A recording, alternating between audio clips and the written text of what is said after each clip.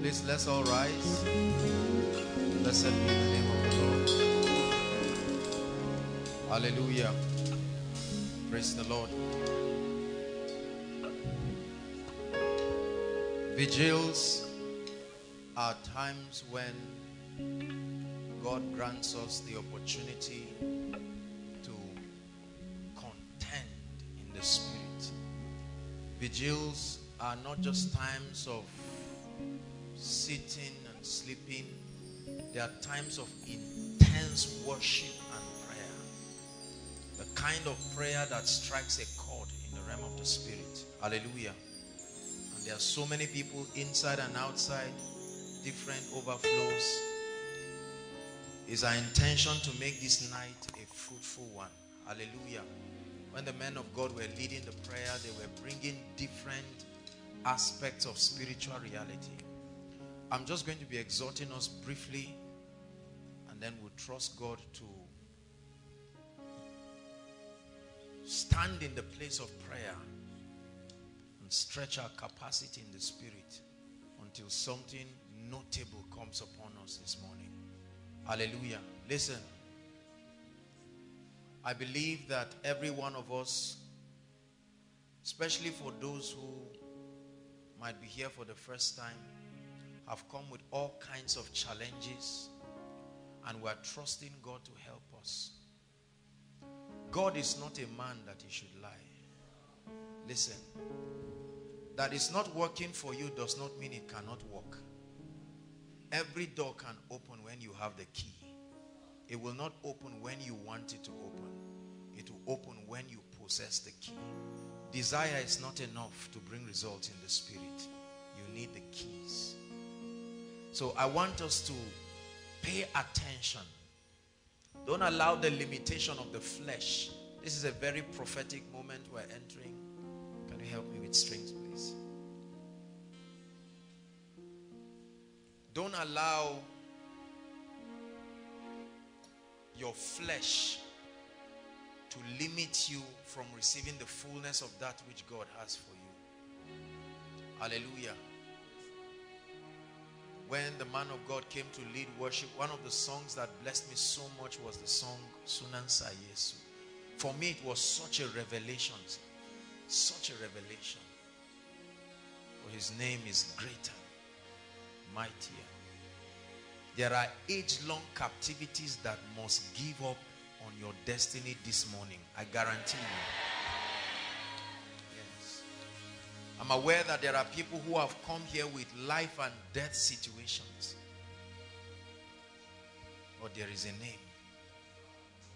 Hallelujah. There is a name. I'm a believer. I believe in God. I believe He is mighty. I believe He is able. There are no limits to Him except the ones we create. And listen, please. If you can stretch your spirit tonight, believe me, something will come upon your life that will last you a lifetime. You do not know the amount of prayer and communications with the Spirit and the heavens that went in for this meeting. No matter how far you're seated, inside or outside, the presence of God is here. So I want you to take it serious. I want you to open up your heart. Hallelujah. Because God is mighty.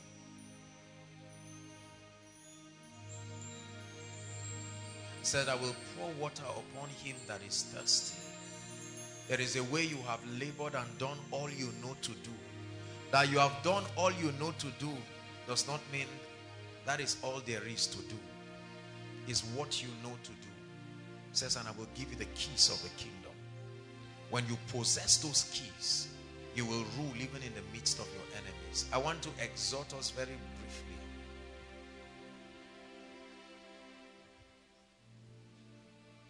And then we'll storm the gates of darkness.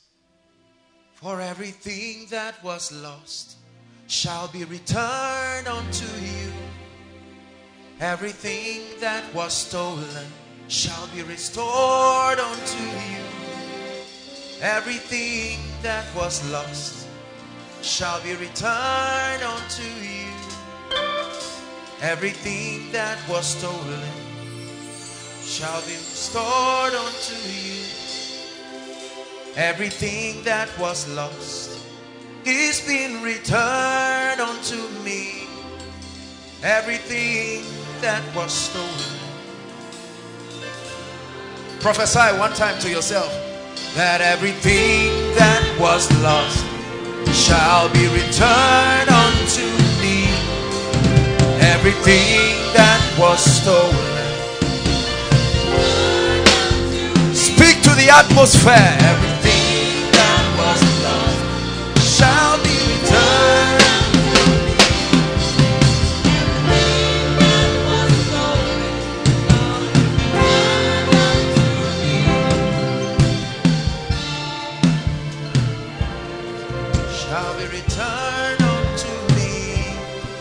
It's a prophecy, it's not a song.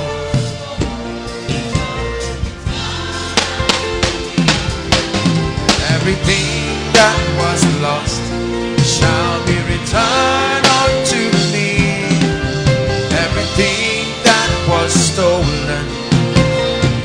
One more time from the depth of your heart.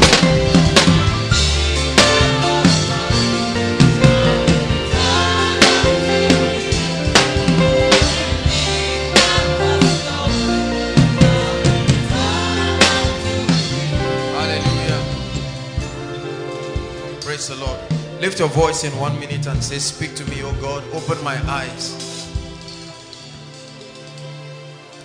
Open my eyes.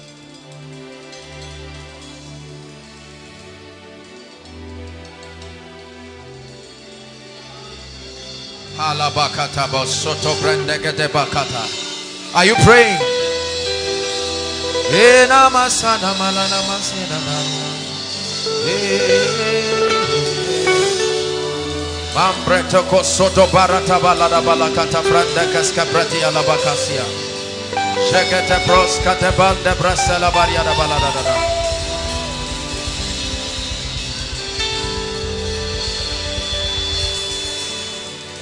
I tell you, the presence of God is mighty in this place.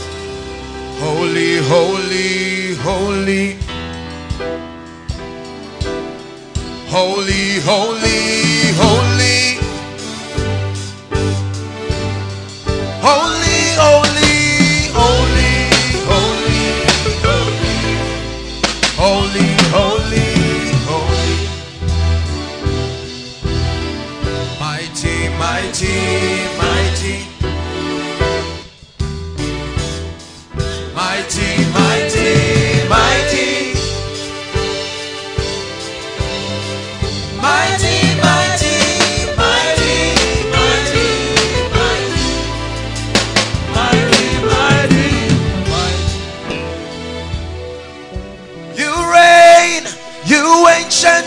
Zion's King. Kadosh, Kadosh. You are mighty on your throne. Oh, sing, oh, fountains of the deep. Cry out, Kadosh.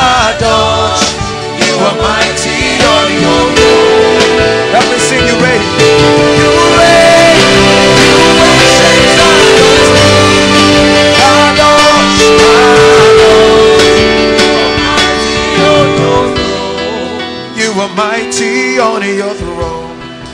You are mighty on your throne. You are mighty on your throne.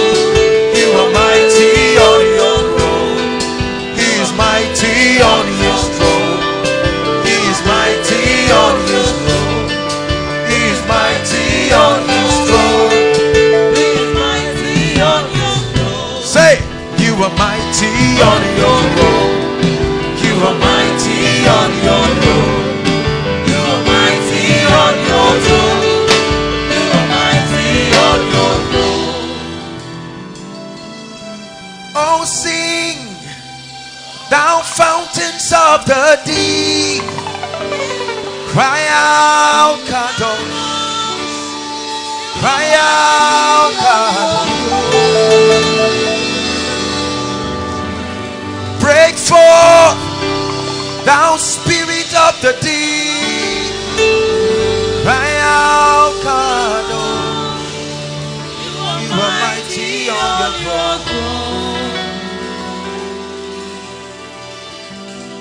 You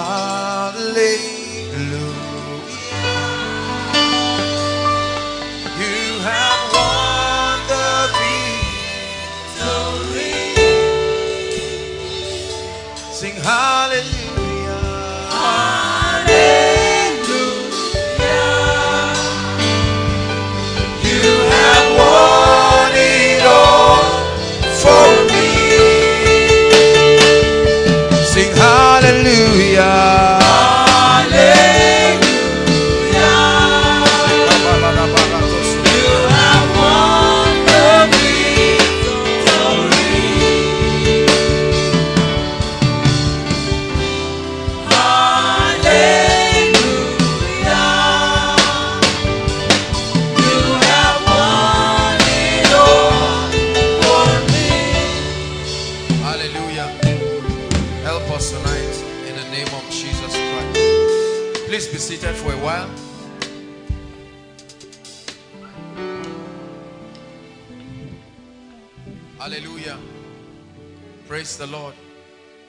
Those outside, can you shout a resounding hallelujah? Let every devil know you are alive and doing well and you insist that that which belongs to you must come to you. Shout one more time, hallelujah.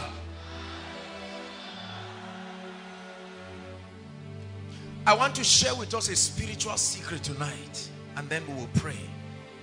I want to share with us very briefly the secret of spiritual power. Please, I want you to pay attention. There is no man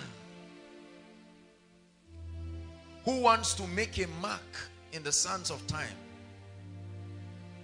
There is no man living in the 21st century who wants to make any notable mark in the spirit. Who will ignore the place of power.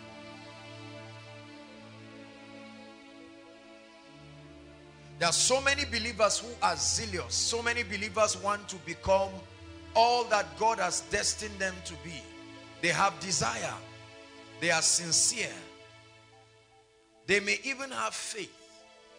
But they lack spiritual power. Hallelujah. What you will be learning very briefly and then we'll pray is supposed to empower you. Listen, a point must come in the life of a man when you will have an encounter with power. This realm that we live in is a realm that is compelled by power. It's not compelled by desire. It's not just compelled by sincerity. It's compelled by power. Psalm 63. The psalmist began to cry and communicate something. Psalm 63.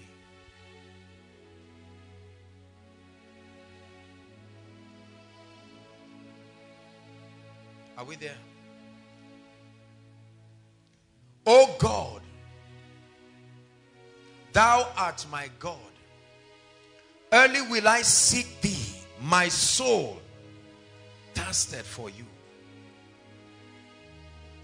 My flesh longs for you in a dry and weary land where no water is. And this is why I seek for you. Verse 2. It says to see thy power and thy glory reproduced in my life the same way I saw it in the sanctuary. It's not enough to see power in the church and on crusade grounds. Lord, I want that spiritual reality to be at work in my life. Years ago, when I sensed the call of God upon my life, please listen. I began to study books and study men and women. I studied large churches and ministries. And I found out as I studied that there were so many people who were powerless and could not do much. And when God began to describe to me the kind of ministry and the dimensions that he would want me to walk in, I knew that I would have to spend time with God until I touched something genuine. Otherwise, I would have to join the band of people misleading and deceiving themselves and other people, speaking with no results. And then I began a journey exploring spiritual power. I began to study the lives of men and women who had been used mightily. Unfortunately, I did not find many of them that were models enough. I began to study the generals. I began to study the apostles, Elijah. Hallelujah. And in the course of my journey, for me, it was a matter of life and death. It was not just for my name. I knew that I would confront sick people. I knew that I would confront oppressed people. I knew that it would take power for any kind of increase in ministry. Spiritually, numerically, and otherwise. I knew posters would only do so much. I knew English would only do so much. And I made up my mind that I have no message for God's people until I have the power to prove it. Please pay attention to what I'm sharing. This is an exhortation. I want to stir up your heart. I watch in sincere grief as I see a lot of men of God and people who want to be used by God with so much zeal, so much English, but no power. And then a few who have taught what they believe to be power convince themselves that because they touched someone and he fell down.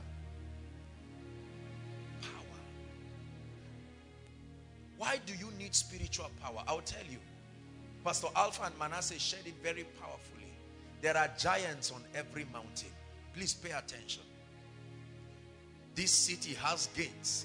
That you are here is a sign of dominion. It's not a sign of the absence of darkness. It's a sign of the prevailing power of God over them. There are many lives here that have been buffeted by darkness. I talk to people all the time and I minister, I minister all the time. And I watch with shock the way Satan prevails cheaply over the lives of people.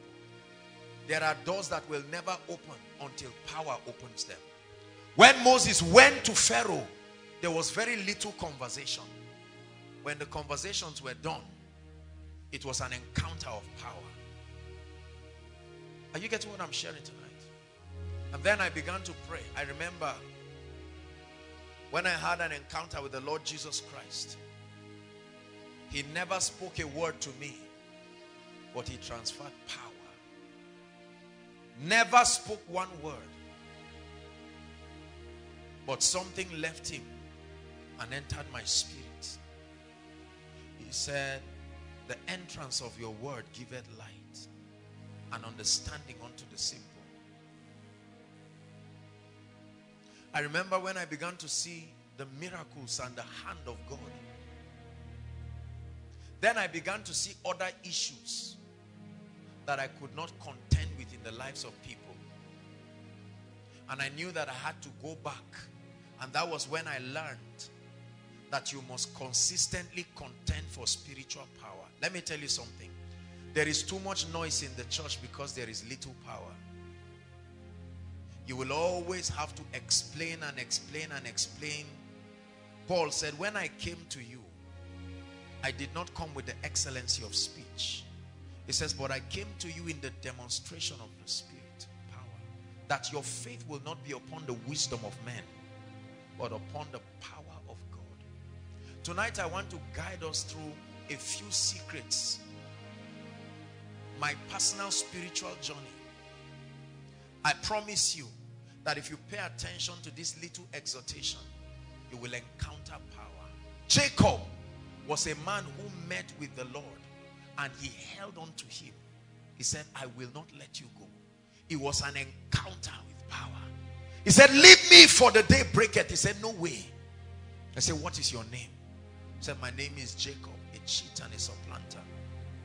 He says, from now henceforth, your name is changed to Israel. For as a prince, you have fought with God. You have contended with God and prevailed. A time must come in a man's life when you'll be tired of the level you are and cry in desperation Lord, I need your power and your glory in my life.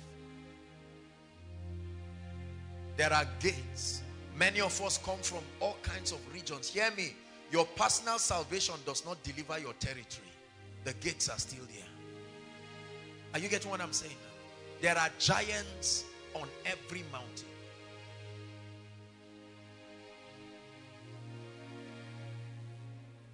The Bible says, How terrible art thou in your works. It says, Through the greatness of thy power shall thy enemies submit Hallelujah. I remember Bishop Oyedepo sharing one time, and he said how that the church was not growing. They were fasting, they were praying, and doing all they knew to do and it was not growing and then one time while they gathered with the brethren and they were angry at the situation he said the Lord asked him to come out and when he stepped out he saw a dark cloud and he said this is the cloud that makes people to misunderstand your ministry and he commanded the cloud to roll away and there was an explosion let me tell you something. Time does not change anything. It is power that brings change. Time only reveals. It does not change. For 38 years, the man was sitting at Bethesda. But when the power of God came upon it is power that can give you audacity to be able to bring heaven to bear, to be able to bring the realities of the realm of the spirit here and now. It takes power to change an SS genotype to an AA. It takes power to open the door of marriage for a lady that it has been closed. It takes power for a woman without womb to get pregnant. It takes power for someone whose life has been tied forever. Through the greatness of thy power. I made up my mind that I have no ministry if I cannot demonstrate its validity. Three keys very quickly. And then we're going to pray. The first secret the Lord taught me. Before we talk on the keys, let me just give us a little preamble. First John chapter 5 verse 9. Help us media. First John 5 verse 19. Very simple but interesting revelation that God gives us there. First John 5 verse 19. Can we read together as projected? One, two, read. Can you read it louder? One, two, read.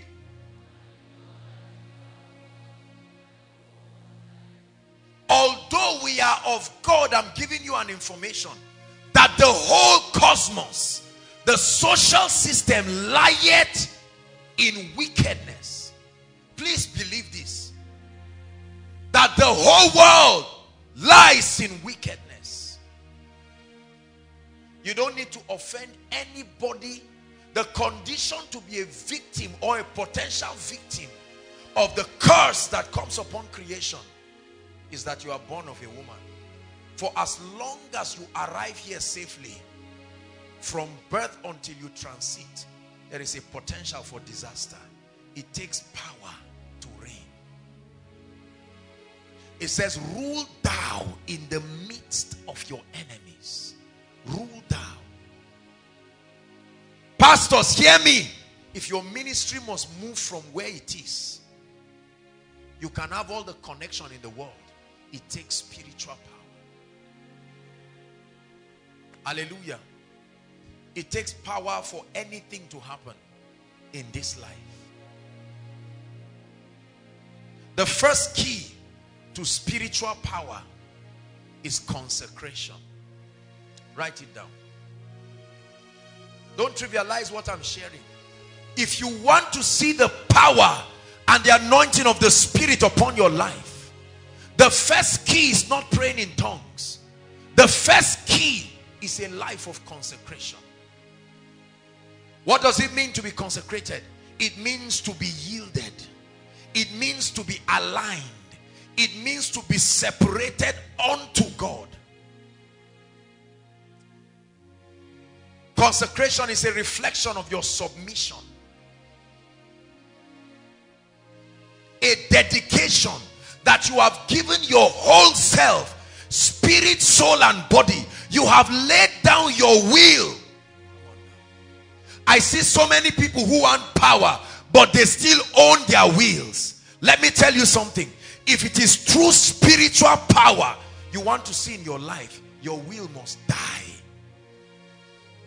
Your personal will, your ambition, you must be willing to lay it aside if you want power with God. You cannot take the power of God and fulfill your own agenda. You must die to your agenda. Are you getting blessed? Spiritual power is not a gift. Make no mistakes about it. Not everything in the kingdom is a gift. There are things that are rewards. Consecration. The price of yieldedness. The centurion, when Jesus came, he made a statement. He said, for I am a man under authority. And on the strength of my submission to an authority, I can tell one go and he will go. I can tell one come and Jesus looked at him. A Roman citizen with such an understanding of the kingdom. Forget about spiritual power when your will is still alive. You want to run your life by your own terms, by your own way. So many pastors are doing their ministry their church. So many businessmen are doing their business until it becomes God's own. Forget about power. Dedication. Consecration. I'll never forget one time when I was praying. It was, it, it's not a doctrine, it's my personal. I had to, I was praying and I had to stand before God, lay down. I stood naked from head to toe and I said Lord, I'm dedicated by this prophetic act my spirit, my soul, and my body. Let this mortal body become a superconductor of your anointing. I give it to you. I have no ambition of my own. My entire life is around the circumference of his will. You want to see the power of God upon your life you must come to a point where you die to your will. Do not think God will give you power to do your thing. No. It will have to be at his terms. That's what was happening to Jacob. He touched his thigh and made him everly dependent on an authority other than himself. There are so many people who are not consecrated to God. It takes dedication. It takes total surrender. That's the word. Surrender. Surrender. Take all of me, all of me, Lord. You have my everything. Use all of me, all of me, Lord. You have my everything. Anoint my everything. Use my everything. I release my everything. You have my everything. Take all of me, all of me, Lord. You have my everything. You gave your everything. So I give my everything. You gave your everything. I give my everything. Take all of me, all of me, Lord. This is the key. This is what I did with my life. Lord, take everything. Take my ambition, take my destiny. Take everything that means life to me. I surrender it to you. And God says, if you can give me everything, he says, for because you did not withhold your son. That was the key. Consecration is not just about religious rituals. It's about a state of surrender. A state where you know that he becomes your life. It's a realm in the spirit called Galatians 2.20. I have been crucified with Christ. Nevertheless, I live. Yet not I, but Christ that lives in me. And the life that I live in the body, the flesh, I live by the faith of the Son of God. Are you willing to give up everything?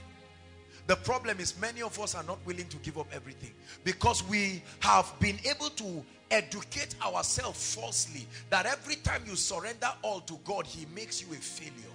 Every time you give up to God, he, he, will, he will destroy your life. But he says, for I know the thoughts that I think towards you, saith the Lord. If it is your business, get set to die.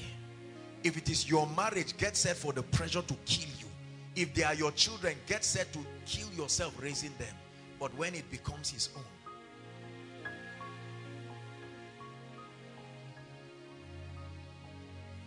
this song that we sing, they all belong to you. Even the air that we breathe, it all belongs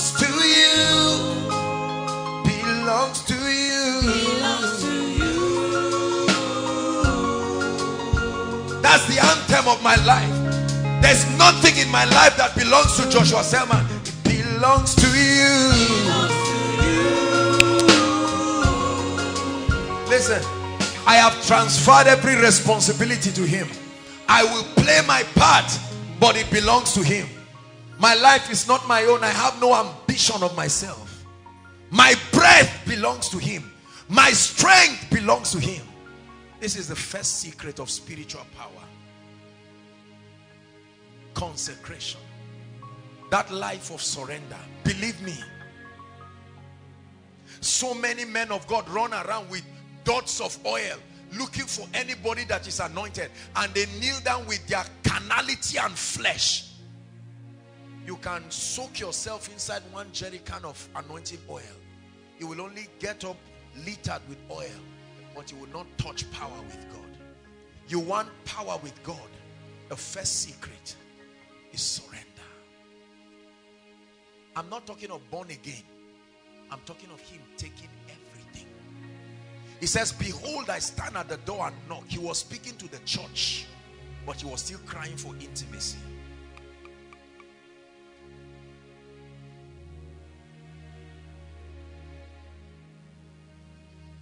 Number two, the second secret of spiritual power is revelation and insight. Revelation and insight. Ephesians chapter 1, please. Let's look at verse 18. Paul the apostle prayed a prayer to the church in Ephesus.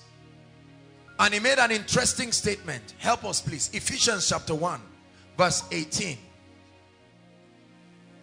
He says that the eyes of your understanding will be enlightened, flooded with light. Then he says that ye may know. When the eyes of your understanding is flooded with light, you know. You come into oneness with a reality. It doesn't just mean to be aware. It's not talking of awareness. It's talking of a state of oneness where you and that reality have become one.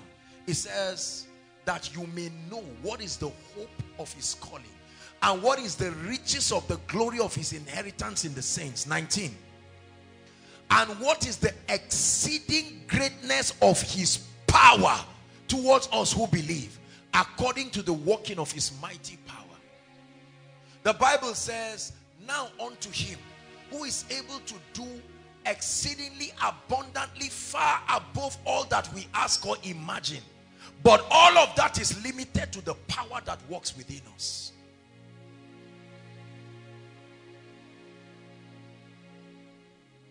light and illumination. When light breaks open over your spirit please hear me. When illumination breaks open authority is given to you in the spirit. One time i was in a vision. I've shared it here a number of times. And while i was in a vision i saw a big door giant gate. And when I looked closely, it was zoomed to me. And I looked at it closely. And I found out that that big door was made of smaller doors. And on every door, there was a scriptural inscription on it. I saw the doors opening and closing. And every time they open, light, like an arrow would just shoot out of it. And then the Lord began to reveal to me that this is what happens when people catch a revelation of a dimension of truth, the light, the power, the anointing to demonstrate its validity is released upon them. Meaning when you teach a thing you cannot demonstrate, you have not caught the light yet, no matter how you pretend it.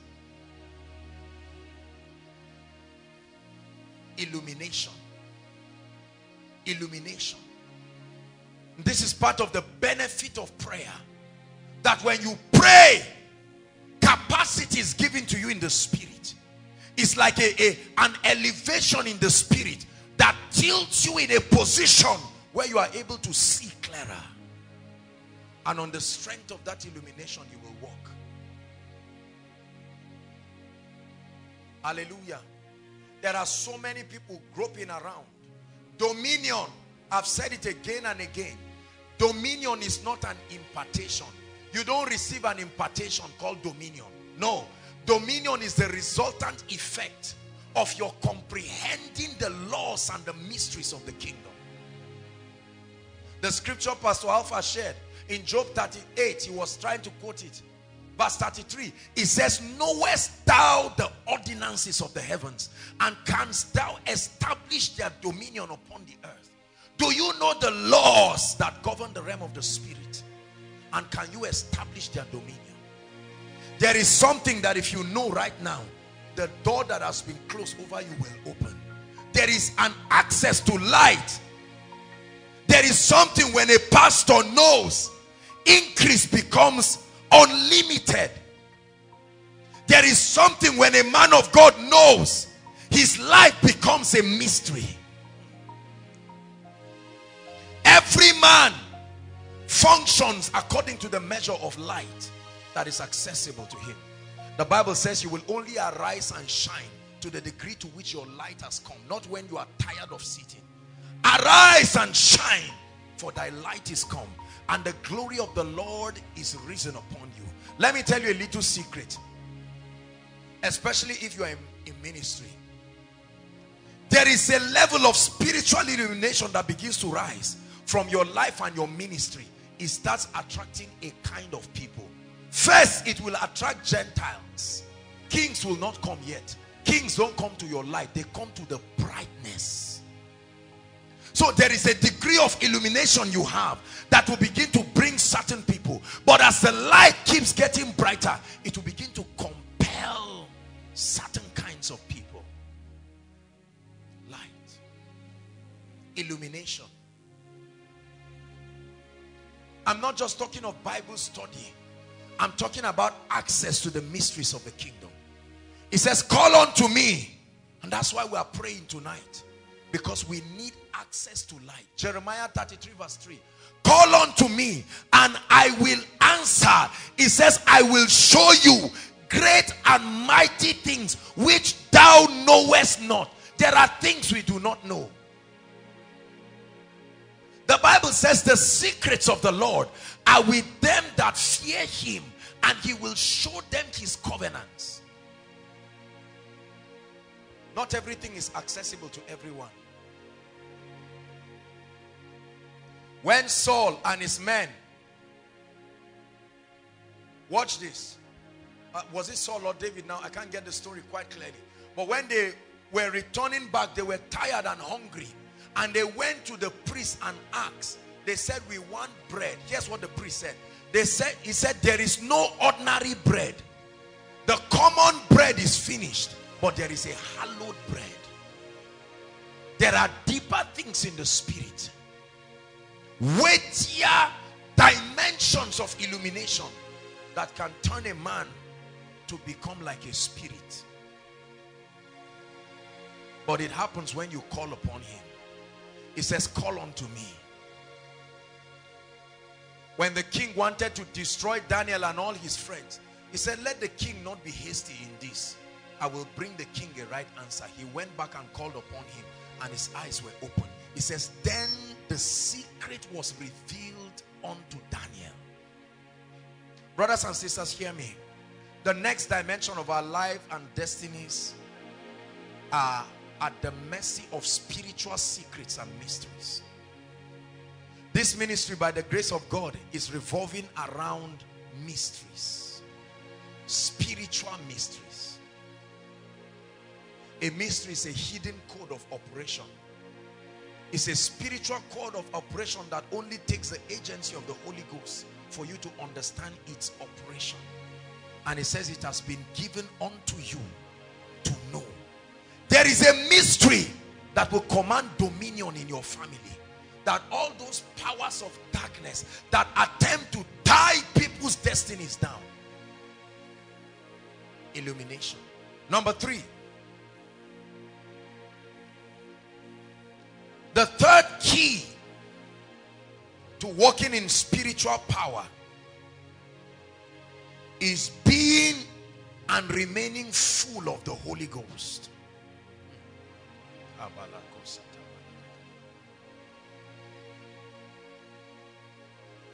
Being full of the Holy Ghost. Full of the Holy Ghost.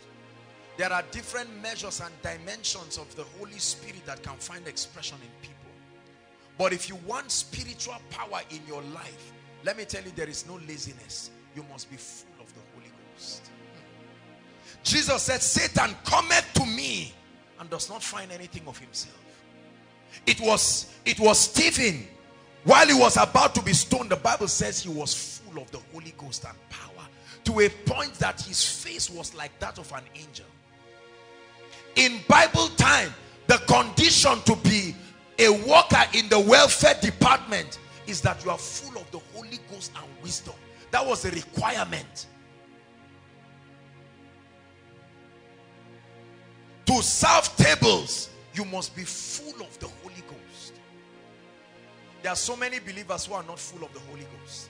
That's why we carry our emptiness and we keep embarrassing ourselves. And there is one spiritual key to being full of the Holy Ghost. Prayer. Prayer. The ministry of prayer with fasting. It's the key. Spiritual key. That's why we must pray. When you are full of the Holy Ghost, brothers and sisters, there is an energy that is generated within you. Every yoke is, the Bible gives us a picture. It's like an expansion that is happening. There is a level that expansion gets, it breaks every chain at once. At once. Full of the Holy Ghost. That's the level that we must contend. That you pray to a point where you become full of the Spirit. And certain things will happen to you the moment you are full of the Spirit. The Bible says, do not be drunk with wine, wherein in excess. It says, but be ye filled with the Holy Ghost. If you are truly filled, naturally, certain things will start. You will start speaking. Not by your mental assent. You are speaking as a response. Because when when you are full of anything whatever spirit or agency fills you up begins to live out its nature through you manifesting its characteristics through you. That's how people become superhuman. They are full of the Holy Ghost to a point that they become puppets. Their voice is the voice of the spirit. Their hands have become the hands of the Holy Ghost. So when they tell you God bless you they speak on the strength of the agency. The only way to communicate being full of the Holy Spirit is being drunk. When a man drinks to stupor, there is a level to which he drinks and that, that alcohol influences his mind and his faculty and momentarily he loses consciousness. At that point, he will say things and do things that are a direct influence of that alcohol when you become full of the Holy Spirit, then the spirit of prophecy will fall on you and you will begin to speak and call things that be not. Let me tell you something. The correct order of dominion prayers is to pray in tongues until you are full before you begin to prophesy. You don't just stand up and start saying, in Jesus' name, gates open. No, there is a dimension you stretch in the spirit. It's like an escape velocity. When you get there, the spirit of prophecy comes upon you. And you begin to make decrees. And I trust God that we'll get to that dimension tonight. That is the level where you can call things that be not as though they were. That is the level where the anointing will shatter every yoke when you are full of the Holy Spirit.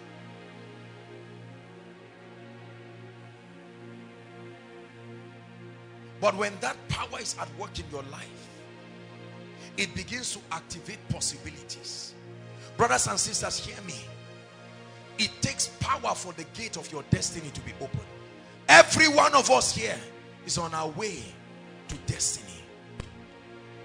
But it takes power. Otherwise, the gates will not open. Tonight, hear me. You're going to stand and pray until the chains that lock up the gate of your destiny give way. Are you hearing what I'm saying? I'm preparing our hearts because we are going to pray. The devil must give up on you. You must pray until that spirit of barrenness jumps out of your life. You must pray until the chains that are tying down your life go. You must pray. There is a way you can pray yourself to victory. It's like a flight in the spirit. You keep praying. When the flesh is tired, you say, no way.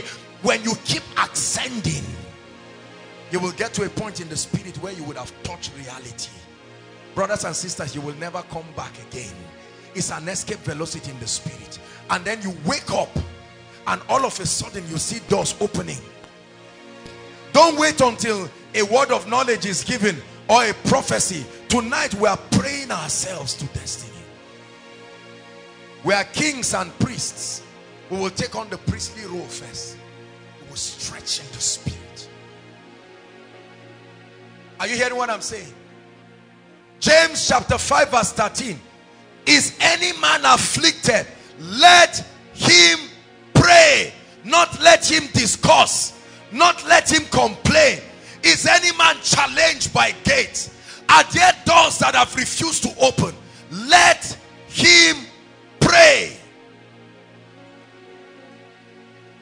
Is any man jobless and you've done your applications and doors are not open? pray your way to victory terminal diseases is because they have an occasion to lead to your flesh. When you generate power in the spirit when you generate fire in the spirit it burns every chaff.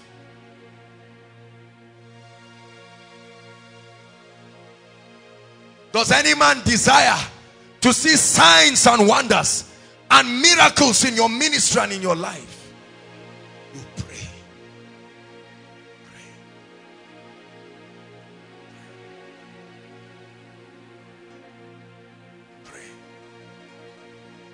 Anything that fights your prayer life has destroyed your access to power.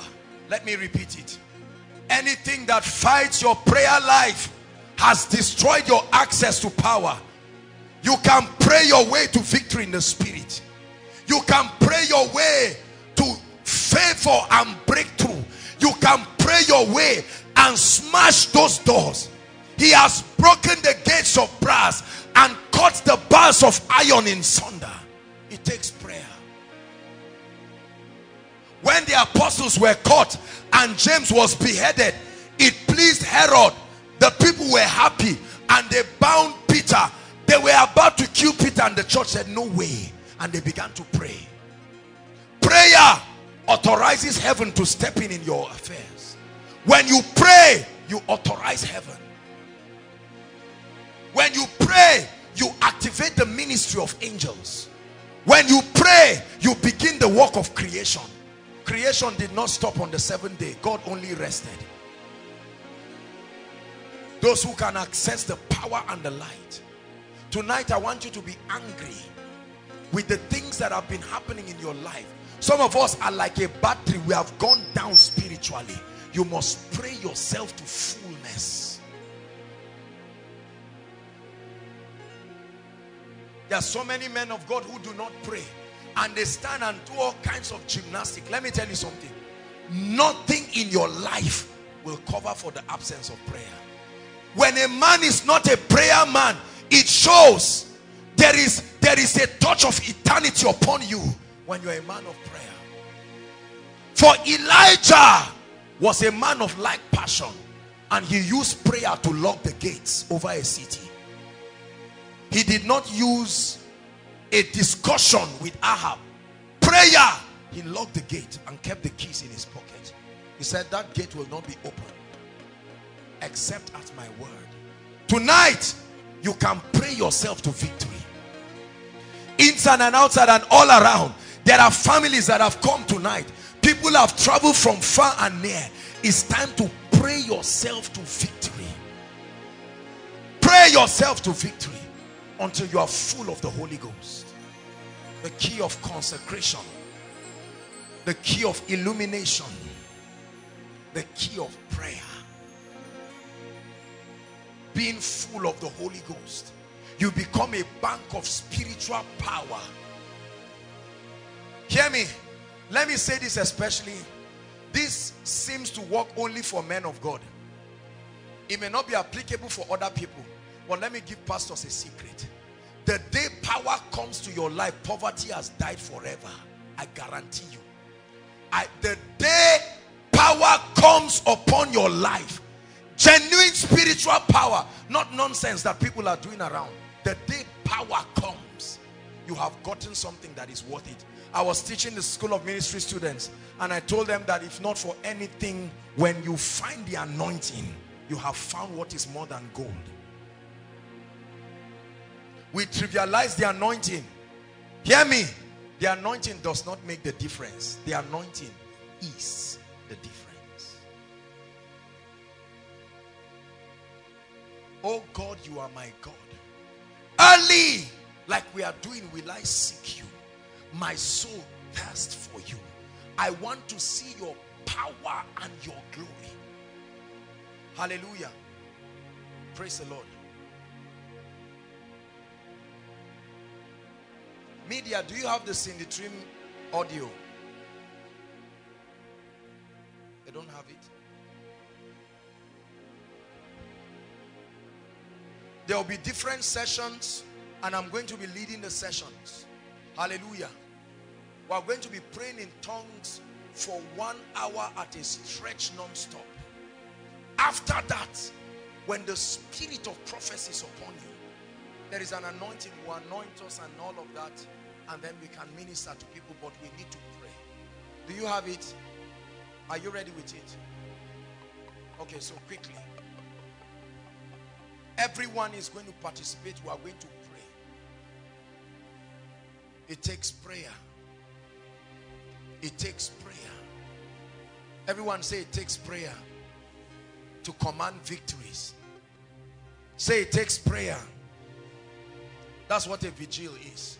A vigil is not a time to sip tea and take lemon juice and, and banana cake. You are joking. A vigil is a time to tell the devil, Christ has won this. I come to establish my victory. Listen, the breakthroughs that will arise from this prayer session will surprise many of you. You never know how cheap Satan is until you're a man of prayer. You never know how cheap doors can be how cheap they can open. Pray. Pray. When you pray in the secret, then you make your life easy in the open. But when you do not pray, many of us pray, but we pray amiss. Tonight I want to teach you strategies, deep strategies for spiritual prayer that will produce results. That you are talking does not mean you are praying. There are many people who are talking for a long time and they leave that place with the same misery and frustration. There, there are dimensions and laws and there are rules of engagement. I don't know about you, but part of my request, I told God, I must step into new levels of grace in this vigil. Shortly before I came here, I lay down flat before the Lord And I said, Lord, my personal desire, I know you will use me to touch and bless your people. But whilst that is happening, I hold on to your garment. There is a new level. I saw in a vision a curtain opened and there was another one and I was pushed forward. I said, that's it. I must pray till what I have seen. Many of you have seen things in your dream. Prayer is the weapon that you use to bring it to pass. You have seen a great life. You have seen a prosperous destiny. But there are gates. Make no mistakes about it. Your business will not just excel. There are gates. Sister, the marriage will not just happen. There are gates. But tonight, ministries and destinies will rise to a new level. Please, I'm saying this so that you will prepare your spirit. Prepare your spirit. Rise up, everybody. Inside and outside, please rise up.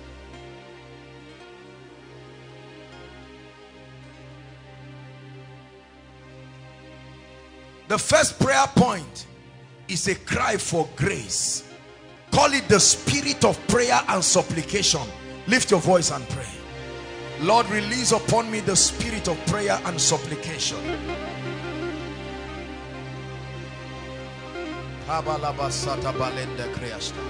Just pray.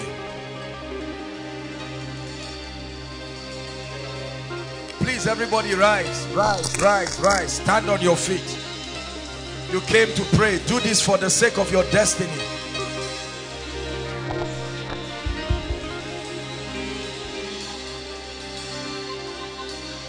Will you open up the gate?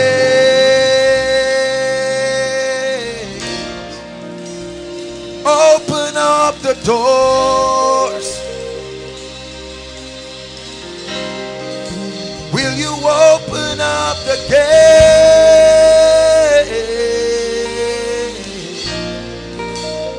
Open up the doors.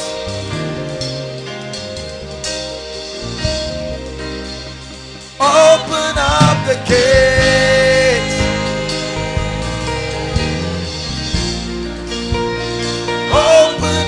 The doors. Quicken us, oh God, and we will call upon your name. Quicken us, oh God, and we will call upon your name. Quicken us, oh God, and we will call upon your name. Quicken us, oh God, and we will call upon your name. Quicken us, oh God, and we will call upon your name. Hallelujah. I want you to lift your voice and pray in one minute before we start praying properly. Say, Lord, I surrender everything to you. Lift your voice and pray. Take everything inside and outside, right to the back. Lord, I've tried to live my life my own way. I surrender everything. I surrender my will, my ambition. I surrender everything. It belongs to you.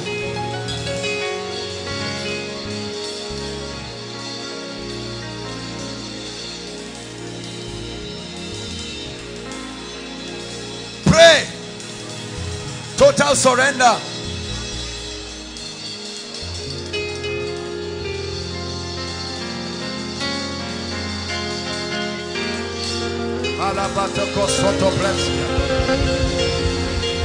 Lord, it belongs to you.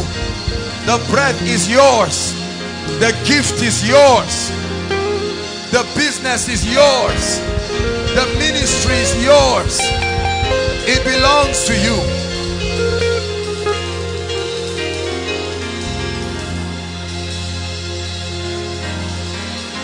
Hallelujah. Media, are you ready? Please let me know when you are ready. You're ready? Now, hallelujah. Dr. Cindy Trimm is a woman of prayer. Cindy Trimm is a woman with a strong prophetic grace for prayer. And we're going to be using her one hour prophetic declaration. She makes prophetic declarations. It's an audio. While that is happening until it finishes is a guide. The moment it starts we are stretching in the spirit. No sleeping. Anyone who is sleeping hold his hands and walk around with them. No sleeping. Praise the lord. Because this is about your destiny. Outside make sure you participate. Whatever you do be ready to stretch it in the spirit. And i want you to imagine yourself ascending a ladder in the spirit where you are tearing down the walls of limitation. Hallelujah. Father i stretch my hands over your people and i ask for a supply of grace to pray. Grace to pray. Let the spirit of prayer and supplication come upon you. Let the capacity the capacity to stretch in the spirit. It cannot be by your efforts hallelujah. Are you ready now? Praise the lord. Lift your voice everybody begin to pray in the spirit pray like a priest. Only in the spirit. Only in the spirit. Open your mouth and begin to blast in tongues. For as a prince as a prince. This is not just your normal prayer life. I know i know normally you pray. You are under a heavy unction. There is power in the name of jesus there is power in the name of Jesus.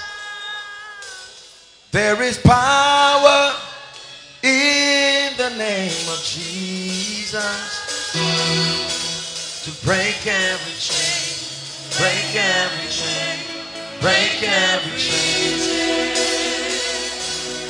break every chain,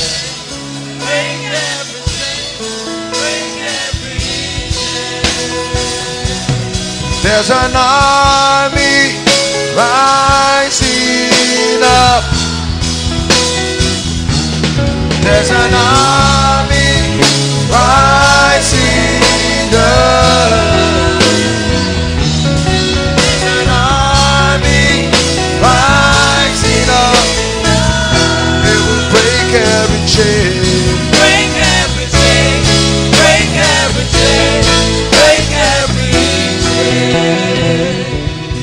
up your Bibles, please. Psalm 92.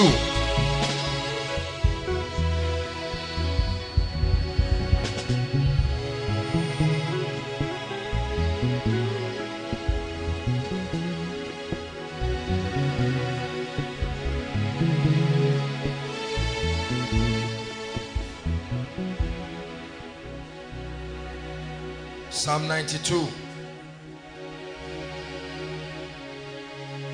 We're entering another phase.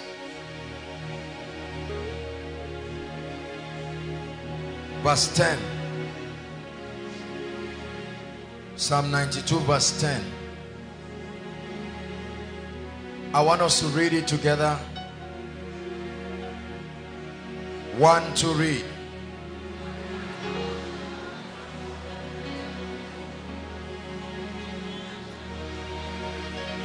One more time.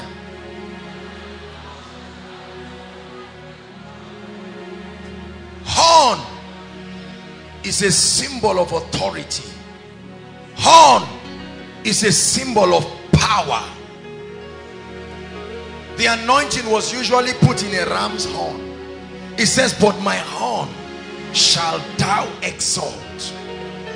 Just like the horn of a unicorn is always above you will exalt my he says and i shall be anointed with fresh oil. Listen the lord asked me to do this before we begin to minister to the sick and all of that. This is ordinary oil.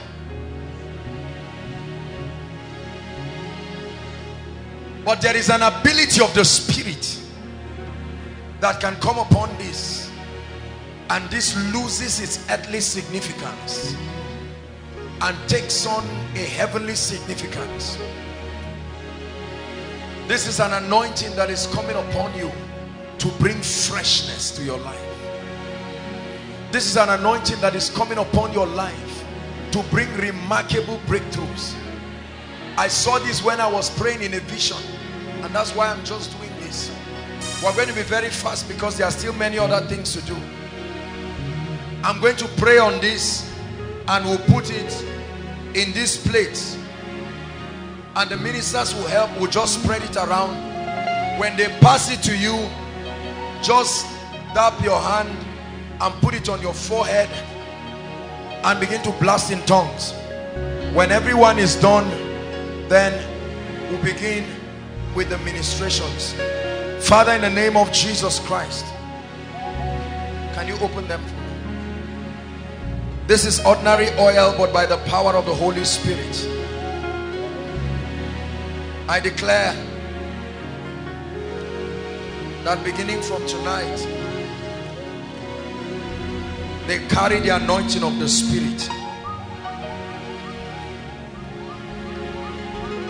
Many of you, as you partake of this, fresh fire comes upon your life. Freshness. Listen, tonight is a night of encounter with power. Hallelujah. It's a night of encounter with power. Father, I lay my hands upon this. In the name that is above all names, may they become conduits of your power. May they become instruments of power. As this comes upon the heads of many. In the name of Jesus Christ, I declare by the anointing of the Holy Spirit that they will bring supernatural breakthroughs, supernatural freshness, supernatural grace. By the power of the Holy Ghost. By the power of the Holy Ghost. By the power of the Holy Ghost. Lift your voice and begin to pray. And say, Lord, as this oil comes upon me, something must break loose in my destiny. Are you praying? As this oil comes upon me, something must break loose in my destiny.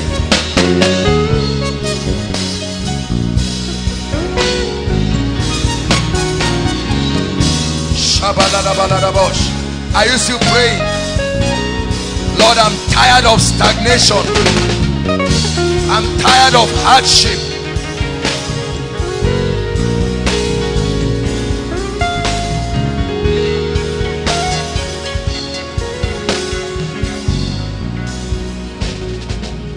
Keep praying. Lord, my heart is open.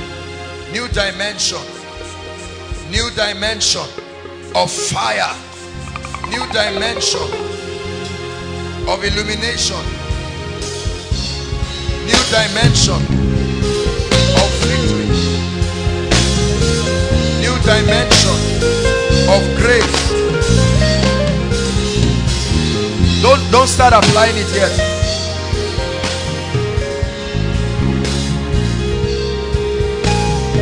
We're tired of the status quo. There's gotta be more.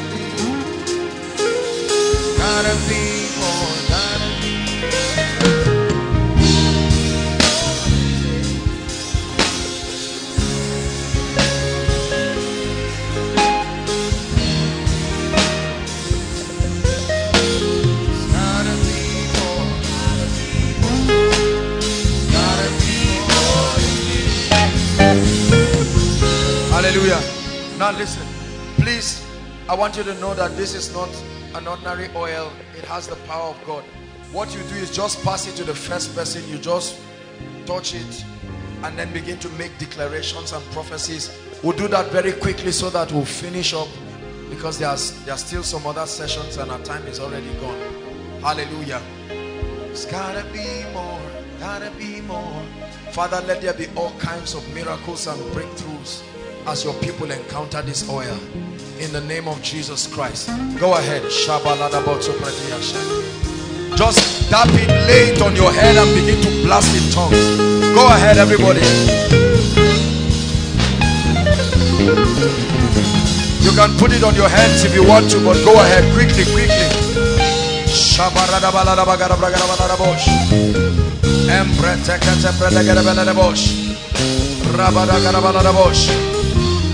Just pass it round, pass it round quickly. Make sure there's enough outside, please. Let everybody get everybody.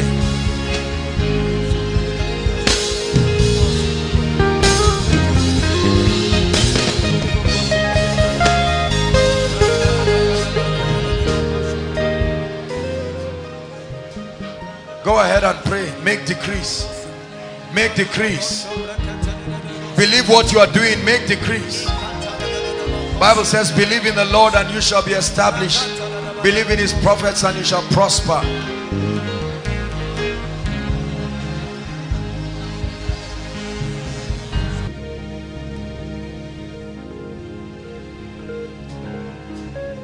Those outside, are they, do they have the oil? Please let's save time very quickly outside. Make sure you're speaking. My life will never be the same.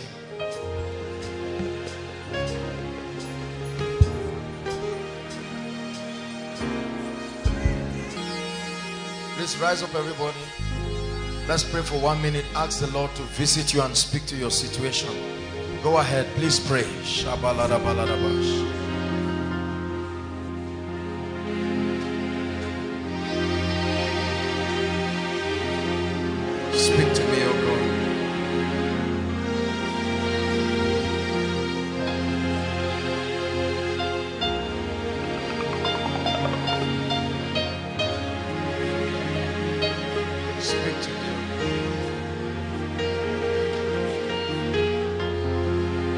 Hallelujah.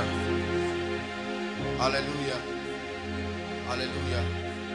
Praise the Lord. Where is the man that was here kneeling with a child?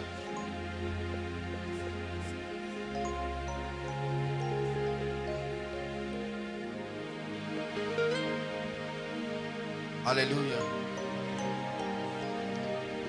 The Lord is showing me a family that came here. A family that came here.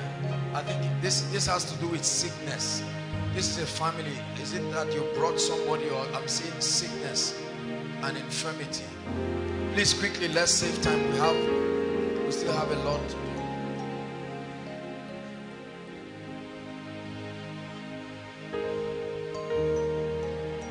Hallelujah. Stand up, sir. Where is your wife?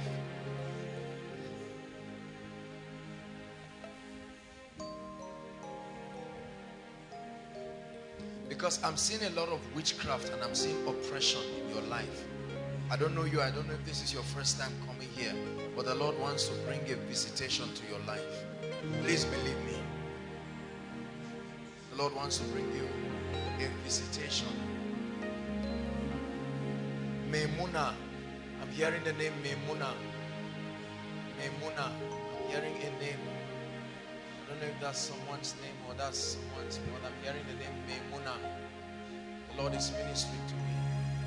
I don't have to call your case, believe me. The atmosphere that we're in is enough to bring us that breakthrough. Hallelujah. Hearing that name, Memuna, I'm going to pray for you. Is your wife sleeping? Please let her come. I just want to minister to both of you. She can return back to the car.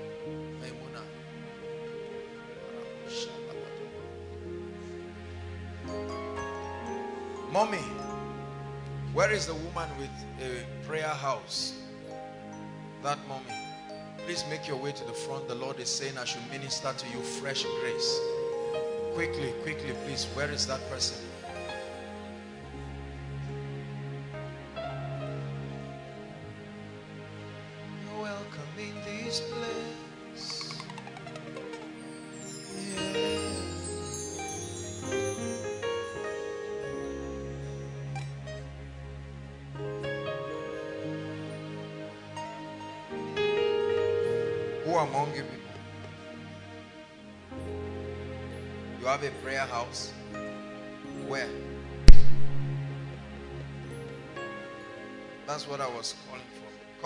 You here? What's wrong with you? Eh? I'm looking at this young boy. What is this that I'm seeing? I'm looking at this boy and I'm seeing snakes all over him. This is what I'm seeing. It came from you to him. Please collect this child. Let me minister to this woman. Please don't bring anybody out until I tell you to bring them out. Why are they here? Memuna, is that your name? Help us with a mic, please. Huh?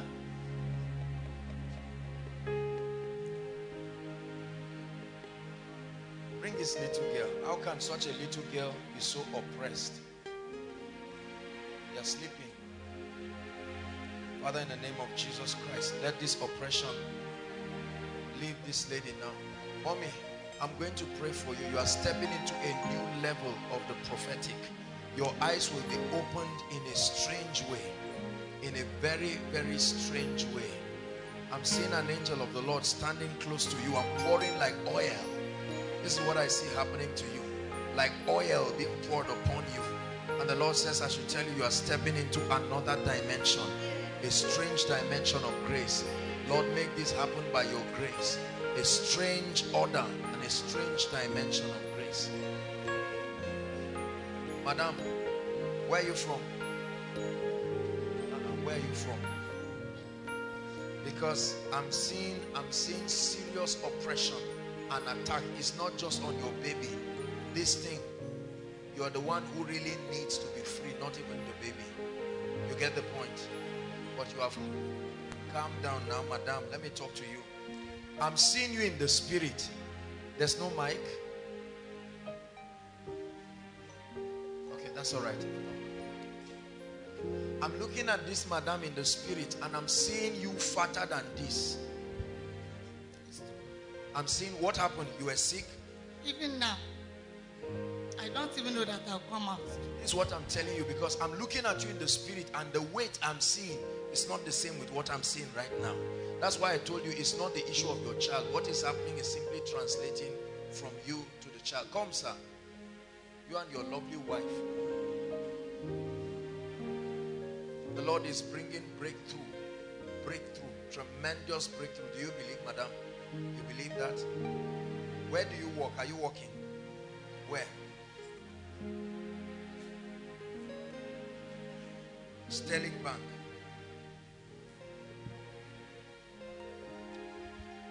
It won't be too long. God is going to take you from that place. You know this now. You have been preparing towards. Yes. That's not true.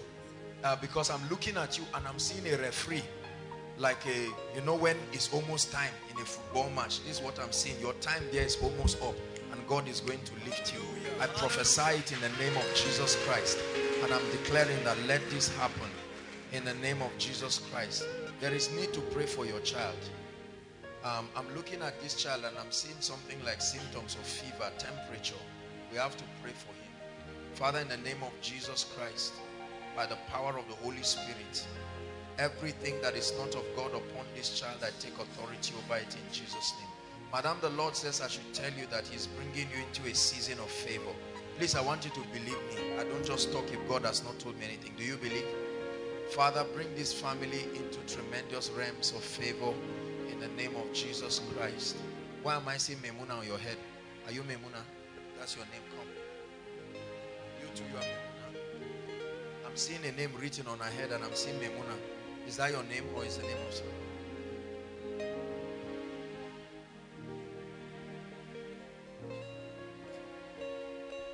And I will restore. The Lord is saying I should tell you, He can restore the years that the canker worm has eaten. Huh? Two things. Number one, your relationship with God. Huh? You can't be one leg in and one leg out. You get what I'm saying, right? Leave all those friends and focus. Use this night let this be a night of determination in the name of the Lord Jesus Christ. Father, let her be free. Mama, let me pray for you. In the name of Jesus Christ, I cause sickness. I cause infirmity. I'm going to pray for the sick, but then I cause sickness from your body in the name of Jesus. And every act of witchcraft, I take authority over it in Jesus' name. I lay my hands upon this baby. What's the name? What's your child's name? Madam, what's your child's name? destiny. I lay my hands upon destiny and I speak to you. Be made whole right now from every infirmity in the name of Jesus Christ. Madam, be prayerful. Be prayerful. There are some things I cannot show here, but you see, let me speak in parables. You cannot come and collect my thing and pretend not to know me. Are you getting what I'm saying? You cannot come and collect my thing in the secret and stand in the secret pretending not to know me. It's very important. Be prayerful and is either Lord of all. He cannot share his glory with any other. Get what I'm saying, madam? The Lord is going to lift you and take you place. I want to pray for your children because the devil wants to oppress them. This is your child. Father, in the name of Jesus Christ, I pray in the name of Jesus Christ. This is spirit. Let her go now. Out! By the power of the Holy Spirit. Madam, I pray for you. I'm seeing three babies.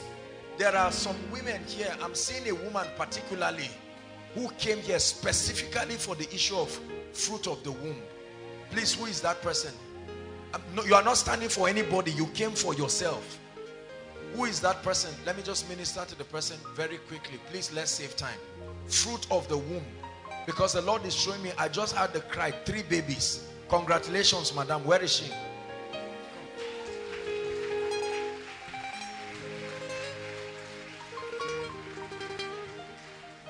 Your name is glorious. We lift you up higher.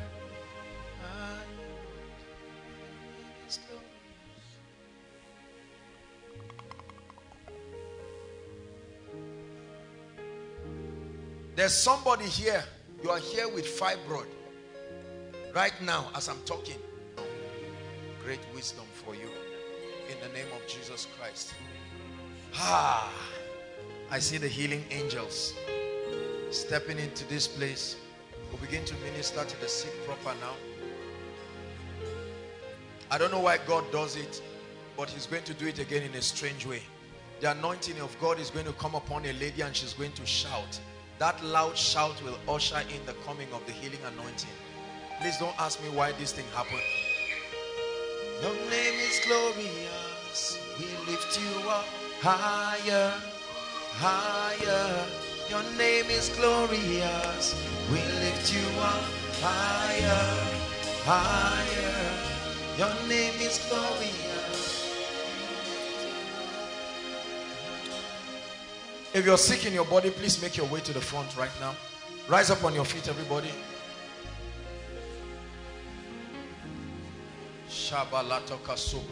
Barato subrihata. Everyone begin to pray, Lord, touch me. Please, if you're sick, just, just give them way. We're going to minister to them very quickly. Everyone will be touched. Everyone will be blessed.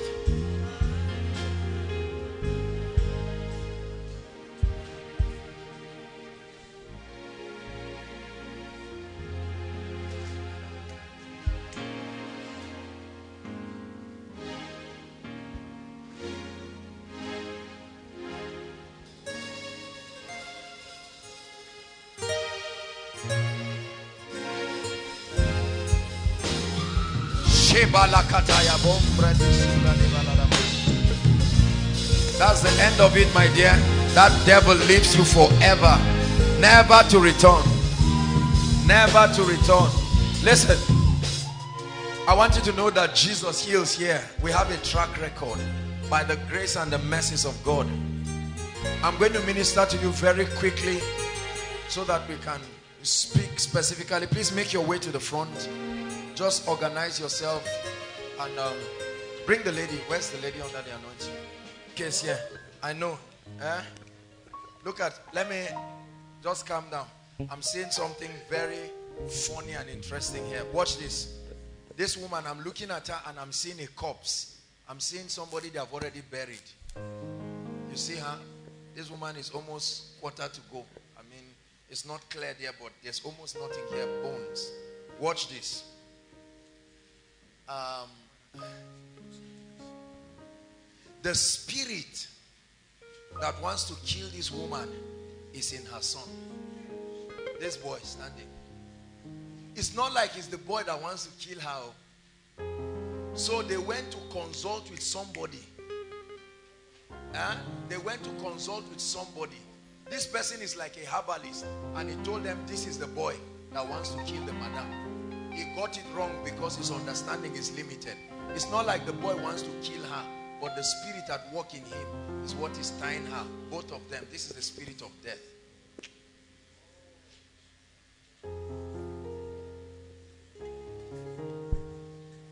She would have died on the 22nd of this month. 22nd. Would have buried her. It would have been over. She would have stopped talking from 19th and died on the 22nd. God, you are higher than any other. Our God is He's awesome in power. Come on, sing it like victorious people. Our God, Lift your voice and say, our God is greater. Hey. Our God is stronger.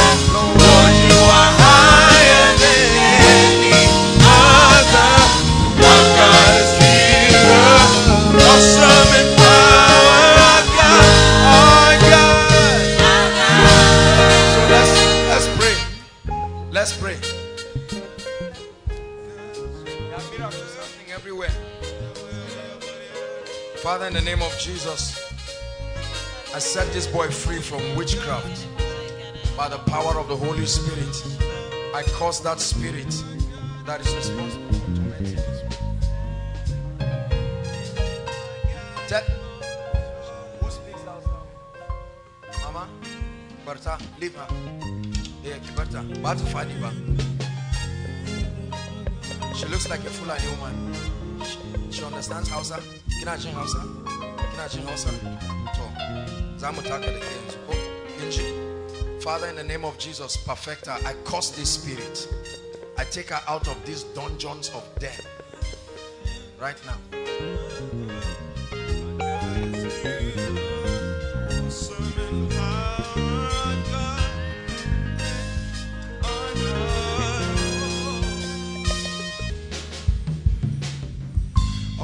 Glory belongs to you.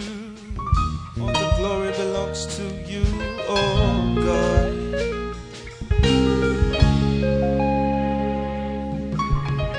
All the glory belongs to you.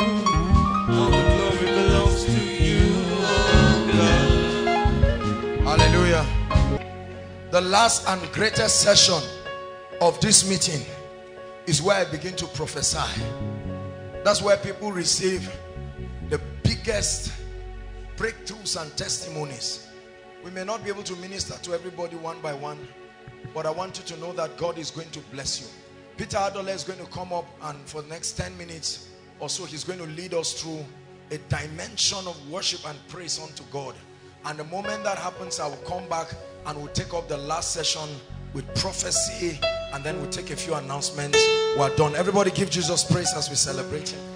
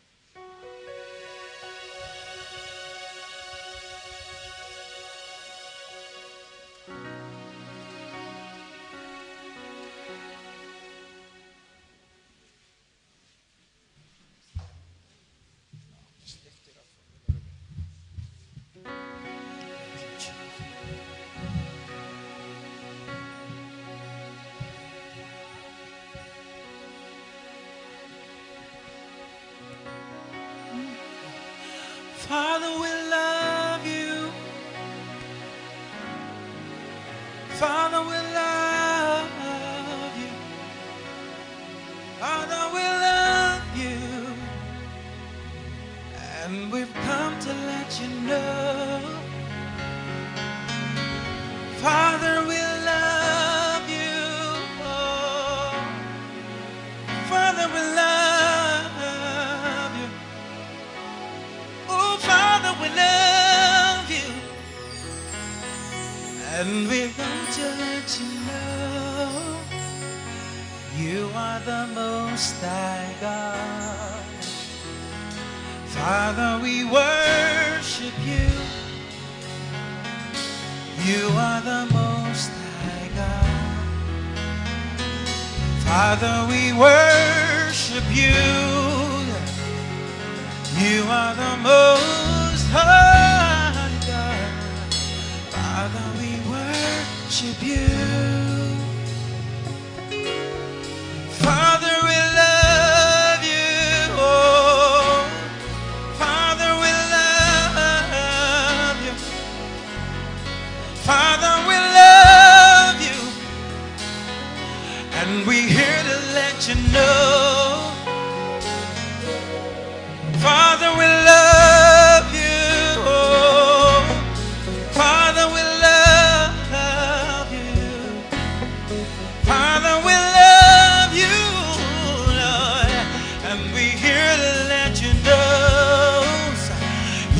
The most high God. Join me, say, Father.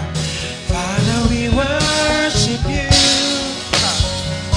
You are the most high God. Father, we worship. Say, Father, we worship you. You are the most high God. Father, we worship. Father, we worship you. Oh, oh. you are the most high God. Father, we worship you. Say to the Lord, you are the most high God. Father, we wait on you. Oh, you are the most high God. We wait on you, Jesus. We wait on you, Jesus. You are the most high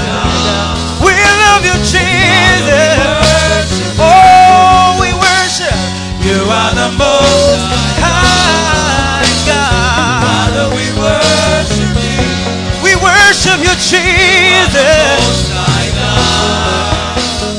Father, we reverence you. You are the most high God. Father, we worship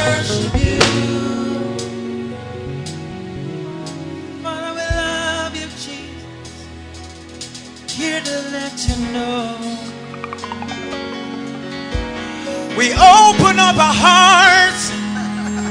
We open up our hearts. We open up our hearts. We open up our hearts. Come fill us, Jesus,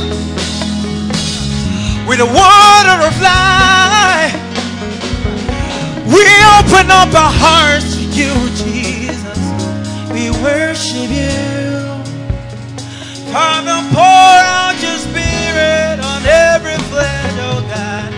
We worship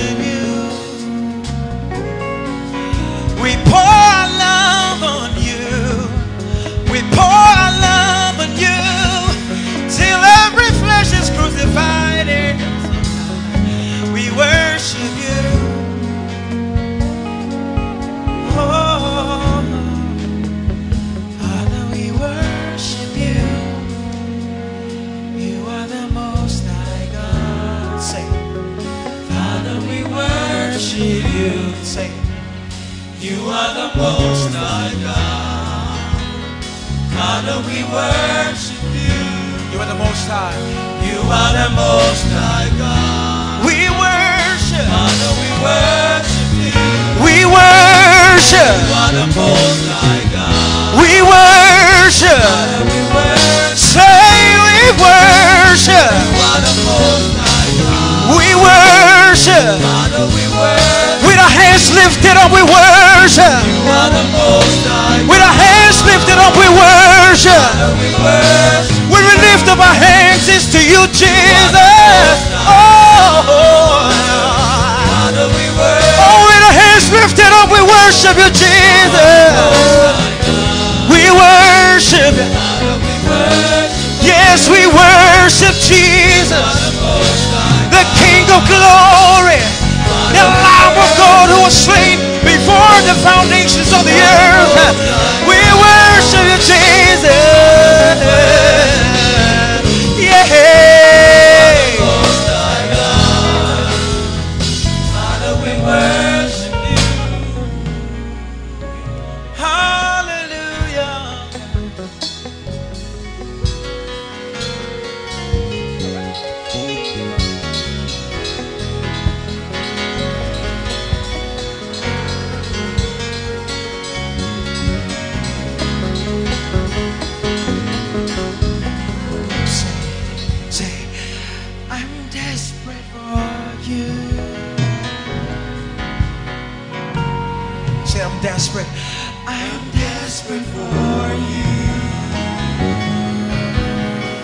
Say, I'm desperate for you. I'm desperate for you. Say, I'm lost without you. Say it. I'm lost without you. I'm lost without you. There's no me without you. There's no me without you. Say, it. no me without you. There's no life without you. There's no life without you. Oh, Lord, I'm desperate for you. I'm desperate for you.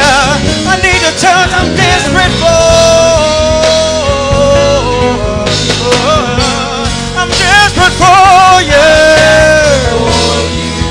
Desperate for you, Jesus. I can breathe without you. Desperate for you, I'm lost without you, say. I'm lost without I'm lost without you, say. I'm lost without you. Church, say, I'm lost without you. Now say, I'm lost without you. I'm lost without you. Rain of your presence on us. Uh, say it. I'm lost without you. Cover us with your grace, Jesus. Say, I'm lost without you. Let the rain of your presence, oh God. I'm lost without you. I'm lost without you. I'm lost without you. We give you all the glory and the honor and adoration to your holy name. Yes, I'm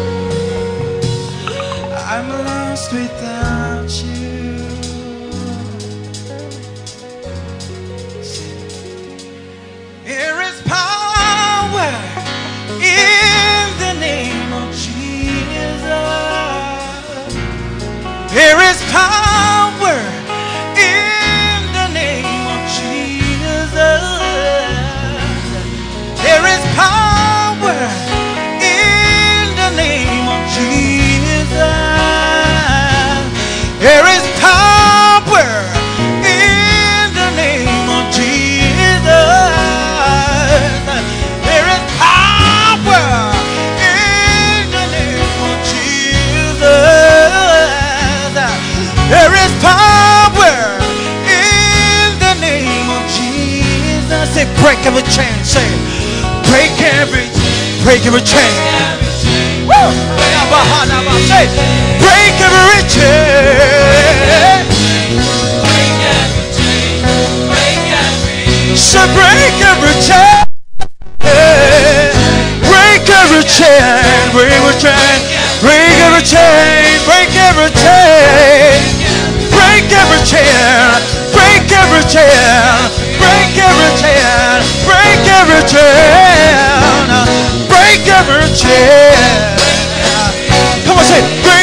chain. Break every chain. Every chain. Every chain. I see the chains are broken now. The chains are broken. The chains are broken. The chains are broken.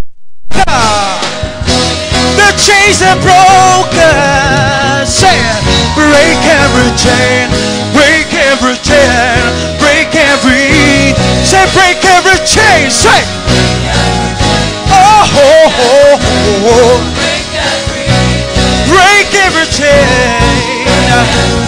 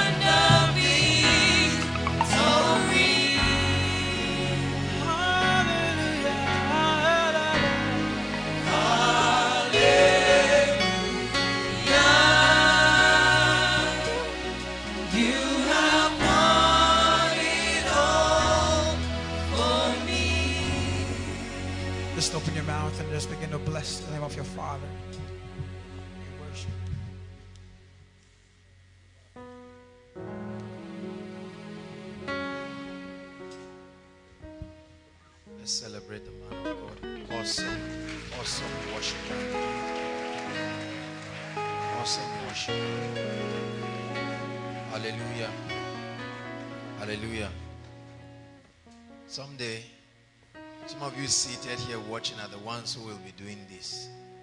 Yeah. And then you will tell them that this is how you were trained. And you will tell them you were trained well. The flesh can be tamed. You can tame the flesh to a point that the spirit of God. This is this is not it's not about the issue of struggling. Just leave him there. It's okay. Hallelujah. Praise the Lord. We have a few minutes and then we're done. I salute everyone. We'll have the last prayer session and then I'll just prophesy and speak over our lives. So, can we all rise inside and outside?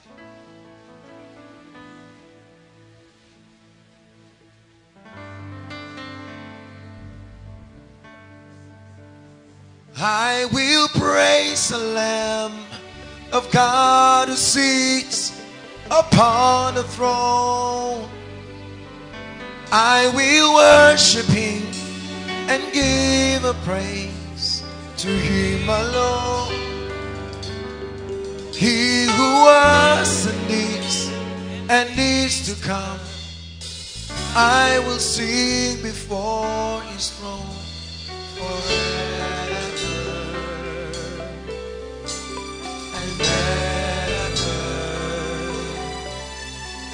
You're holy, holy. Yes, you are holy, holy. Hallelujah, mighty one. Psalm 66, verse 3, please. Our last prayer session. We're going to be praying and we're going to be making decrees and commanding our lives and destinies. He told Job, Hast thou commanded thy morning? Or are you just allowing it to happen? Believers have authority, but we must put the authority to use. And then we compel these powers to submit. Say unto God, How terrible art thou in thy works. He says, Through the greatness of thy power shall thy enemies submit themselves. I want you to believe in the prayer session we're about to have right now. Very brief, but very impactful. And I want you to pray and pray like your heart depends on it. Hallelujah. Praise the Lord. The Bible says, when Moses began to advocate the release of the nation of Israel, God's covenant people into their promised land. When the pressure got so much, Pharaoh negotiated. He said, all right, let, we have a deal. The men can go, leave the women and the children. Leave the factors that represent the continuity of that race, the women and the children. Let the men go because he knew they would perish. And Moses said, no way. We're going with our wives, our children, our cattle, and everything. So we're going to pray. The Bible says, now Abraham was old and well stricken in age. And it says God had blessed him in all things. Not some things, all things. It's, it's possible for you to experience breakthrough and advancement in one area of your life but then you are tied in another area. Second Kings chapter 5 tells us about a man who was the captain of the Syrian army. The Bible says he was a great man. He did exploits, fought valiantly, but he was leprous. So we want to address those buts, those situations in our lives. Yes, you have done well, you are anointed. Yes, this and that, but there are certain areas it must be total victory. Rise up on your feet. I want you to shout it after me. Say in the name of Jesus. Oh, come on, Koinonia. Say in the name of Jesus. By the blood of Jesus. I come against every power that attempts to fight my destiny. In the name of Jesus. I declare release of every other area of my life that is under attack and I declare this morning that it is my time for breakthrough. Lift your voice and begin to pray.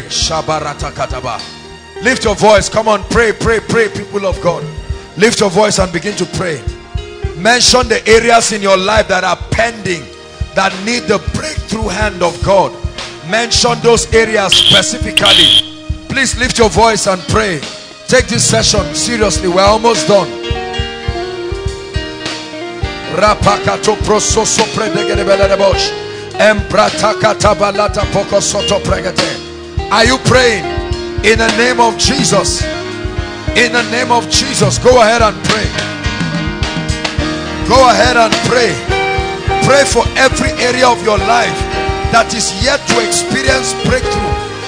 Decree and declare that after this vigil, you will begin to experience breakthrough in that area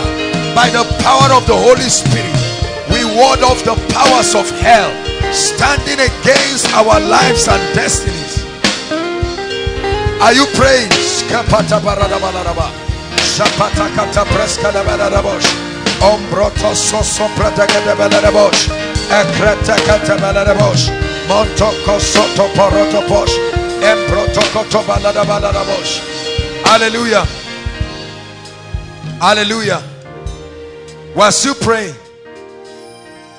When Moses finally convinced Pharaoh to release them. Watch this. As they released them, while they were going, the Bible says they met a Red Sea. So they had left Egypt, but there was a Red Sea in front of them. Are we together now? And the Egyptians were back to capture them. And they began to cry. And in Exodus chapter 14, Moses said, stand still. Stand still. He says the Egyptians you see today. Oh, you may have seen them for 430 years. But today, the Egyptians you see today, it says that you will not see them. And then he said, Moses, verse 15 now, Moses was crying before God. And he said, why will you cry? Tell the people to move forward. Make advancement. Listen, this prayer we're going to pray is important. Because many of us, this prayer will supply courage. Hear me. It's time to move forward. It's time to move forward in business. It's time to move forward in your career. Are you hearing what I'm saying? You are going to pray and say, Lord, everything keeping me down. Maybe it's the failure of the past. Maybe it's the lies of Satan. He has lied to you. Maybe you are falling again. You entered a relationship, it did not work. You have refused to enter another one to get married. You did business and it did not work. And the devil is stopping you from moving forward. You, you tried to give birth and you had a miscarriage. But right now, he said, tell the people to move forward. The signs do not go before you, they follow you. When you take the step of faith, God is ministering to someone. It's time to get back. The anointing is still there. Where you fell is where you will rise and excel. The anointing is still there. Lift your voice and prophesy. I'm moving forward. Go ahead and pray. Pray. In my ministry, I'm moving forward. I refuse to allow challenges and limitations stop me. Inside and outside, I'm moving forward in every area of my life. You wanted to start a building project, a challenge came, and you have refused to move forward. You tried to get admission, you tried once, twice, it didn't work. Listen, it says, Tell the people to move forward. Koinonia, I announce to you an anointing by an encounter with power is upon your life to begin to move forward. Now prophesy, Lord, I'm moving forward. I break those barriers. I refuse to see challenges. That project is doable. The project is doable. The marriage is doable. Come on, pray now. The ministry can rise. It's achievable. It's achievable is achievable.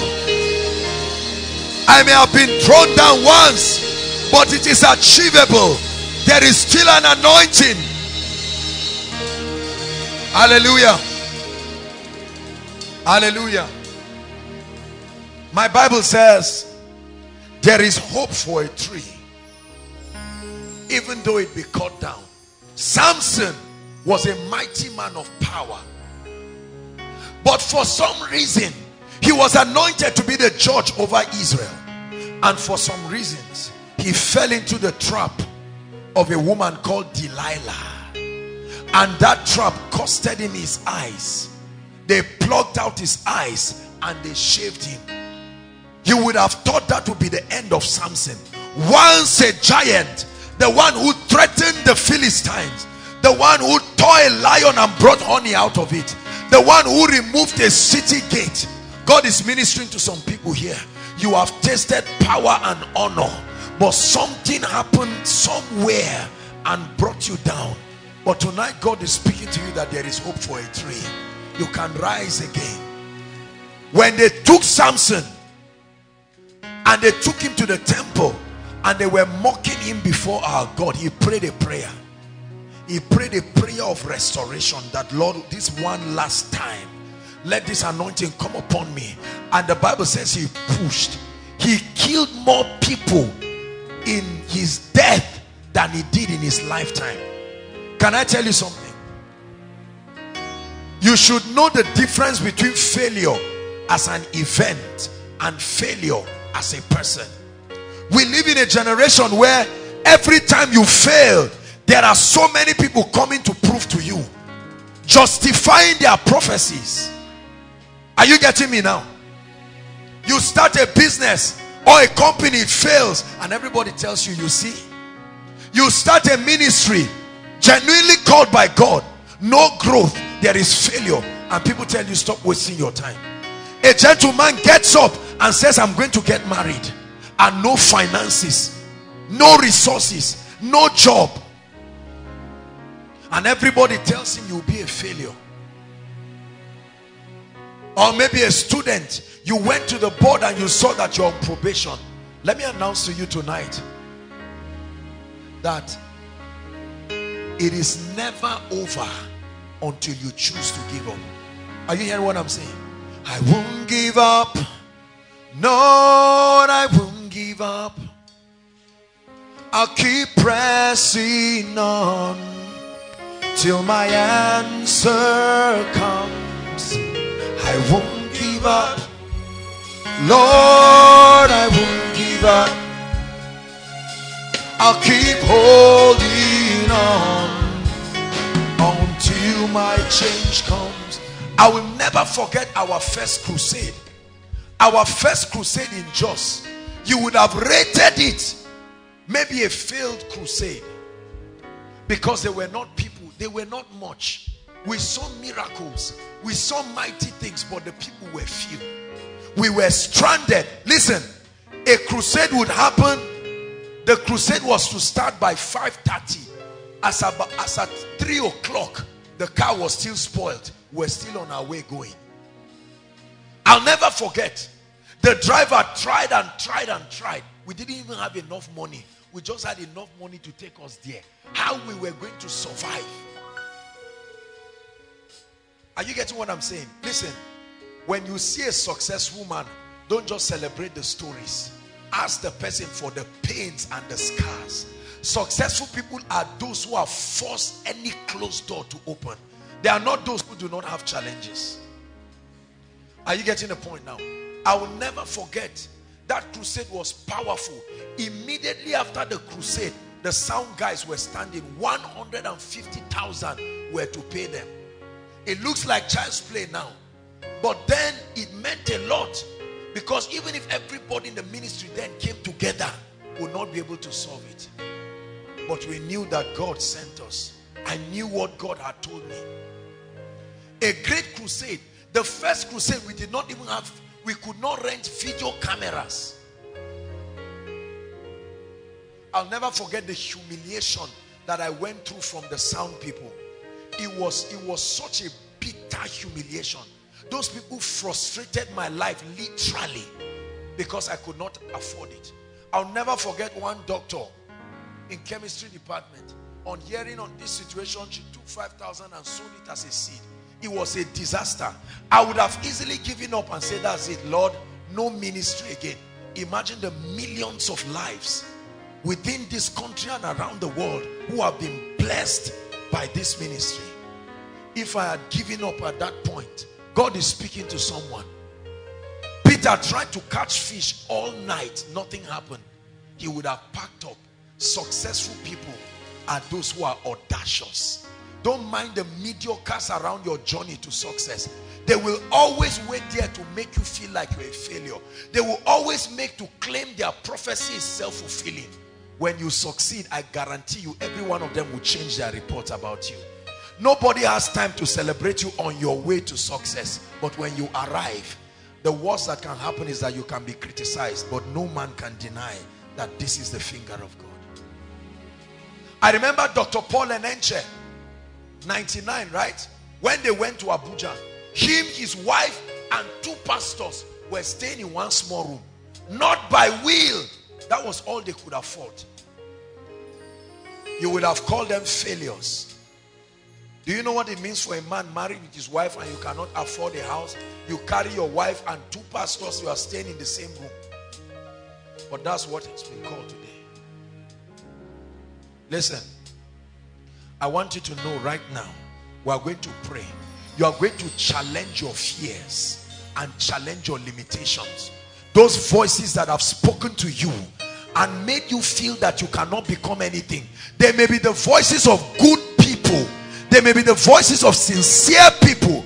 But I come to prove them wrong. Lift your voice and pray in the name of Jesus.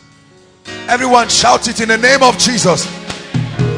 I'm determined to succeed by the anointing of the Holy Spirit. In the name of Jesus, my failures of yesterday will not stop me from achieving the breakthroughs of tomorrow. I receive courage and fresh grace to face this mountain and to surmount it. Lift your voice and pray. Grace, oh God. Lift your voice and pray. Lift your voice and pray. Though weeping endures for a night, joy comes with the morning. Though weeping endures for a night, the Lord is speaking to you. Joy comes with the morning. You didn't get the admission, but it does not mean it cannot be gotten. The marriage didn't work out. The travel abroad did not work out. It does not mean you cannot travel. The business did not work out. It does not mean you are a failure. You may not have money now. You may not have connection now. Nobody may recognize your anointing. But keep pressing. Keep pressing.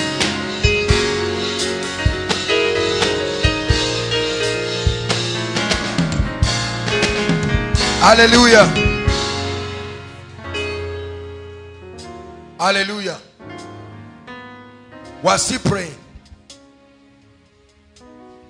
You are going to pray and cry for supernatural persistence and endurance. Listen, let me tell you. You can ask every one of the ministers here, Barak who ministered, and Peter Adole, Manasseh, Pastor Alpha, ask all of them. They will tell you stories and episodes of endurance. Listen, there was a time in my life I was tithing and I was giving, nothing was happening. Are you getting what I'm saying? Any man that just tells you it just happened like that lied to you. I'm telling you. There are seasons in your life where it looks like your heavens are closed although they are not closed. Are you getting what I'm saying? Nothing like a result is happening. You are planting, bearing precious seeds. But nothing is happening. As a man of God, you know the anointing upon your life. While you are laboring in the spirit, nobody is recognizing your grace to invest in it.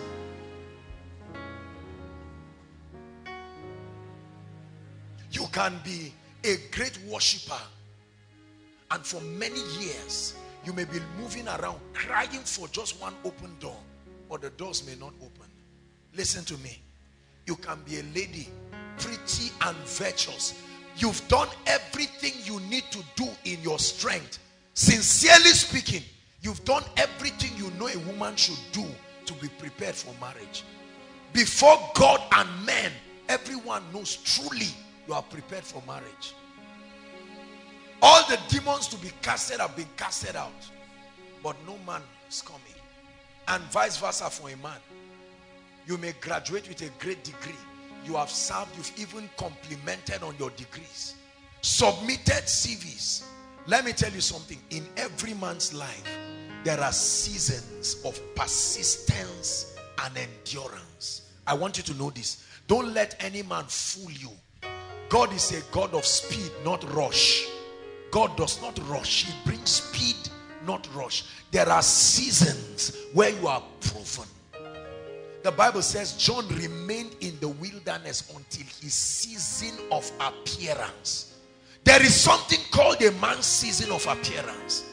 You can manifest before your season of appearance and keep struggling trying to find relevance. Years ago, he may remember we went for a meeting in, in Kaduna, a very powerful meeting. And when we went there, there was a man of God who was supposedly a bishop. There was nothing bishop about him. When you launch yourself without your season of appearance, the man was there and after the meeting, I, I could not even figure one person who came to say, man of God, you blessed me. The bishop was there moving around, no friend, no car, no nothing. We went to the restaurant. He just sat down somewhere and was just taking his powerhouse. Nobody was even encouraging him. And I said in my mind, Lord, if this is how it means to be a bishop, I don't want. This honor, when God blesses you, he brings honor with it. When you launch yourself, you will keep floating, looking for relevance. I'm speaking to many of us here. We are at the verge of breakthroughs. Keep holding on. There are times you don't need to do anything new. You just need to keep doing what you are doing. Because what you are doing is not wrong. If a baby, we have a few babies around here. If a baby suddenly decides to take one drum of breast milk, that baby will not suddenly get up and become an adult because he took breast milk. If an old man starves himself to die, he will not suddenly become young because there was no food. Are you getting what I'm saying? And Jesus grew. He didn't become, he didn't jump. And Jesus grew in wisdom, in stature, and in favor with God and with men. Life is in dimensions. Are you hearing what I'm saying? And there are times in your life you will need to wait. Listen, you may be a man of God, anointed. It is true that God has spoken to you about ministry. But for now, all you will be doing is cleaning tables. Be faithful. You must receive grace for endurance. Because let me tell you, hope defers makes the heart weary. The heart of man is, is, is very fragile. The moment you wait after a season of practicing kingdom principles and you don't see results, naturally speaking, naturally speaking, fatigue will come in. You're going to lift your voice. Are you still tired? We're rounding up. This is a very important prayer point. Lift your voice and say after me in the name of Jesus. Say it again in the name of Jesus. I receive grace for endurance. I receive grace for persistence. I receive grace for resilience. I will wait. I will be patient until my season of appearance. Lift your voice and pray. Patience, oh God. If you turn aside in the day of battle, it says your strength is small. Lift your voice and pray.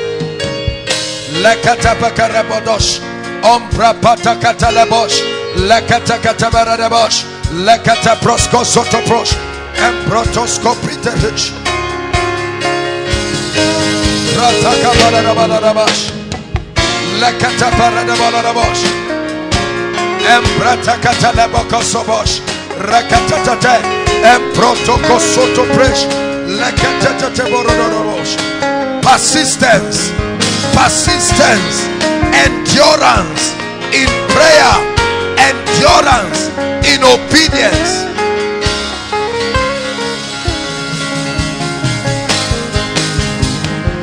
Hallelujah. Two more prayer points.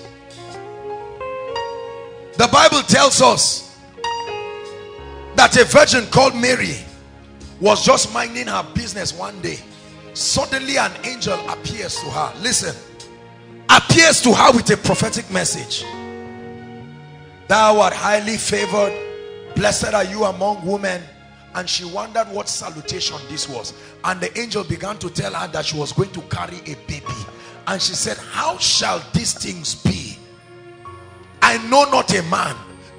Just like God is telling you, the same you who is standing, one day you will own your television station and the world will be watching you and you look around and say, how shall these things be? And he said, the power of the highest shall overshadow you. Watch this. The moment God told Mary because her life at that time was an unusual life.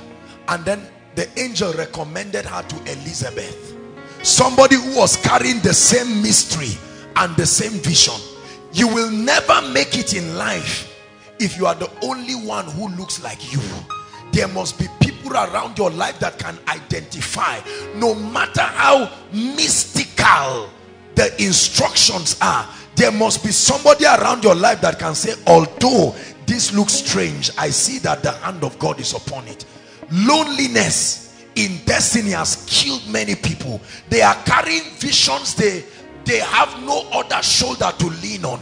And Mary went to Elizabeth. Every other woman would have said, you are very stupid. Tell us the rabbi you slept with that you are lying that a spirit got you pregnant. But she went to a woman who had been barren for a long time. So she's in a position that can identify with these kinds of supernatural things. Watch this. And the Bible says, as soon as Elizabeth, Mary and Elizabeth saw the babies, the destinies in their wombs leapt. You need people around your life that can look at you and say that 300 million naira project is doable. How much do you have? 10 naira. say, yes, I was once like that. You need people in your life that can be crazy enough. And you say, sir, I'm trusting God for a house or a car by the end of the year. How much do you have? 2,000. He said, you are even better than me when I was about to buy the car, I had 500 naira. Suddenly you know you are not alone. There is nothing as encouraging as finding a madman like you. Somebody who can agree with you and say it is doable. It's a dangerous thing for a man of God. Dangerous thing for a businessman.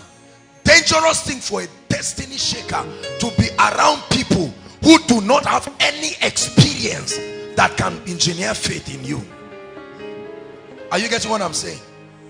That you come and say, my sister, I want to share with you something. Don't be afraid. Though. Say, what is it? Say, do you know I don't have a womb? And the lady will not say, ah, what is all that? Say, Abba, your case is a simple case. There was a woman like that. It's not just that she didn't have a womb. In fact, her own was a, a bad case, but she had twins. You see that? That's Elizabeth. You need to call forth Elizabeth to your life because many of us are about giving up on visions that are of God but there are no motivators. There are no people to tell you it is doable. Who said you can't start a bank? Everybody say bank? What nonsense are you talking about? Somebody tells you you can do it. You can do it. You can start the bank you pray them into your life. Are you getting me? There are ladies right now. This is August but you heard from God genuinely and you are trusting God to be settled by December. You, if you meet a wrong person the person will look at you and say Ahab what nonsense. How many months will it take for traditional marriage? How many months will it take to raise offering uh, sorry to raise the uh, raise the money for the marriage? How long will it take you know how much wedding gown is? Do you know how much it means to rent a house? Do you have 1.5 million? All those devilish things. You need to throw those people away and meet somebody who tells you I, I met my guy in October. We married by December 15th it is possible. Lift your voice and say in the name of Jesus I call forth to my life the Elizabeths of my destiny say after me in the name of Jesus I call into my life my destiny motivators. May they come to encourage me. In the name of Jesus lift your voice and pray. We call for the Elizabeths. We call for the Elizabeths. We call for the Elizabeths. Men and women of similar vision. Men and women of similar passion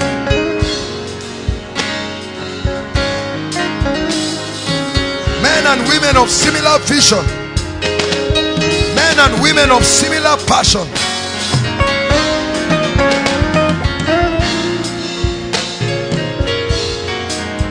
Hallelujah. Lift your hands, everybody, as I prophesy to us. Please, I want you to receive it. Receive it with all your heart and receive it with a loud shout of amen. The Lord gave me a revelation on the creative power of prophecy. And we've had all kinds of humbling testimonies. He says son of man can these bones live? And he said only thou knowest then he said prophesy. Speak to these bones. Speak to these situations. As far as i am concerned there is nothing called impossible.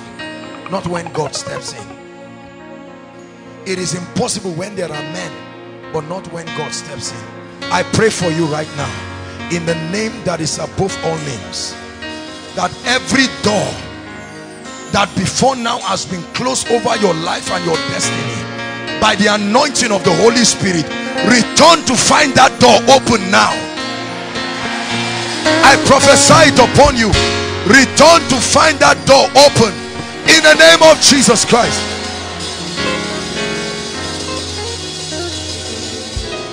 I speak over your life. Where your strength is limited you have done everything you know to do. I'm declaring upon you right now let a fresh anointing take you through the remaining part of the journey. In the name of Jesus Christ where your human strength has stopped may an anointing come and pick you up. In the name of Jesus Christ. When Jesus was about to start his ministry a voice spoke. No matter how anointed you are it will take somebody to announce you. Please listen i show you a mystery. No matter how anointed you are a midwife although she's a midwife she won't deliver a baby by herself. When it is time for her to deliver she will need other midwives. No man can bless himself. No man can endorse himself. Are you hearing what i'm saying a voice had to be spoke out had to speak from heaven and say this is my beloved son and he commanded the world to hear him. Lift your hands. Let me speak over your destiny. Your destiny remains grounded until a voice can speak in the realm of the spirit. A simple prophetic word but it's a profound law. I'm praying for you right now by the anointing of the holy spirit. Everything that has covered your glory everything that has covered your your gift and your potential from being seen desired and celebrated. I speak right now. Is your time for celebration. I speak right now. Is your time for celebration. I speak it to you right now. Is your time for recognition. It's time for your gift to be noted it's time for men to pay attention to what you carry. In the name of Jesus Christ. And I call for the helpers of destiny the wine pressers the bakers those who will speak to the king on your behalf. I call them into your life right now. In the name of Jesus Christ. I declare upon you that all the years that the canker worm has eaten all the years the palmer worm has eaten what you think is forgone what you think is a waste I'm prophesying to you right now. May there be double restoration. May there be double restoration. Double restoration. I pray for every family represented here. In the name that is above all names not only will you receive visitation I release visitation to families. Families families in the name of Jesus let there be visitations. May the Lord wipe the tears of families in the name of Jesus Christ. Every project you want to embark on these hands that are lifted I put an anointing upon it and I force it to prosper. In the name of Jesus Christ in the name of Jesus Christ. Everything your hand embarks upon in the name that is above all names may you prosper in it. In the name of Jesus Christ. I speak over your finances. Listen when you are not empowered financially you will be limited in many ways. There's no long story about it. Hallelujah cry yet saying Zechariah 1:17a thus saith the Lord my cities true prosperity shall be spread abroad and I will yet comfort Zion. It takes finances to fund your assignment. It takes finances for you to move forward. Lift your hands I pray for you.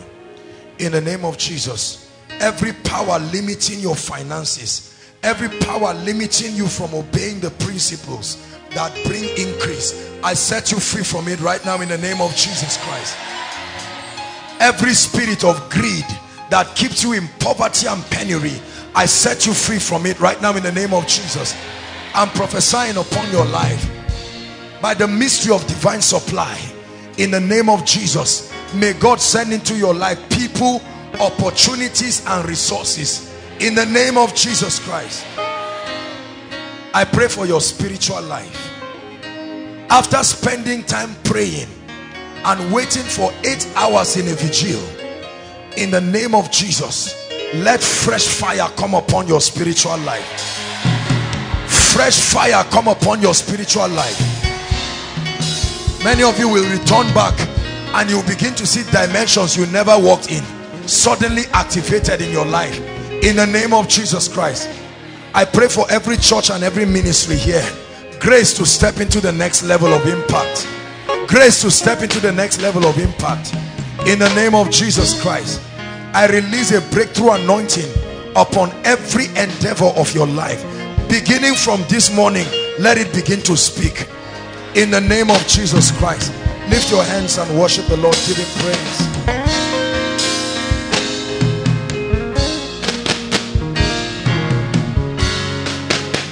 hallelujah. Hallelujah. Let's take the following announcement and we're out of this place.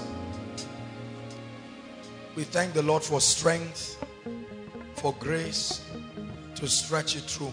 Now please listen carefully. I want to announce to us that next week is going to be a very special program here. Is the practicum of our school of ministry students. Hallelujah. I think you should celebrate them. If you don't know what it's all about I want you to come. That means our students will be handling the service everything from beginning to end. We'll just be here supervising and assessing them. Um, you will be mightily blessed. Please invite all your friends and everyone to come around. Time is 6 p.m exceptional voice training school. A voice training school belonging to um, one of our people David Dam. Where is he? Where's David Dam? Okay that's his voice training school. And um, is only for singers and vocalists.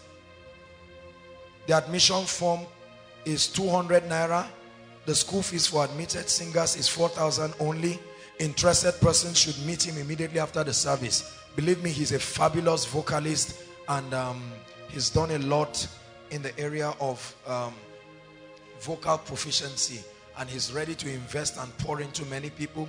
So make sure you are part of it. Project 10,000 is still on. Please be part of it.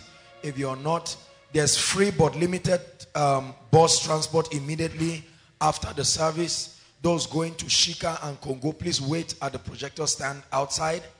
You can book for your counseling. Sorry I was not around last week for counseling but you can book right after the service for your counseling. Be, remem be reminded that all bookings stop on Sunday 6 p.m.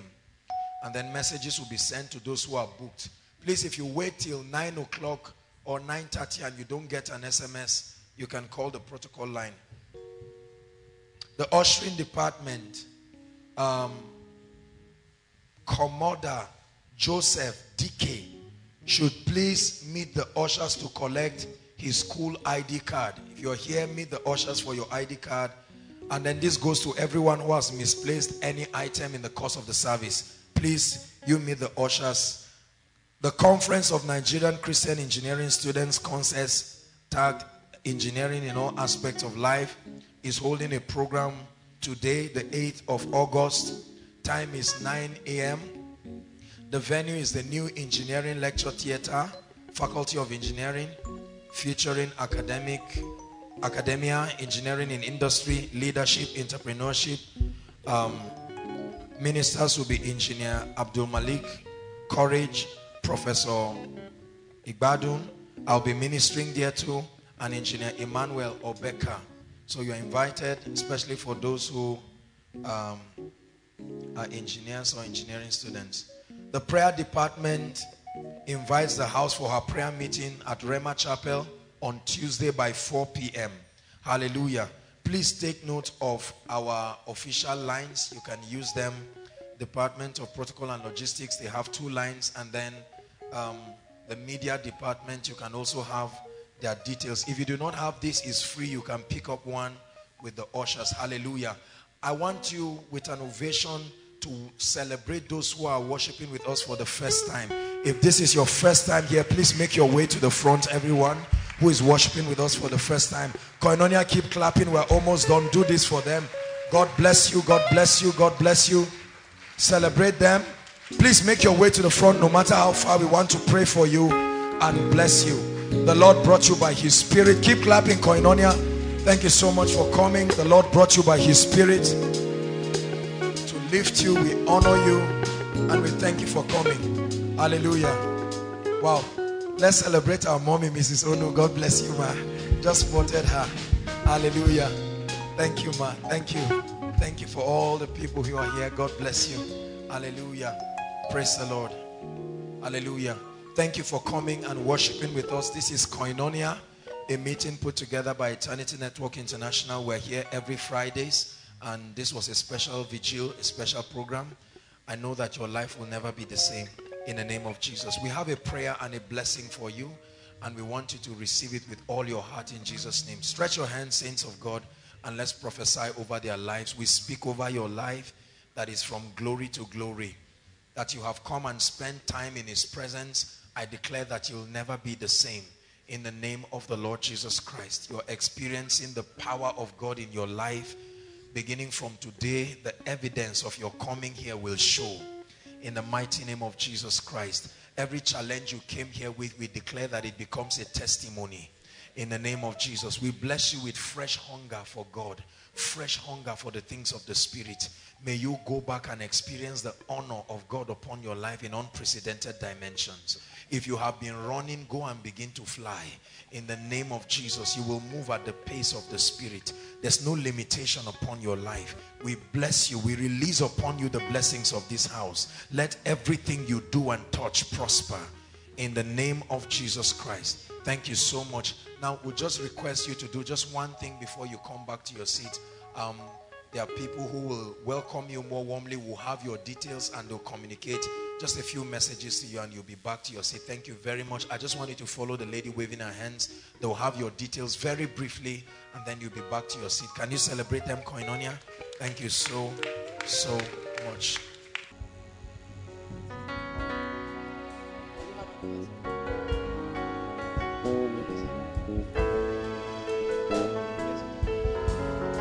Hallelujah. Praise the Lord. No, no, no, come back, come back. Hallelujah. Praise the Lord. They still have another song, so we're going to worship them. Is that all right? Or do you want to come back? Do we give you another chance again? Praise the Lord. Okay, I'll ask you up again in the course of the service. God bless you. Let's lift our hands and give Him all the praise.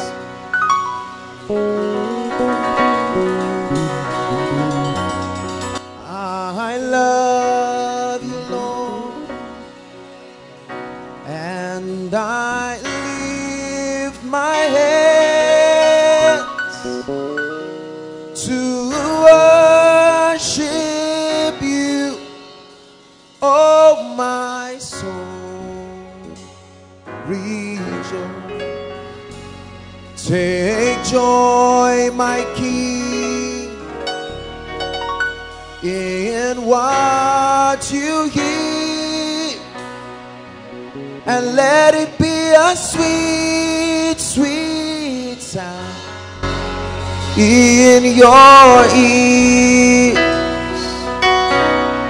Lift your voice in one minute and cry for a visitation tonight.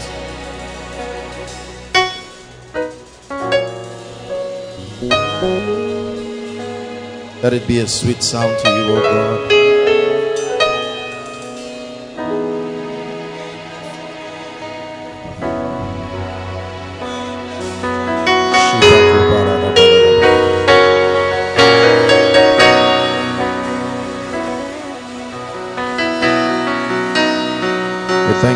Visitation tonight, O God.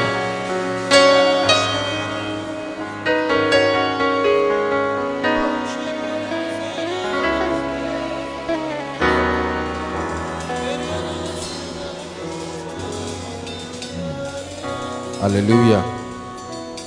Hallelujah. Praise the Lord. I'd like you to greet one another. Please be seated. Let's get to the business of the night.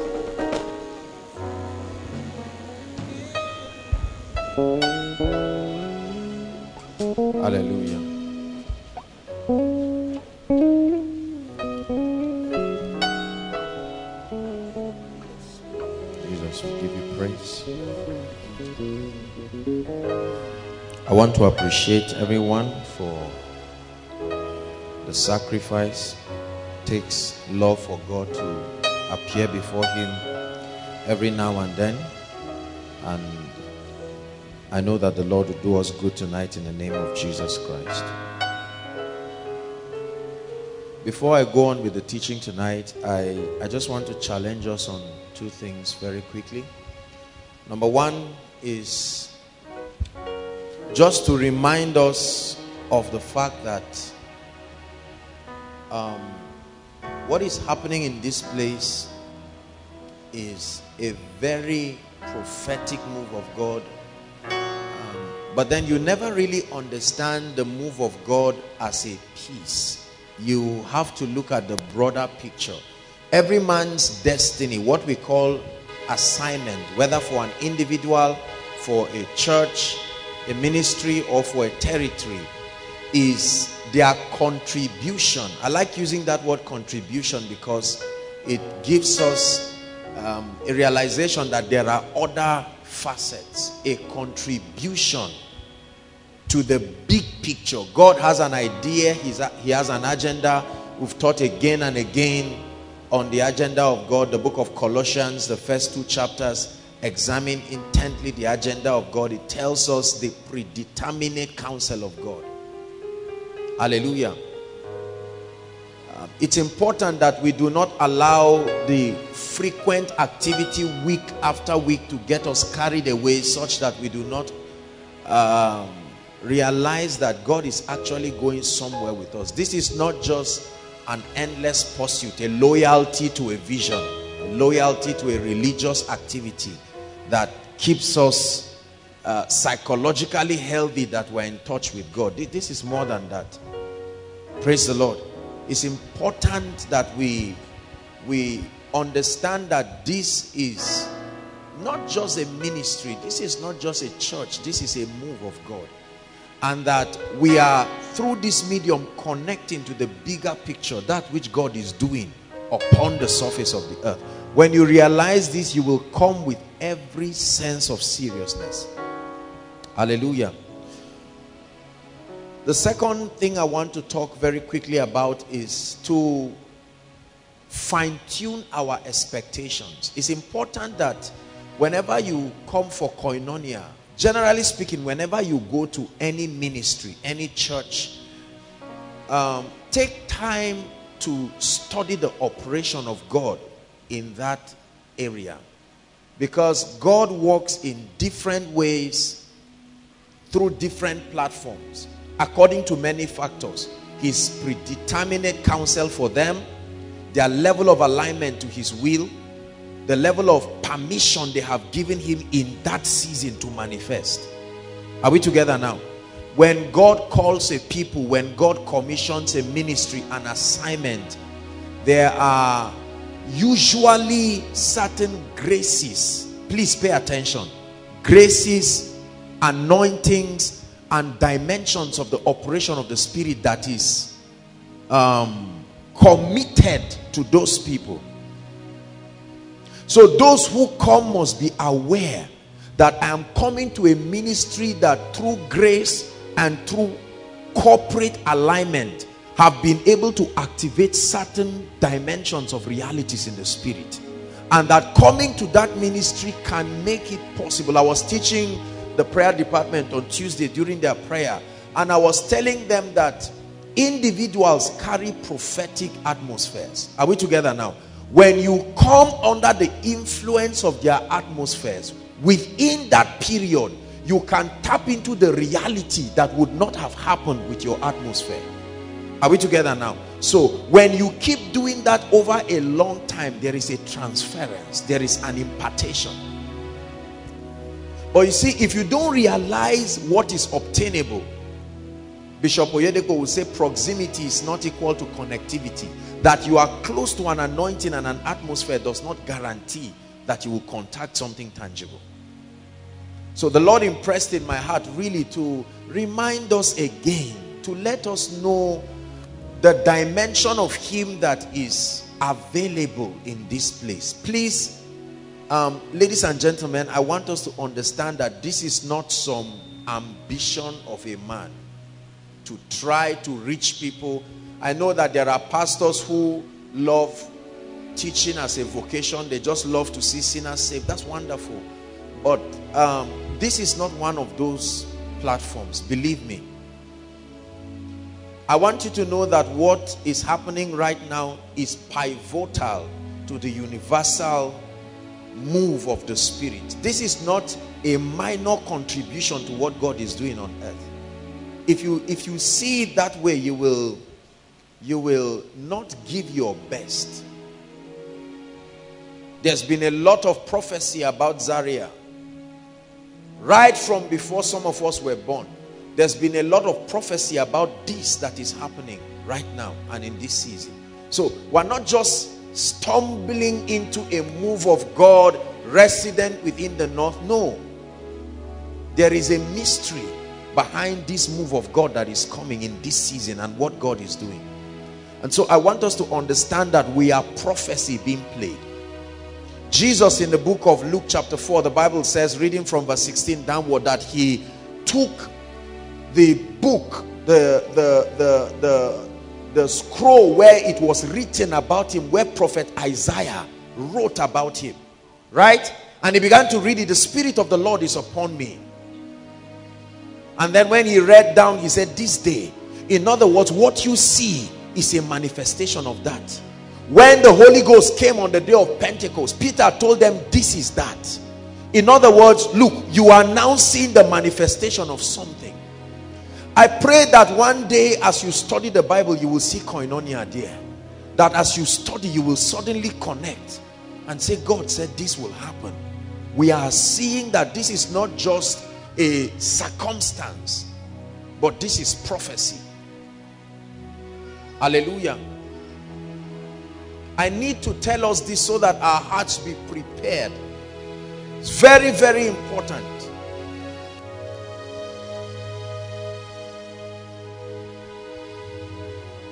There is nothing, listen, there is no major move of God that happens without being spoken about. I used to see these days years ago in visions. I never knew it would be this way. Glimpses and pictures of this and even the next levels after this. And I knew that it was, you see, these kinds of platforms is called an election of grace. It's not about prayer and fasting. It's not about just uh, wishing. No. Everyone who desires to press into God as we'll be learning can find a place in destiny. However, there is an election of grace. Are we together now? God always has a move in every territory and every city. And it just so happens that by divine predetermination, the hand of God can rest upon individuals and he will open them uniquely to certain dimensions of his person and vest them with responsibilities to reveal that dimension within their territory. This is one of such things you are seeing. Please value it. I want you to value it. I want you to value it. The days that will come will show you that this is not just an ambition of a man of God. You know how pastors say, look, we are going places. And the members say, I'll be there with you. This is not one of those things. It's not just that we are going places. You will see how this move fits into prophecy. It will happen. I've lived my entire life and spent my life like the wise men who kept looking at the stars, walking this season. Never knew that it would be a privilege to be one of those who will frontier dimension of this move. But I was more than willing to participate. I was desperate. I, I insisted that the move will not happen in my absence. Hallelujah. So you must you must be very intentional. Brothers and sisters, let me tell you, if you are here seated in this place tonight, is because there is prophecy upon your life. believe that. If there was no prophecy upon your life, you would not be here. I'm not motivating you. I am telling you that among all these people, there are still some people who this prophecy resonates with. That's why God made sure that you have to be here in this season. And it's important you pay attention so you don't lose your place. The fact that there is an election upon your life does not guarantee that you will manifest it. Are we together? Yeah, the principle of substitution is that which we see in this in, in scripture again and again that the mandate of a man not just his mantle his entire assignment can be given to another we read about Saul in the Bible right Saul the son of Kish a time came he was there seated on the throne but the entire mandate had been given to him. Terah the father of Abraham. The very assignment of Abraham Terah was to be the father of nations. But he messed up because of lack of alignment and the mandate went to Abraham. When Judas Iscariot betrayed Jesus Christ, God insisted that there had to be a replacement for him. You see that? So, brothers and sisters, please realize that for every one of us seated here, you are not seated here for your sake. You are seated for the sake of a generation. Listen for their sake. Listen for the sake of your children. Listen for the sake of those who are hungry for God but may never have access to come to these territories. Listen as a school. Pay attention as though you are being trained for something great. I've always given my life and the presence of God and the word of God utmost seriousness. You never see me distracted in the house of God and in the presence of God. You must please pay attention. This is not just a time of worship, a worship service. It's an impartation. There is something happening to you. There is growth. There is ascendance in the spirit. Four things I want you to always expect when you come here. Number one, this place is a place of encounter. Please never forget this.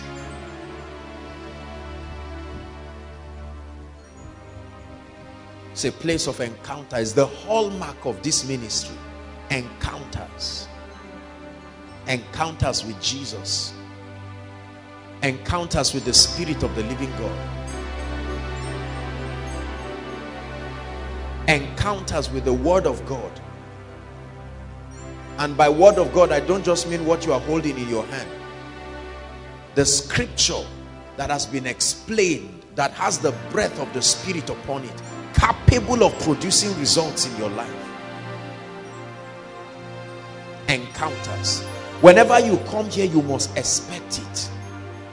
That something resonates from eternity to your spirit. You know that God is in this place.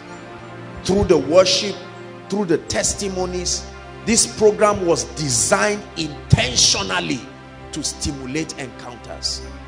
From the opening prayers, the worship and everything that happens, it's, it's intentional. I want you to know that. It was done with encounters in mind. So that whether you are seated inside or outside, as you hear the word, beyond a man, there will be a remarkable encounter. Visionary encounters, yes. But that the reality, an encounter is an experience that supernaturally communicates the reality of a thing to you. It's called an encounter. When, when I touch this flower, for instance, my touching it gives me a feel, an emotional connection to it. That's what an encounter is. That by the agency of the Holy Spirit, something happens to you in this place that draws you near, that, that nearness of the presence of God is experienced. Number two,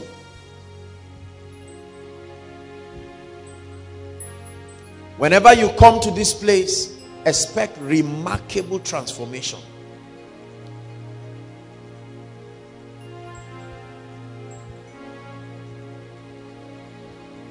The lifespan of your spiritual stubbornness when you come here is one day. In 24 hours, something must start fighting you. Are we together? No matter how hardened you are, when you come into this place, you can choose to argue, but it's like a virus. It has caught up with your spirit. Hallelujah. You can pretend uh, there's nothing usual about it, but I tell you, if you come for just one meeting and you never attend, you will never be able to be comfortable with the devil again. It's, it's like a cancer. It's a, see, there are mysteries that support the things we do. It's not just happening. There is a revelation that sponsors this. Have you seen a man, you talk to a man and he pretends as though what you said did not get to him. Then when he goes back, he starts thinking about it and say, God, but this person cheated me. Oh. That's what happens here. So when the word of God comes upon your spirit, there is a system that has been designed by grace that it stays. It sticks to you and starts fighting everything that is not of God.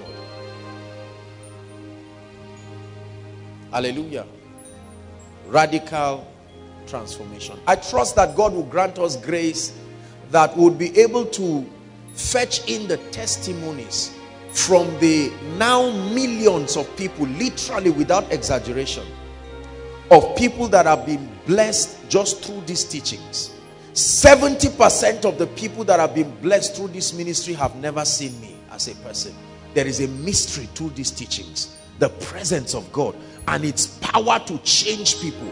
I've gone for meetings and seen people talk and I thought I was hearing myself. And I looked at them and they said, sir, you have never seen me, but I have 200 of your messages.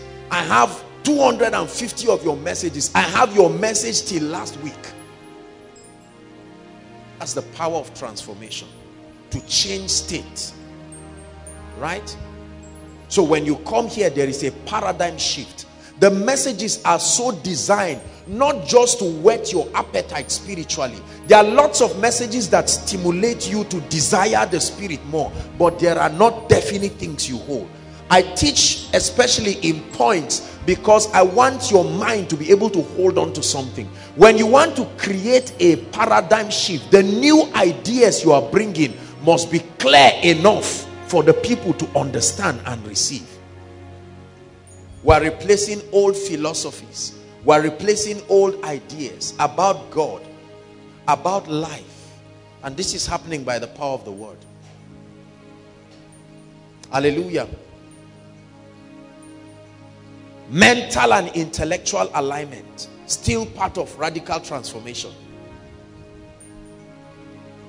One of the things that the Lord taught me as I have walked with the Lord and I have incorporated it even in this ministry is balance. Everybody say balance. I've said it again. One of the things that I have um, I have been disturbed about in the body of Christ is the degree of imbalance. Imbalance can hurt you as much as a lie. Are, are you following me now? Imbalance can do you almost the same catastrophe as a lie.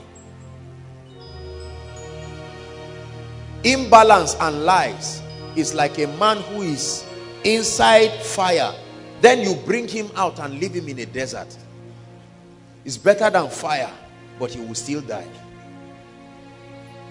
Are we together now? So you notice this intentional balancing of spiritual realities as we teach because it is important. God will judge me if I mislead you. I take advantage of your openness. I must commend the loyalty of the people everyone who comes around to this ministry. I know you love me. I know you love the word of God. You believe in what God is doing. And there are many of us here who have opened up our hearts that everything that comes from this altar is of God. And so I as a person and the leadership generally, we owe a responsibility to make sure your convictions are such that can stand the test of time. The Bible says to be careful lest what you call light be darkness. You can hold on to a wrong philosophy forever. You can excel in a dimension of the knowledge of God and fail in another understanding. That you understand God in the area of prayer and fasting does not mean you understand other facets of him. Chances are that if I teach you on the anointing and the Holy Spirit, you will think I'm a remarkable preacher until you hear my perspective on marriage. My perspective on marriage can be so imbalanced and faulty, but you will leverage on my accuracy. Are we together now? You will leverage on my accuracy in the area of the anointing to mean I know what I'm saying. That's the reason why every man of God must be on a consistent passion a passionate pursuit to update his spiritual curriculum as far as the move of God is concerned. So you don't mislead people. I've heard ministers that I respect their perspectives in different areas, but I've heard them communicate other areas and I am shocked to see their degree of ignorance. It's like someone who, imagine someone who is growing and one hand is growing so well and then one leg is not growing. You can imagine that kind. I have been obsessed about balance. One of my greatest concerns in life is that at the end of my life, it will not be that I've believed a lie. Hallelujah. And that I've taught that lie to people. That have influenced millions of people to believe a lie. And they are running with that lie. And then I ruin their lives with no opportunity to recall them back. Brothers and sisters, this is why we pray for utterance. We don't pray because we're scared of preaching. We pray for alignment in the spirit. We pray that the things that are communicated, that even after 10 years, that even when there is need for upgrading, it doesn't become that that was a lie. And men of God here, those who are pastors, maybe inside, outside, I challenge you. Do not take for granted. Never trivialize the place of adequate spiritual preparation before you come to the pulpit to there are pastors now i'm not against people but there are pastors who sit down cross their leg watch football you know eat and do everything and say ah it's time and they just come and say look where did we even stop last week no don't play with people like that take them seriously the church institution is the most powerful mind control institution in Africa. It's more powerful than banks. It's more powerful than schools. You are only in the university or any institution of learning for three, four, or five years or six years, and then you are done. But every Sunday, every Wednesday, every Friday, every Thursday, and some churches every day, you are in the church submitting your spirit to the influence of a man. Do you know what it means to sit down and allow a man transfer his ideologies to you? That's a risk. It's a big risk. Because our realities are framed by our ideologies. So you must be sure that the person you are submitting your spirit and your mind to, you will inevitably make decisions based on the parameters he's given you. I will not live to mislead people. I won't teach you error. That's the reason why we labor. And at any time I find out that what I've communicated is not accurate, I do not have any embarrassment to come back and say, look, let's realign. We have seen something clearer. Hallelujah. Is God speaking to us? Expect transformation. You can measure transformation. Your degree of change. Your thinking the way you analyze things, your comprehension of the workings of the spirit. This is part of the indices that we use to measure spiritual maturity. You cannot be uh, coming here week in, week out, whether indoors or outside, and then something is not changing about your life. You can't be doing the same things, saying the same things, having the same convictions. No, the word of God alters your convictions. Something about you must change. Something about you must change. Something about your prayer life must change. Something about your passion for the word. Something about your interpretation of the word. Something about the ideology of God you knew growing up must shift. It must be altered. Are we together now? Something about the ministry of the Holy Spirit must change in your life. If that is not happening, you are not changing. You are not changing. I detest stagnancy in my life like cancer. I detest it. I'm obsessed with progress. I like to see progress. That's why I hate stagnancy. Anyone who is close to me knows that. I'm constantly in a state of transition. Change. You can't be in the same level for a long time. Intellectually, physically. When we look at developing nations or underdeveloped nations, part of the hallmark of underdevelopment is stagnancy. There are some of us, there was one stone near your house from the time you were born. That stone is still there. Nobody has had the initiative that why don't we make this road better? It's still there. As a monument that does not motivate anything, only brings pain and regret. You remember they flogged you near that stone. You remember that's where they drove you out of the house. Nothing to inspire you. The word of God should change you. That at the end of every koinonia service you should just sit down like this and get up. I like it when the word of God enters people and I study the reactions of people to the word. Not just oh preach preacher uh, that's there's a place for that but that your spirit is is receiving something and you're saying look what am I doing? Is is God is giving me too much opportunity I'm wasting grace I'm making the word of God of non effect let the word of God challenge me. He said, The spirit entered into me, Ezekiel 2 from verse 1 and 2, and set me upon my feet. The spirit entered. When he spake unto me, he brought an idea that is superior to that which I have known. And it compels change. Change with results immediately. That you can get up and make certain resolutions immediately. Make certain vows and commitments. Enter into certain strong personal covenants with God on account of what you have heard. The Bible says meditate on these things. It says give yourself wholly to them. It says that you're profiting. Brothers and sisters ask God how much I pray for you. I don't think I pray for you I pray for myself one tenth of the way I pray for you. And my prayer is not God, give them cars, give them houses. That's a stupid prayer. The prayer is, oh God, let there be such radical fellowship of the mystery. That's what will produce every other thing. You know what it means to have fellowship with a mystery? That you come into oneness with these mysteries. You know them.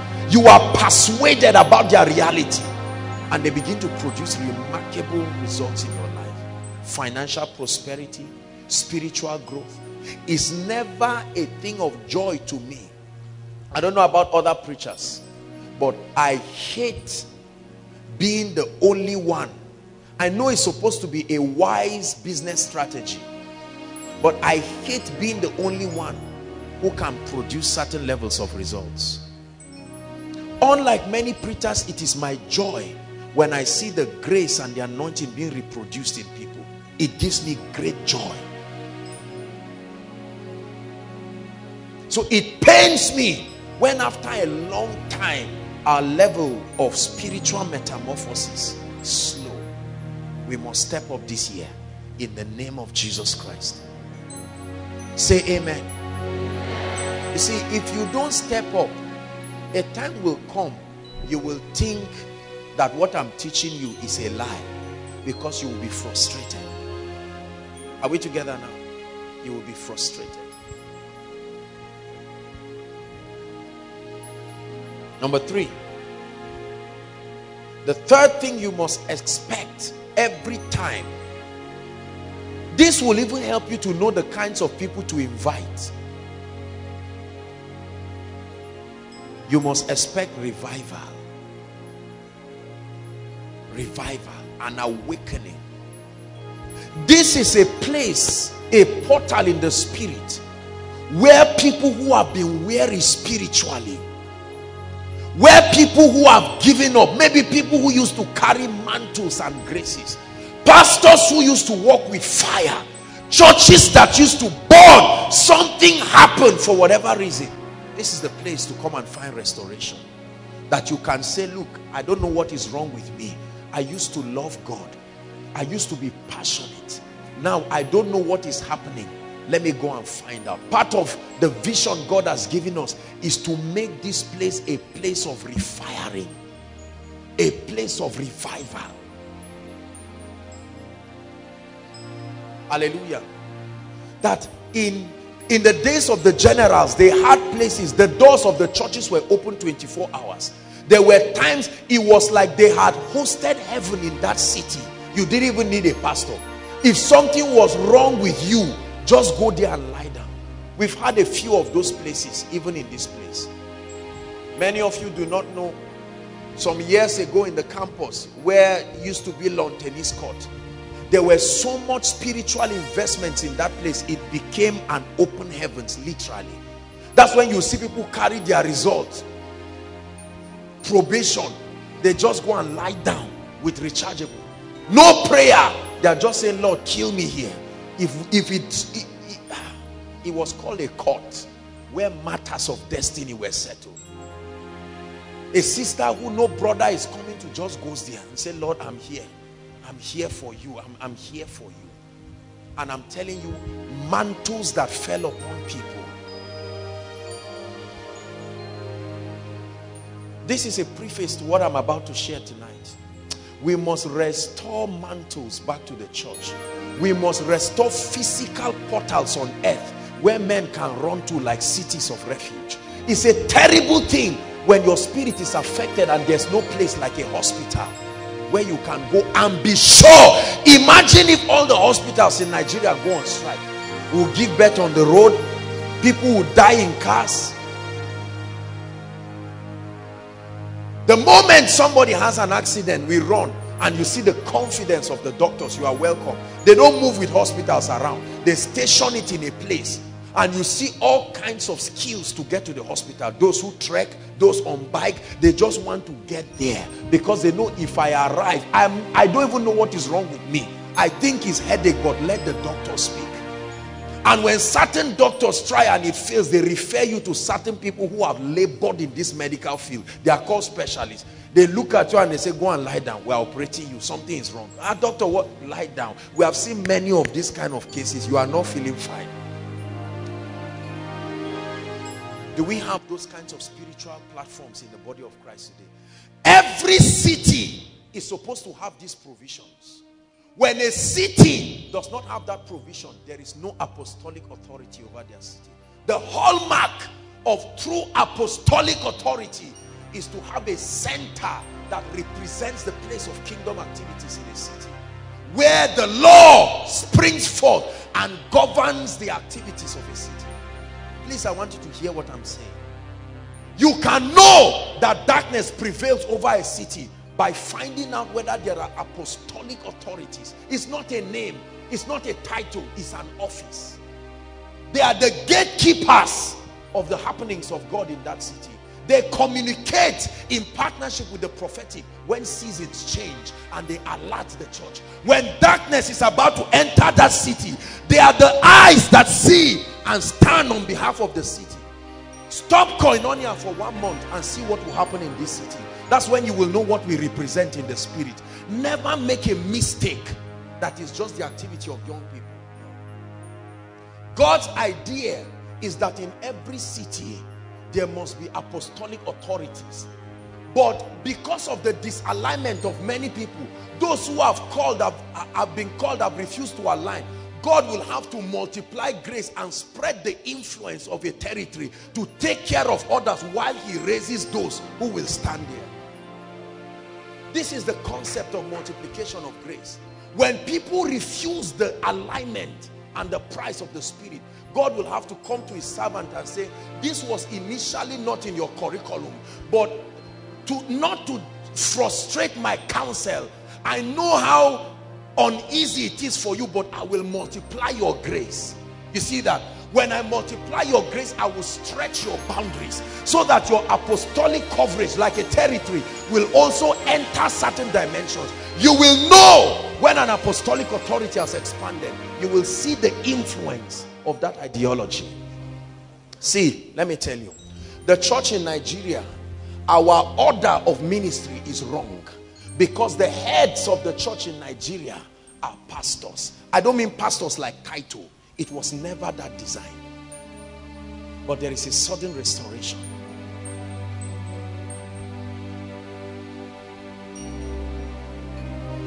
If a pastor ever functions and a prophet ever functions and an evangelist ever functions, if they do not do this in affiliation with apostolic authorities, they will get into error. Because you see, the primary of an assignment of the of the apostolic office is not just teaching, is kingdom governance. They administrate the distribution of the realities of the spirit committed to that dispensation and they supervise its safe delivery any true apostle of God that you know is a hard person. The word of God is like fire and it has nothing to do with temperament. The grace will alter you to make sure you deliver at that pace. Even if you are a quiet person.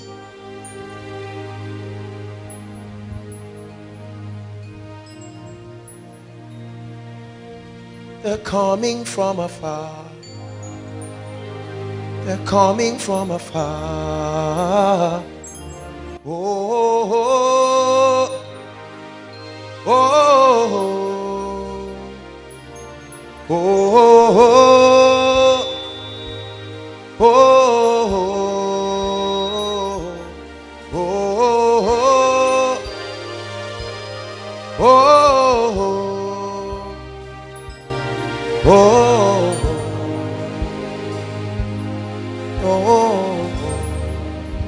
If our parents understood this structure, many of them will never be where they are now. They are sincere people, but they are victims of the disorganization of the church. So they had nobody to learn and nobody to challenge who was lying to them. Are we together? The church structure was so designed such that anybody can teach anything and claim he's 20 years in ministry. When it comes to these matters, it's by the Spirit. No, it's by the Spirit. You don't say I'm 120 years old and you are teaching nonsense and misleading God's people. Brothers and sisters, the spiritual protocol has been observed for your progress in the spirit. I want you to know this and take advantage of it. We are not in error as to the strategies that will build you. If you don't build, is a lapse on your own part. Hallelujah. Praise the Lord. So revival. Oh, may this place remain a place. If you know people who are weary and out, you can just drag them. Somebody tells you, me now, I've done everything you can think about. And you are trying to talk to the person and you just tell the person, I know a place where the river flows from Zion. And I will just come and keep you in that atmosphere. The person may even come late, just like many people outside here. And while they listen, something is more than the words we speak. There is a spirit communication. If it were words, believe me, you will be tired by now. There is a difference between newness and freshness. Will you open up the gate? Open up the door. Will you open up the gate?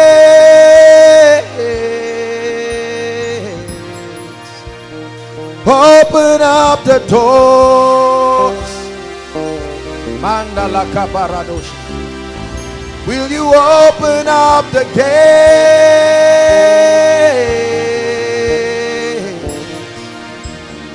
Open up the doors. Sing it from your heart to your maker. Will you open up the gates? The gates. Open up the door. In your name, we will rise. Adonai. You reign on high. Adonai. Adonai. Yeah. Adonai. Yeah. You reign on Sing in your name. In your name. Malaka parakos kata brande gadebash. We will rise. Era nana Maria moso nana Mariana. Sing Adonai, Adonai, Adonai, Adonai. Hey, just the voices. Adonai, Adonai. Mende kalabasoto putia. Our territory will not fail. We will not misrepresent the kingdom. You reign on high. Sing Adonai. Gena masona malada na na na na na na na na. Shena na mosona na Maria. Adonai.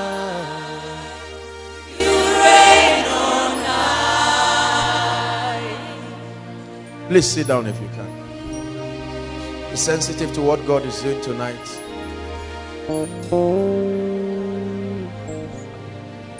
Adonai, you reign on high. Adonai.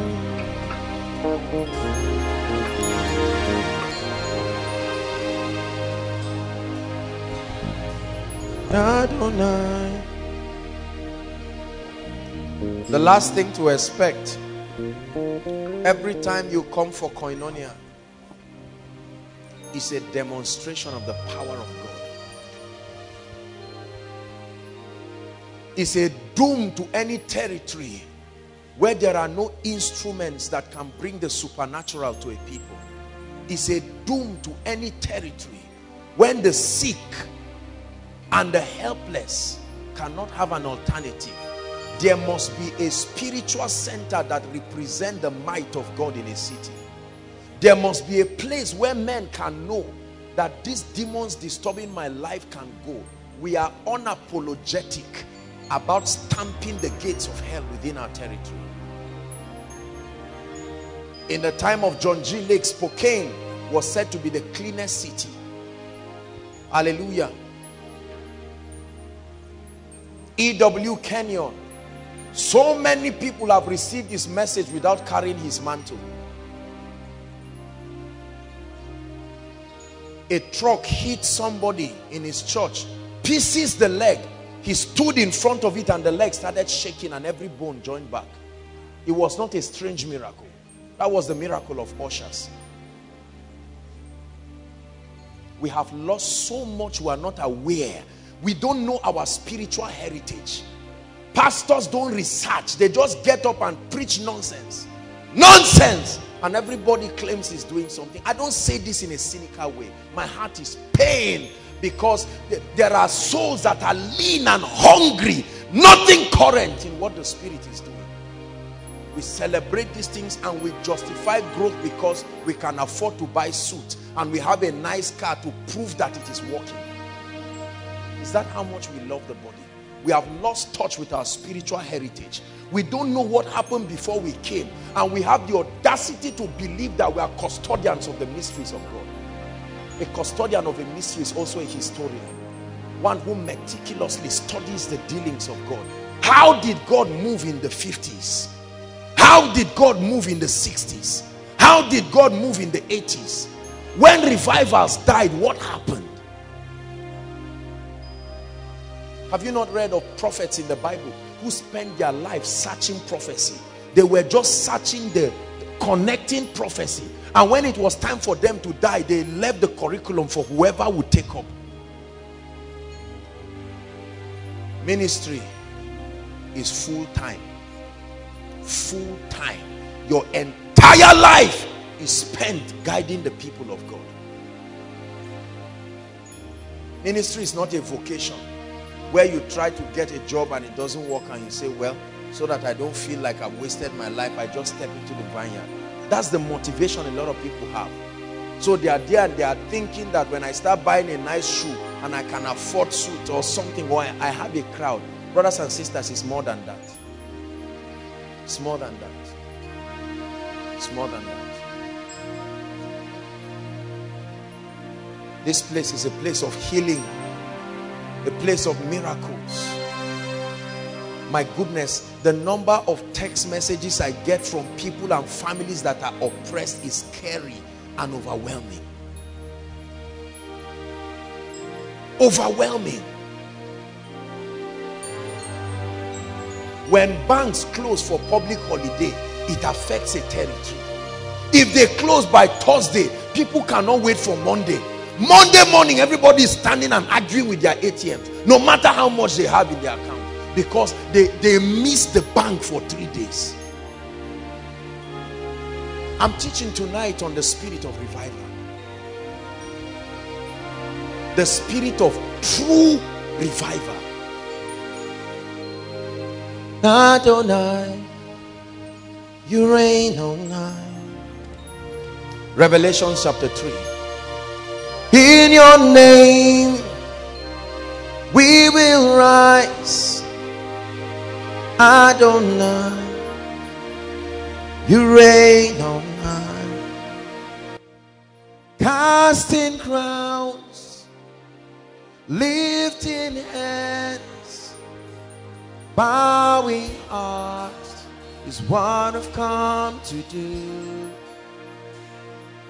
Casting crowns, lifting hands, bowing heart is what we've come to do.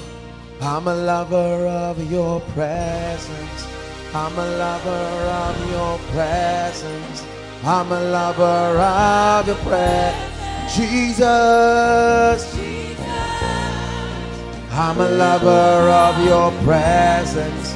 I'm a lover of your presence. I'm a lover of your presence, Jesus. Jesus. See, let me tell you something. By the time Koinonia moves to our next level of life, where we have an auditorium, it services will run every day.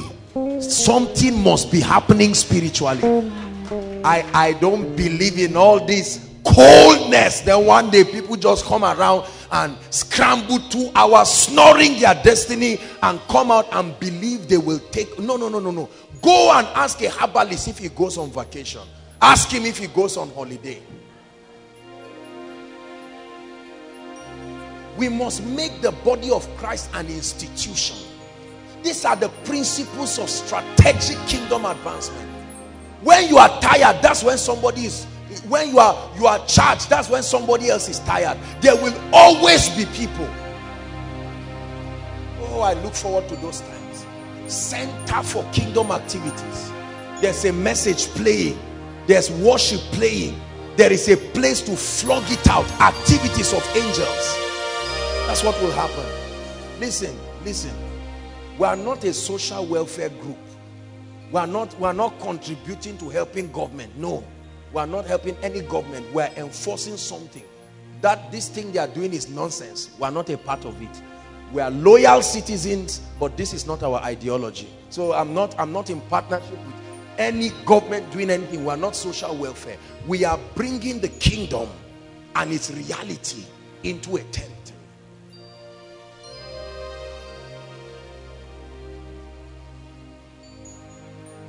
There are there are few territories where you go that you i mean there should be these kinds of place these kinds of places all around that you can step in somewhere right and just pray and see somebody praying with you.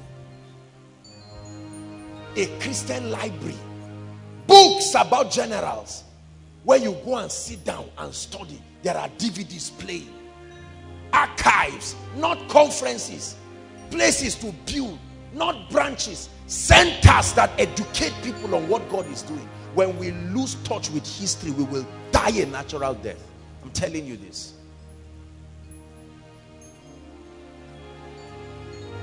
Hallelujah. Your rent has expired. Nobody is helping you.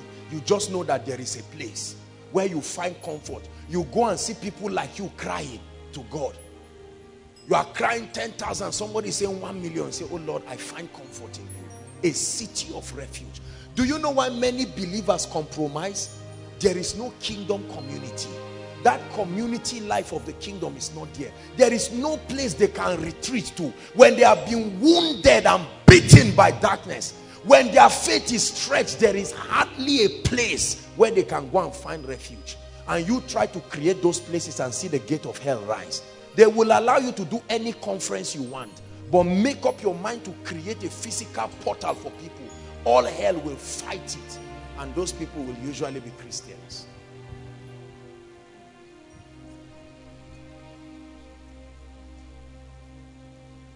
We owe our generation a debt to preserve the heritage of spiritual things. There has to be somebody. In ancient times, there usually are these elders. And when Israel starts messing up, Moses and all the people will say, okay, let me remind you. Because then some of you were not born. How by a mighty outstretched arm he brought us out of Egypt. Right? He did this and that and the people are listening. And at the end of it, the people say, ah, we repent. We will serve the Lord. Satan's plot is to destroy people like us so that there, there, there's there no more there, there will no longer be voices that can connect people and everybody will start doing anything he wants to do called church. We, we must re-examine this thing we have been doing called church because it's not producing the required result. I'm telling you.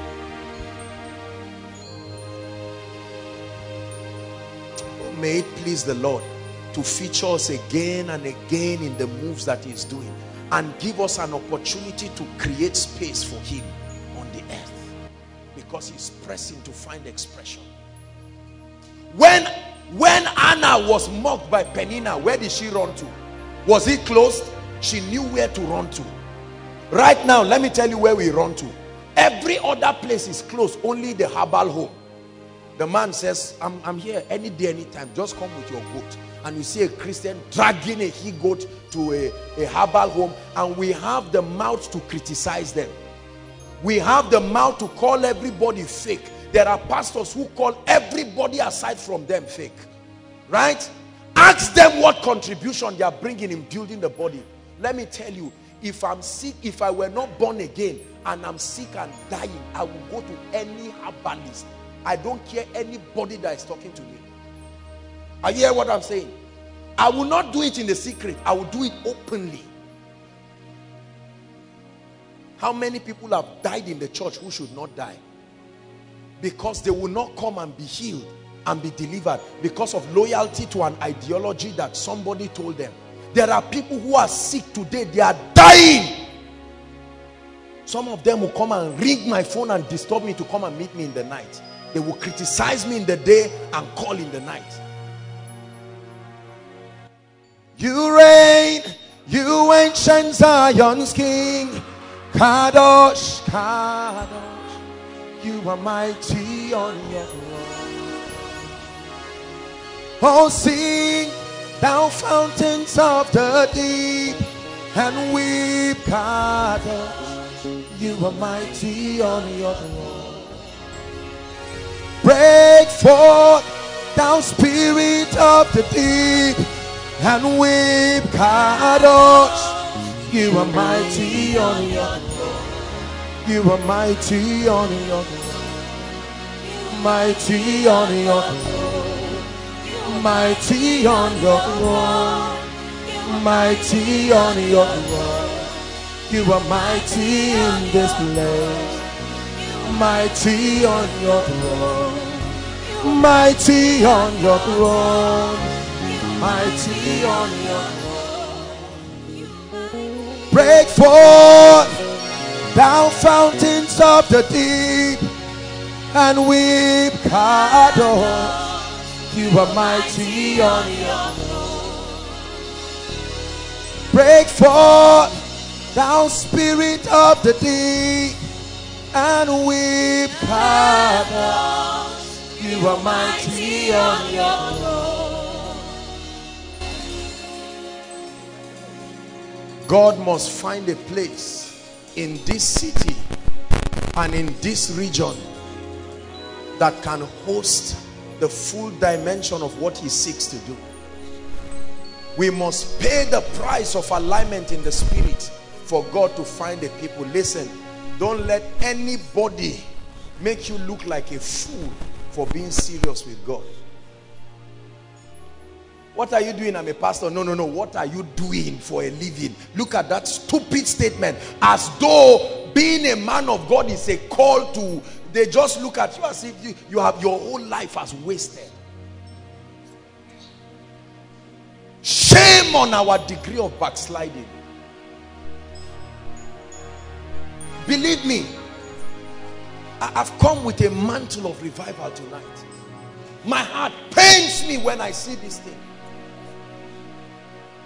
As I travel around regions, I know that men of God are doing their best, but I'm telling you, there's got to be true apostolic voices. It's not a title, it's not a name, it's an election of grace. When will the sick know that they can find a place of refuge? There are people who have come right now do you think it's my joy when I see people queuing up, standing? Some wanting to be healed, wanting to be blessed. I can hardly attend to one tenth of people. It is never my intention to be a superstar. The problem is there is a price. It's not a gift. We have been deceived that it's a gift. Let me tell you, I may not boast of knowing so much principles about finances. I may not boast of knowing so much intellectually. But brothers and sisters, when it comes to the presence of God and the mysteries of the kingdom, it's an office. It's not a, it's not a title. It's an office. Paul says, how that by revelation it was revealed to me. This mystery. This mystery.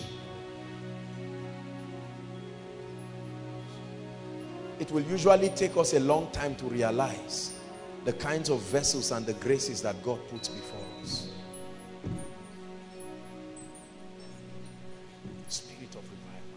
There's too much backsliding in the body of Christ.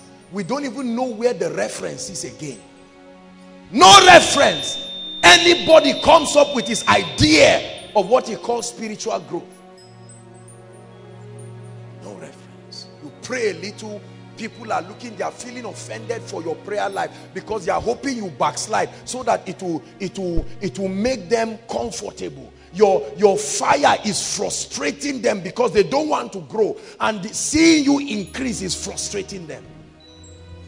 Recycling of revelations in the body of Christ. Because men cannot stay in the secret to pray the price and bring something fresh. Things are happening over territories. We pastors are moving around with deaf ears, no seeing eyes, no hearing ear. Please, we are going to pray just for one minute before I continue. Are we together? You are going to say, Lord, revive my life. Revive my life. Please pray. Inside and outside, pray. Revive my life.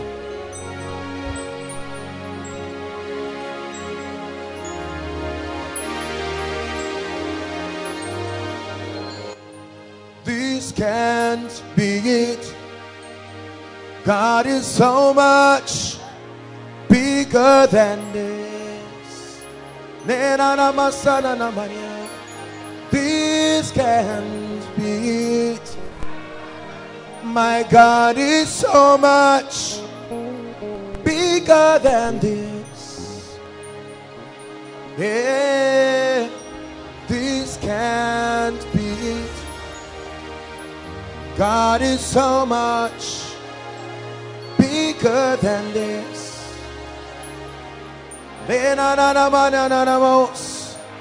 This can't be. Oh, don't deceive yourself. You know what the standard is in the spirit. You are bigger than this. Yeah, this can't be it. My God is so much bigger than this. Calling us deeper, deeper,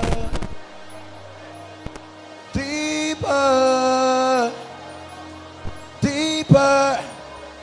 He's calling us deeper,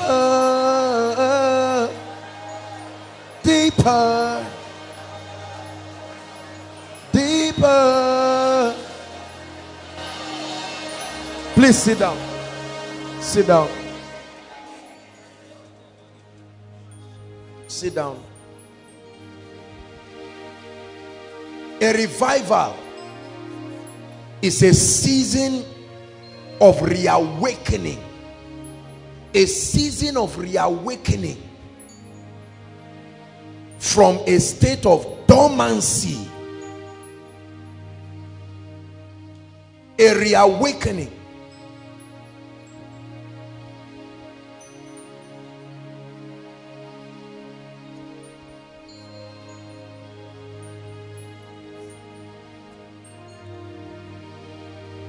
A season of reawakening from a state of dormancy in the life of a people and a territory.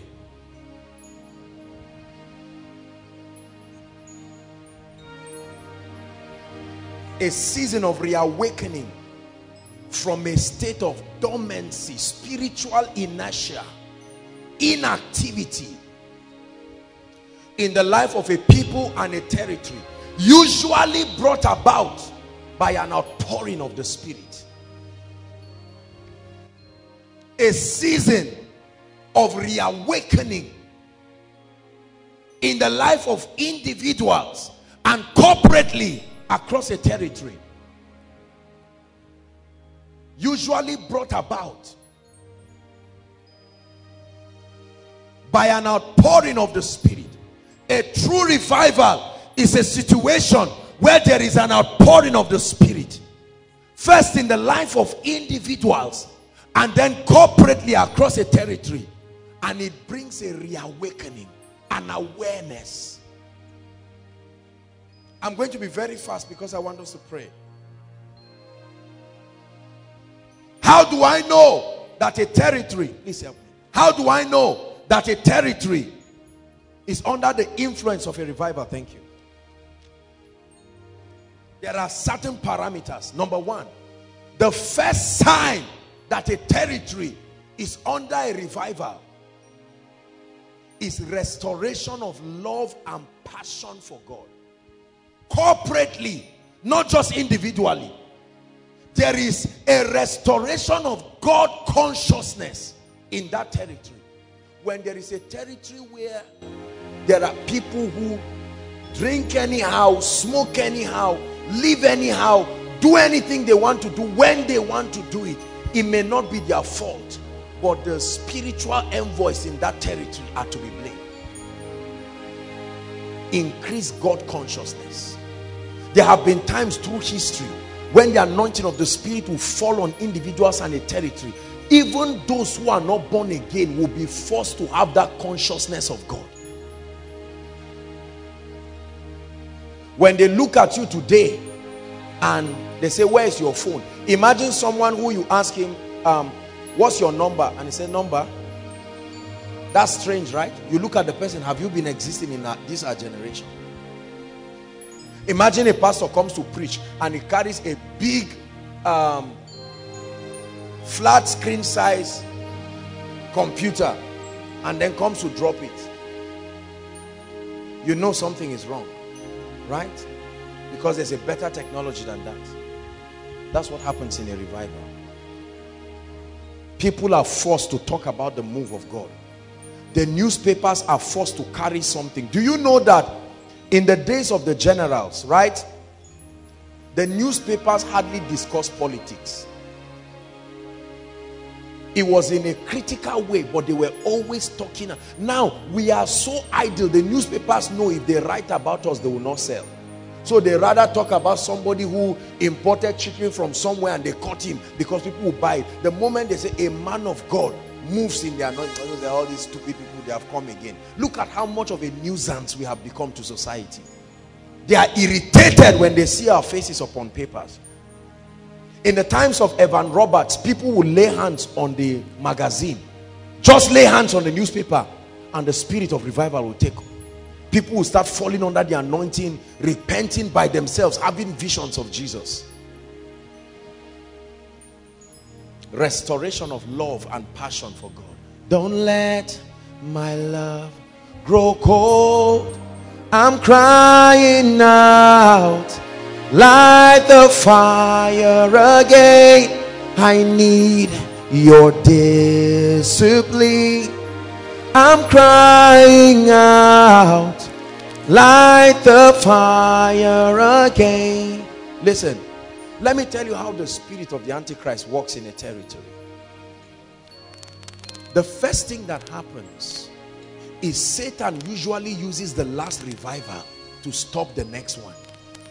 Are you seeing that now? So the man of God who God did business with in the last revival, usually what happens is that because of what is happening, there is what we call premature satisfaction. Little result. Oh, Apostle Joshua Selman, you are the talk of the town. The, Satan takes advantage of that because he knows we like it. We like names. We like titles. We like accolades. Oh, here comes the man of God. The one who raises the dead and, and, and heals the sick. And we, we pride ourselves to our detriment. We love honor. There is an obsession about it. We can do anything for it, including backsliding. So what happens is that people keep watching. The devil keeps watching this thing. Your prayerlessness starts increasing. Your wordlessness starts increasing. But he will never strike. He will allow you. And then he will throw all kinds of persecutions. Get my teaching why revivals die you know all those kinds of things together when that person is watered down God no longer has a voice listen there is a difference between God speaking to you in your secret place and God speaking to a territory God has his mouthpieces everywhere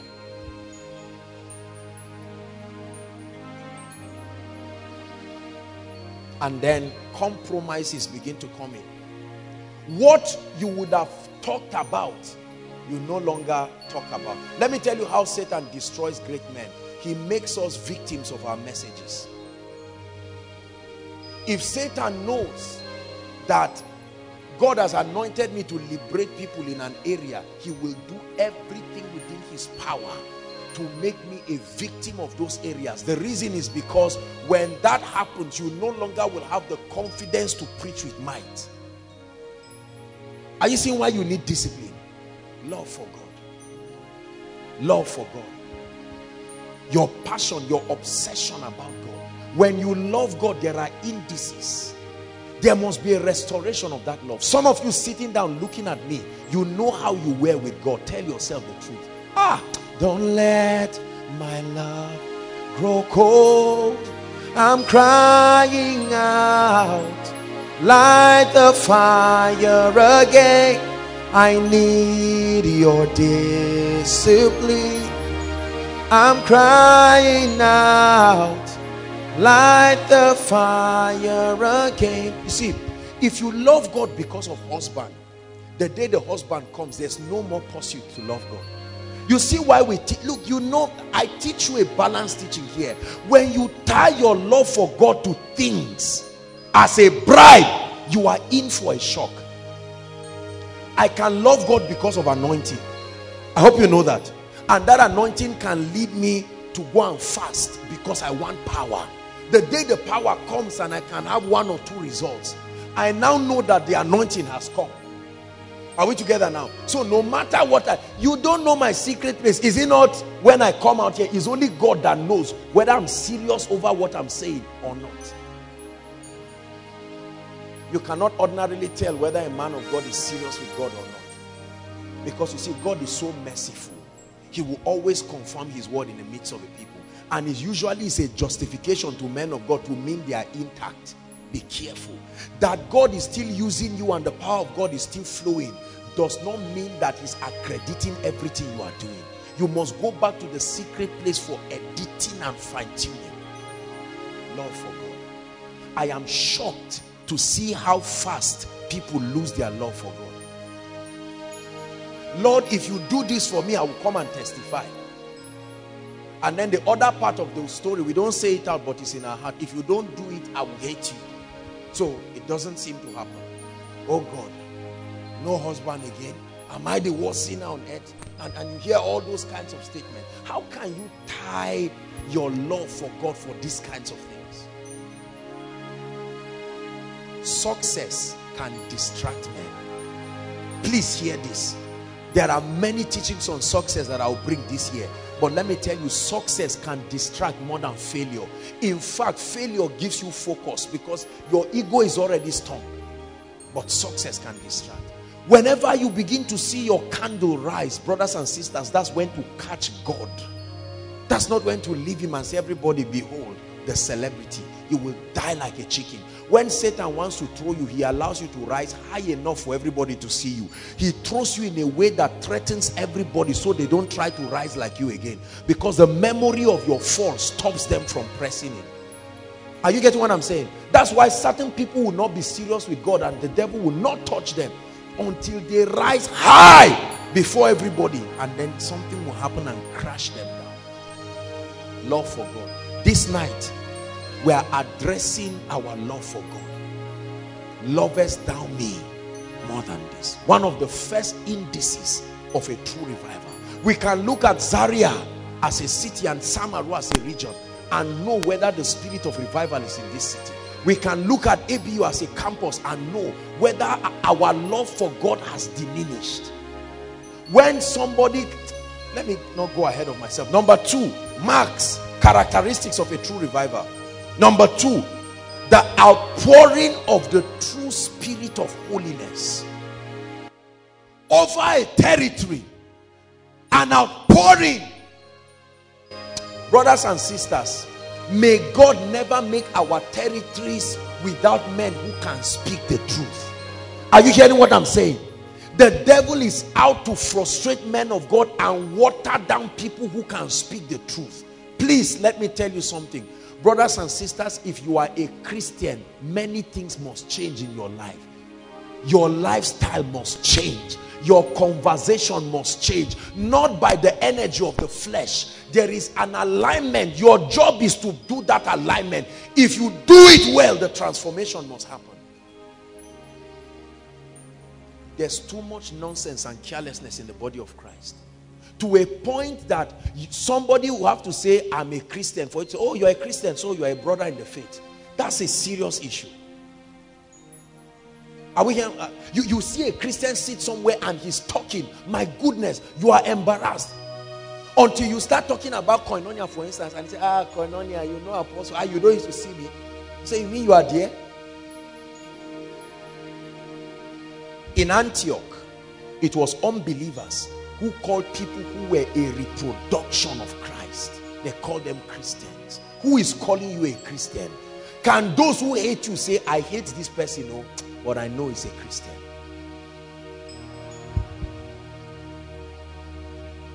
You can't be drinking and smoking and say it's just my body that is drinking, my spirit is okay. You are not all right.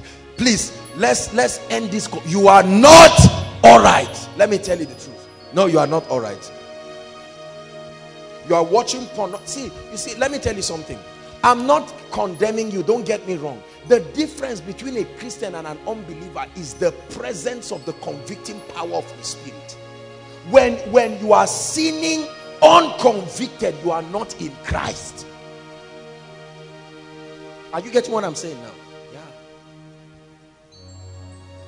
If by the work of the flesh somebody falls into habit you went to your friends they reminded you of Gulder that you used to take. You don't know what happened. You gave into the flesh. That conviction is a sign that you are in Christ, that you can return.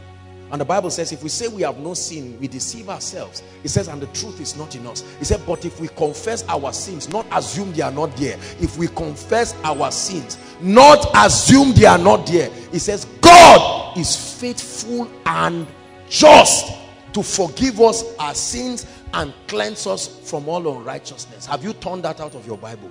Because it's supposed to be there. The true spirit of holiness. please, I speak especially to the young people. All of us who are young people in this region, let's not make it look like being a young person is a stupid thing. Are we together? Some people were discussing me somewhere and uh, I got to hear, of course, one of the ladies said, ah, this person, you mean there are all these beautiful girls in Koinonia, how is he doing? Let me tell you how I'm doing. I'm very fine. Very fine. Very fine. Healthy in the spirit. Very fine. I intend to continue with God for a long time. I decided that from the start of the journey. We are afraid of the responsibility that firm decision brings because we know it will have to force us. We still want to enjoy some things. You see that? Because if you make a firm decision, you too, you know. You know a firm decision means deleting that person's phone number. But you don't want to. So you are not serious. That's the meaning. It's as simple as that. Because you live, Jesus, I live. I have no fear of what tomorrow brings. Because you lead Jesus I live today. I live to pray a true spirit of revival. That you can see somebody kept his money and leave it there when the old man wants to touch it he reminds you that it has been nailed to the cross. And you mind your business and leave that money there. Even though you needed money to eat. The spirit of holiness. Let me tell you if we allow the spirit of holiness to leave our territory we will never experience the fullness of God. We will not see miracles and signs and wonders. Please let's not mock God. I know what I'm saying is hard but you too you know I'm not lying you know I'm not lying don't let the spirit of holiness just run out of your life and the key to unholiness is carelessness. Carelessness. Bros, you there? There's one party we're having. Say, eh, but I don't drink again. Say, just come, Jerry. Carelessness. Lot settled near Sodom. Lot settled near Sodom. Lot settled near Sodom. You take advantage of the grace of God and produce a life that is worthy. Please don't feel condemned. I speak to all of us here, those who are here and those who are following us.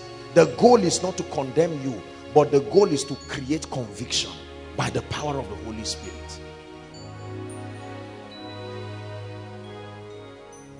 Holiness and power go hand in hand. Don't ever deceive yourself that you can compromise on holiness and experience the power of God. You can kneel down with offering and lift it to a man of God. There has to be true holiness. There has to be true holiness. I'd like you to lay hands on your head in one minute and pray and say, Lord, restore to my life the spirit of holiness. Go ahead and pray. Please pray. Especially if you know you are affected by what I'm saying, please pray. This is a threshing floor. It's a family. Lay your hands and say, Lord, I've been pretending as if this is not an issue. But tonight, you have brought your word out of love. Not to condemn me, but to remind me that you are still waiting. I receive a baptism of the spirit of holiness. Those outside, please make sure you are laying your hand. Oh, I separate myself by grace from the works of the flesh. The impulses of the flesh. The appetites of the flesh. The appetite the lust and the carnality that destroy great men. Lord i'm going far. The spirit of holiness must come upon my life. It must come upon my life. I receive a restoration. Lord i used to have it but something happened. I gave in to women. I gave in to men. I gave in to drinking. I gave in to wrong relationships. I was lonely and i allowed I, I frustrated the manifestation. But tonight, oh God, in this place, I receive grace, grace, grace. It's not by the strength of the flesh. You can't resist evil by the strength of the flesh. Remember the cross, the place where grace comes from. Your old man has been nailed. Therefore, mortify your body. Take advantage of that grace. Let it become an instrument of righteousness. Please pray. It's a year of multiplied grace and influence. God is not a native doctor. Godliness. True holiness. That's why many of our fathers have lost touch with spiritual reality.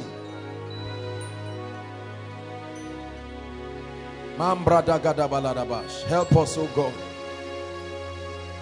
That in lifestyle, in character, in conversation, that everything about your life, there is a presence of holiness you will carry on your job, in school, in your atmosphere, not by condemning others, not by reading people off. That's the flesh. You won't glorify God that way. But that you carry a compelling presence. Hallelujah. Before we continue, pray again. Say, Lord, I overcome carelessness in my life. Some of us are already at the verge. God is bringing this as a prophetic message because some of us are already dwindling. Visiting the guy carelessly doing all kinds of things carelessly. You are a christian. God is bringing this message to salvage you. Get back to order. Get back to order. Get back to order. Get back to order. The true spirit of holiness. No you can't start accepting bribe. Not at this level of your life. You used to hate it before. Don't all of a sudden love bribe you are a Christian and a Christian indeed. The Spirit of God in you and the righteousness of God compels you to hate immorality not out of fear but because of your love for God and your desire to be used by him. Make sure it doesn't leave. That's a fire you must not allow to die. Aside from immorality and the rest what of vainglory? What of self-seeking? What of vanity, ambitions that are not consistent with Christ. Please pray. This is a threshing floor tonight. Those of us outside, make sure you are praying. If nobody has told you there is a problem with your life, I'm telling you there is. If you are giving room to the flesh, I don't care what excuse you bring. God does not condemn, but he does not condone evil.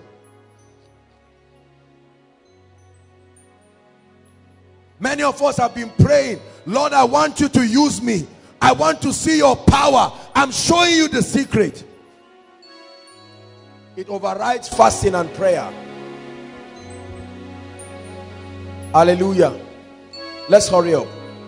Number three. The third sign to know that there is a true revival in a place. The third sign is massive salvation of souls. Genuine salvation. Genuine salvation. Genuine salvation. It's not enough for people to come and be saved. They must be saved well. Well to stay well and grow. Massive salvation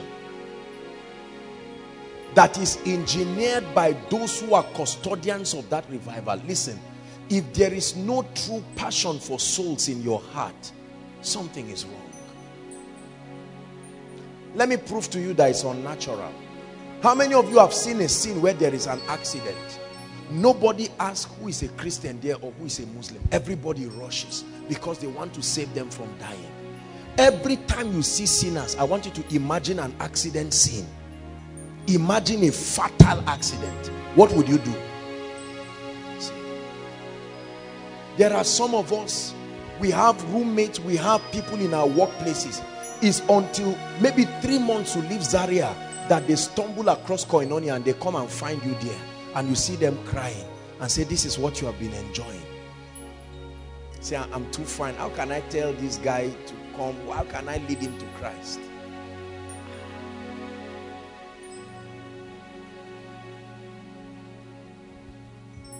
Massive salvation. Souls. By the way, the Lord, while I was preparing this, the Lord gave me an instruction. I'll say during the announcement, but then let me say it again. By God's grace, next Friday's miracle service, you're coming with two sets of requests. The first is the names of your family members and loved ones, those who you have tried to get them born again. Come and watch God will do for them this year. You will watch what God will do. He will surprise you. Are, are are, please, you are permitted to write a full scrap sheet of names if you have it. Write it down. Write no matter, I don't care who they are. Don't you let the devil tell you God cannot save any man. If he saved you, he can save any man. Even Pharaoh, although he didn't repent, but he acknowledged that there was God. Nebuchadnezzar acknowledged God turned him into an animal. Leave the how to God. God knows where to touch them and force them to come to Christ. When Saul landed on the floor, he knew that this was God.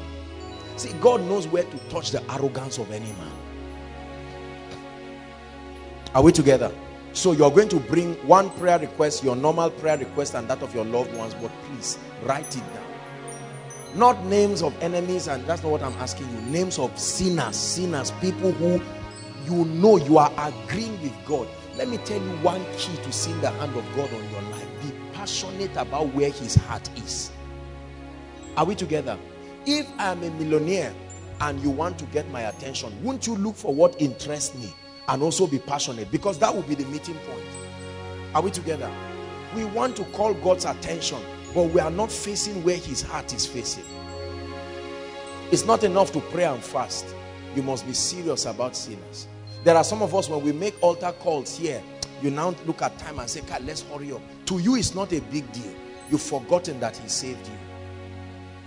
You've forgotten that that person he's saving now may be the first in a family of 10 to be born again. I remember one of our ladies who years ago, they were all unbelievers, you know, non-Christians now, I mean.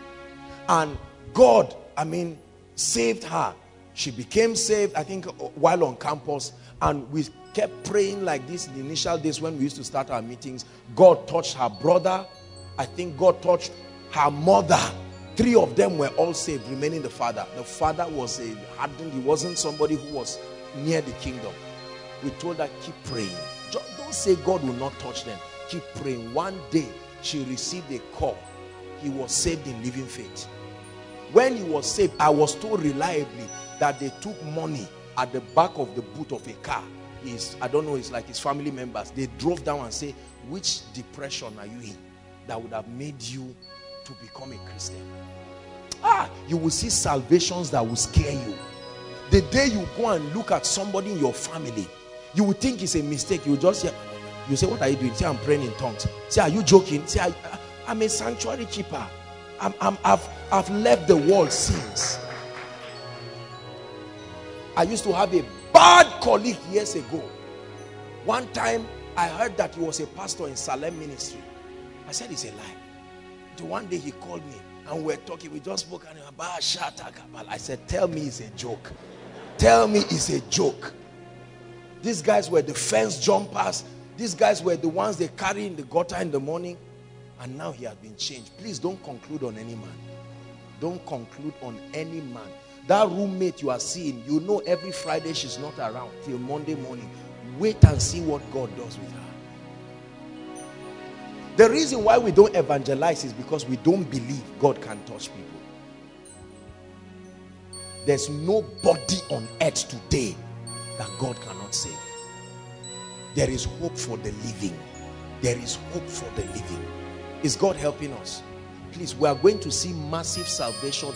Make sure you don't allow people without, you can give them koinonia messages. You can pray for them. If you don't have the courage, drag them and bring them to koinonia. Just like many people, as I'm talking now, there are many people who will respond to the altar call right now. They came because they were invited. When you love souls, you can pay for them to come. If 50 naira is too much for you to pay transport for someone to come and get born again, don't say you love God. Don't say you love God. When a guy loves a lady, He can have 5,000 in his account. He will withdraw it, leave the minimum balance and tell her eat. She say, I don't want to stress your body. Say, no, no, no, don't eat. It's me that is paying for this thing. But when it comes to souls, we are afraid. Someone is telling you, I, I would love God, but he's giving flimsy excuses. Why don't you tell the person, two of us, let's climb bike and come? Are you that passionate and unembarrassed? Do that and see the way God wipes your tears. See, these are kingdom keys. There are no shortcuts to this thing. Souls. When I pray many times, I say, oh God, use koinonia as a platform to save sinners. You see my heart when we make altar calls and people are coming. I tell you, give them chance to come. I remember somebody, uh, I, I, don't know exactly, I think he was, is an imam or something, one of these, these uh, very strong guys. He was seated outside when I was teaching the reality of heaven and hell. This was somebody who is learned, you understand what I'm saying? And he sat down outside and was thinking. And while I was teaching, he saw a vision of Jesus outside. And he got born again. The day he came for counseling, I could not believe it. Ushers, I think one or two people. There's one of our brothers in Ushers too who was like that. Now totally transformed, serving the Lord, working in the ushering department. Who told you God cannot save them? Your stubborn father, your stubborn mother, your missing brother, who comes back once in three months, I'm telling you, when the power of God lands on them, we don't know the power that raised Christ from the dead. That's why. Because all we are teaching about in church is money. We don't know the power. If a power can raise a dead body, is it to transform one who is alive that it will not change? Number four. Let's run. The fourth mark or characteristic of a true revival is passion for the house of God. Now, please hear me. I say this sincerely from the depth of my heart. And I, I mean no condemnation with this. But when as men of God we celebrate small ministries and small churches to mean no i'm like that me god gave me this i don't believe in that concept i know that crowd is not the ultimate determinant as to whether god is there but brothers and sisters people must be saved and they must have passion for the house of God because that's when they are taught the precepts of the kingdom. The church is God's portal to reveal the mysteries of the kingdom. It's not enough for people to be born again. That's why we, we collect their details. We send them text messages and follow them up. What's wrong with getting people born again and get their numbers? Once in a while, you send them a scripture. Maybe the person is about to go back to alcohol and ah, the text comes and you say, maybe it's a scripture. Love not the world. Looks at your phone, looks at that bottle, and he knows. And the Spirit of God, you have given him access to kick in, and he drops it never to pick it again. There's no support structure in the body of Christ to help sinners stand. Once they are born again, we say, okay, now just find your way back to your seat and the Lord help you. That's why when people get born again, we recommend to them. Because the ministry is still growing, we don't have all the avenues to do all the things we want to do. Right? We recommend them to go to the prayer department. At least for one month. Even if they don't intend to be members. Just to join. That's the only other large platform we have to minister to the people. That's why Pray for us. Pray for this ministry that God will take us to the next level fast. And you will see the things that are in store for the body of Christ. Passion for the house of God. When coming to the house of God, hear me, let me use Koinonia. This is our platform. When coming to Koinonia suddenly becomes an endurance, please, I want you to know that something is already wrong with your spiritual life. Are we together now? Yeah.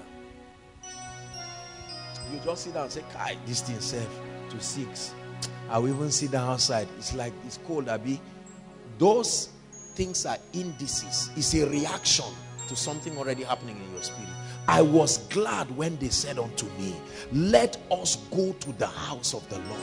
The, the scripture, the anchor scripture that the Lord gave us, remember the scripture. It says, The mountain of the Lord's house shall be exalted, and all nations shall flow. They will say to themselves, Come, let us go to the house of the Lord, to the mount of God. For there he will teach us his ways. He said, For out of Zion shall proceed the law. Passion. Passion. There are people you see them January koinonia and then later on maybe when result is out or something it just coincides with a miracle service. They now drag themselves and come and sit outside. And of all the prophecies that are coming they are just waiting for when they'll talk about academics. The moment they say for your academics they now they are now invited. Immediately they finish they run. That game you are playing with god you will not win. Praise the lord I love you, Jesus. I worship and adore you. Just want to tell you that I love you more than anything. Any ministry that is truly committed in soul winning will not be small. What we are doing in the church is sheep stealing what did I call it? Sheep stealing. When you steal a sheep, a sheep is not a fool, it grew somewhere. Eventually, ah, you see, I am the good shepherd. My sheep here know my voice. And we, we steal sheep. We are, we are trying to steal choices, quality. So if Sam, please stand up, Sam. If Sam is a millionaire, I want that kind of sheep around because I know the relevance of the sheep to that pasture or that place, that attitude. Every time we see unbelievers, you see somebody with his draggy jeans, you know this guy, you even need to support him back. We don't like those kind of souls. The person calls you daddy, say, Who is your I'm not your father, I don't know you. I just got you born again. Please look for somebody else. These are the kinds ah, this is my son. You are, I'm well pleased. That carnal attitude. Are you getting what I'm saying? So when if that's why I say it to the glory of God, and you know here, I know no man after the flesh. I will not go to anybody's house and say, um, you are a senator, uh, your daughter is a member in our ministry. We, we have, we, we want to buy boss. God will use people. There is nobody that I will reject on grounds of anything. Whether your father is a carpenter or a pilot, it doesn't matter. Hallelujah. We don't love the sheep and they know they know they know the type of sheep we love. When you see a beautiful lady, say you are you are my daughter. Daughter, how are you? And you keep stressing that lady even when she leaves your ministry. She's wondering, what do you like? Me or the beauty? See, members are not idiots. They know pastors who are serious. They know. They know pastors who are playing games. Just gather phone numbers of very pretty ladies. These are this is what we do that destroy us. Are we together now? Or we gather the number of people who are rich and all of that. And oh no, there is a place for honor. Don't get me wrong. What I'm saying, this thing we are doing is too much. Is sheep stealing. How many of us are willing to labor on sinners until they become true saints? The Bible says the kingdom of God is like a, a remember the story of a shepherd, right? 99 sheep. One got missing. What did he do to the 99? They were all right. So he left them and went, still not minding if he loses the 99. Went to look for that one. Is that our attitude? When somebody comes to stand, you are looking whether he's holding an envelope. If it's not, you look at his shoe, look at his watch, and say, Let's pray. Father, help this person. And you are praying. Don't waste my time here. But when somebody comes package, you're like, what are they? What let me let me know the needs. If you're a pastor here, please do this thing truly. God is going to judge us, not in a condemning way. We are going to be accountable for this. Act as if there is an authority above you. Members know. Let me tell you, there is no member who will see a man of God talking like I'm talking, who will not love him and be open to. Do you know why many of our members in different churches, I'm speaking apostolically, there are many people listening. Do you know why many members They know their pastors don't like them. They know it. They can't truly call this person my pastor, my father, somebody I can come and talk to because they know that the pastors want money. They want what will make them proud. By God's grace, we don't destroy our wounded soldiers here. No matter what you have done, we enter the hole with you and come out together. A good shepherd doesn't stand on his sheep and leaves a trophy. He lays down his life for his sheep. Passion for the house of God. Number five, quickly. Passion for the word. Indices that measure a revival in a place. Passion for the word. Passion for prayer. Passion for a life of worship.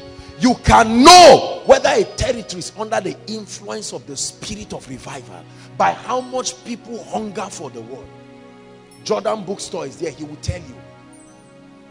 I know that people love the word in this place. I'm even careful to announce certain books because you announce it by tomorrow.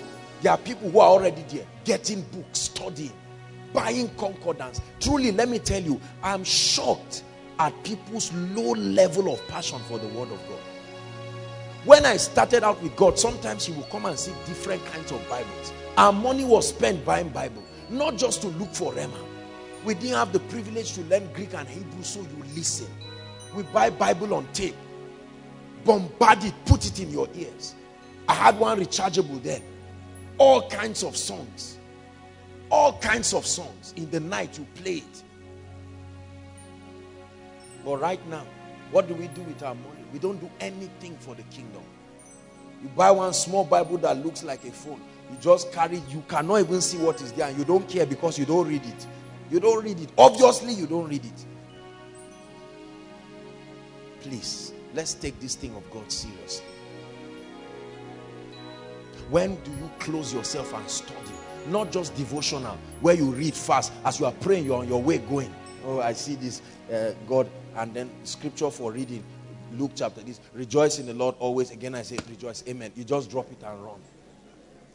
Ask the person what he's running towards. He will tell you he's looking for money or a meaningful life. And we have left the word of life. I found your word and I did eat them. And they were a joy and a rejoicing to my soul. Passion for the word. Passion for worship. Many of us don't worship. We pray and we study the word. There is a place for worship in your spiritual growth. If you don't have worship tapes. Now, technology has made it easy. Put these things. I have a selection in my phone I call them deep worship. There's one called encounter. That one, when, when I'm high in the spirit, I just switch. Not all songs minister to me at the same level. I have studied what the anointing does and the songs that help them. Has it happened to you like that? Yeah.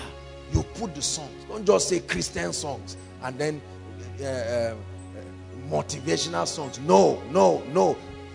Separate this thing and take God seriously you have a selection the moment you just hear a christian one there is another one diluting your spirit and then midway after you enjoy it small just to satisfy the guilt you now quickly run to don moen don't please saints of god i admonish you in the name of jesus christ guard your heart with all diligence your destiny depends on it you will never find one on christian song in my phone. I'm not one of those people who say, look, we need to work with technology. I'm not a fool.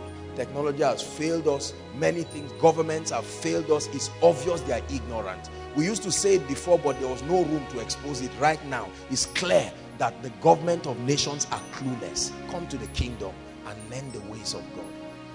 The years to come will show the excellency of the wisdom of the Spirit. We are like the virgins that are taking extra oil now.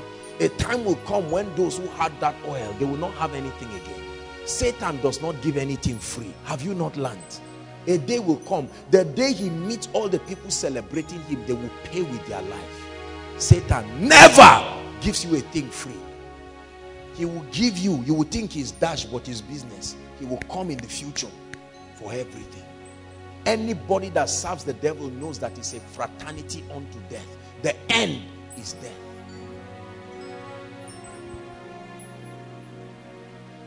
Create an atmosphere of worship. Create an atmosphere of the word. get Bible. I have, I have a, a very beautiful software that I got. Just the words of Jesus. They just pick them through the Gospels. Just everywhere Jesus spoke. Just the words of Jesus. Always beautiful. With worship playing in the background like this. I tell you, you will wash your spirit. You know how you, when you listen, you will know you are getting clean through the word. The word cleanses. Cleanses your mind. Sometimes I sleep and let it keep playing. And I have visions and encounters. You wake up shaking under the presence of God. You create an atmosphere that cannot be denied. This is how it happens. What if I have roommates that are not serious? That's why you have a phone. You cry to God for a good phone. He gave it to you. Use it well. Use it well. Not just for sending text messages. Use it well. How much does it take to download? I mean, there are Android devices with one, two thousand naira. Don't say I cannot afford it. Your hair, your shoulder, your knees, your toes. Look at all you have used your money that God gave you for building your spirit to just build your body alone. Remember, your spirit is better than your body. Invest in it first. Number, let's hurry up, we're almost done. When there is a true revival in a place, there is an outburst of financial miracles and sociological advancement. Listen, revival affects the quality of the living of the people within there. Don't think when you subscribe to the things of God and a revival comes, um, it means that other areas of your life will suffer. No, when there is a real revival, the quality of the life of God's people is improved almost every major technological advancement is connected to a revival. It's just that the historians remove the God factor out and make it look like somebody just discovered something. A lot of the people who made strange discoveries, they did them coinciding with periods of revival. And most of those people were either Christians or came from Christian families. When the spirit of revival is upon you, you will be rich. You will be blessed because the presence of God will compel favor upon your life. When a ministry is under that kind of open heavens, they will enjoy supplies. People will do well. People will get jobs. There will be marriages. There will be blessings. There will be children. There will be all kinds of breakthroughs. Don't make it look as if when you seek God, you'll be in trouble. No. Seek ye first the kingdom of God. Matthew 6 33 tells us. He said, and his righteousness. If you do that properly, he says, all other things shall be added to you as well. Amen. Seven, when there is the true spirit of revival in a place, there is an outburst of miracles, signs, and wonders. Oh, this is very important. There's gonna be a great awakening. There's gonna be a great revival in our land. There's gonna be a great awakening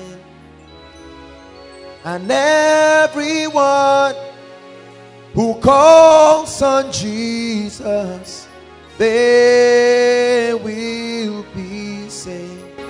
Miracles. I believe in miracles. Believe me, I believe in signs and wonders. I believe in miracles. I believe the sick can be healed. I believe God can step into people's lives and change their stories. We've seen all kinds of testimonies in this place. That's what is going to happen to many of you this night. Koinonia remains a place of healing, a place of miracles. Because of people's inability to contend for the true healing power. They say, look, um, um, healing. When they say healing, they are quick to say, no, no, no. Emotional healing. Please, physical healing. People are sick. Their bodies are sick. Are we together now? Yes, there's a place for emotional healing. But we usually say those things because there's no physical index to prove whether they are healed or not. If somebody is blind and is healed, he is healed. Is that not true? We must contend for grace even in this dimension. Say amen. And may it happen through your hands. There is a joy when God uses you. There is a joy when God does things around you. But when it happens through your hands, it's a blessing. I trust that God will use us to begin to lay hands on the sick and speak to people that they note you and say ah I I came to Amaka and she prayed with me and doors just opened great testimony Ella agreed with me. She prophesied something over my life. Oh, I met Aaron crying on something and he spoke over my life. Some of us are so backward in the area of the miraculous. Even if somebody said you prayed with me and something happened, say no, because you came for koinonia. You must believe God in your life. Hallelujah. Miracles, signs, and wonders. Any pastor in this day and age who is not serious about the miraculous should be prepared for empty pews. I guarantee you. Any pastor who is not ready for the demonstration of the miraculous. People are not looking, if they are looking for where to watch film, there's Silverbird, there are many, there's cinema and all kinds of places. People don't come to church to watch movies. They come to church because they have real problems. Is that not true? They need the power of God head on in their lives. Lastly, the final index that shows that an atmosphere is under the influence of revival is impartation of gifts, graces, and mantles. Impartations. See, revivals are times where God recruits people into his army. Most people stepped into the call of God upon their life at revivals. When people are just praying non-stop for a while, the Holy Ghost separate me, Paul and Barnabas. There has to be release of mantles, graces, impartations. It happens during revivals. There will be almost no impartations when revival is not in. Remember a man in the Bible called Agabus. He had daughters and all of them were prophets.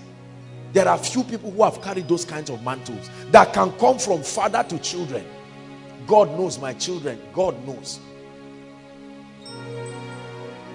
Before they arrive, there will be a special recording waiting for them. As soon as they arrive, straight on. Before the nonsense that society brings, this and that, you are stupid, you are foolish. They will receive something, they will start having visions and encounters of Jesus. That's why I respect and I want us to appreciate them. I respect every parent in this place who come with their babies and their children. Let them sleep and sleep in the presence of God. It was in the presence of God Samuel was sleeping when he heard the voice of God. Even if you must sleep, do it in the presence of God. Because although your body is sleeping, your spirit is receiving. Impartations of mantles and graces. That's what is happening to some of you. Some of you in the nearest future, God will send you to territories and you'll be the ones doing this thing I'm doing right now. When you stand, one day you will just stop in the middle of the congregation and tears will come down. And you will tell them, once upon a time, I sat down quietly. I remember when I used to go for meetings and sit down and I hear the man of God say, out of this place, God will raise great men. And people are shouting amen. Some are sleeping, some are playing, some are not serious. And I just sit down there and I say, really? I could imagine the angels and all these people saying, young man, pay attention. There are destinies tied to you.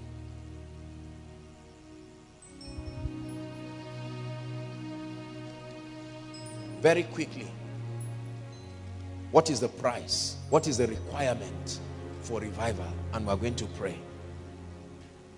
I'll just give you four of them quickly and then we're done. Sorry, I may not have time to read the scriptures. Is God blessing you tonight? The first price requirement for true revival, not assumed revival, true revival is consecration. The first prize, you want to host the glory of God, the first requirement is consecration. Media help us with one scripture that I found very interesting. Isaiah 52 verse 11. I'll, I'll just read the other ones while they pull up that one for us. Second Timothy 2 verse 19 to 21 says, Nevertheless, the foundation of the Lord standeth sure. It says, having this seal, the Lord knoweth them that are his. It says, and let every man that name the name of Christ depart from iniquity. Iniquity is not just sin, fornication and the rest. No, it's a state of your heart that produces those workings of the flesh. Let's read this scripture together. One, two, read. Depart ye, depart ye Go ye out from thence. Touch no unclean thing. It says, Go ye out from the midst of her. Be ye clean. that bear the vessels of the Lord. Those that host precious things from God. He says, depart. Depart ye. Consecration. Consecration. Very, very important. Set apart for his service. Set apart. The Bible says there is no man who warreth and tangles himself. We want to be civilians and soldiers at the same time. It doesn't happen. No.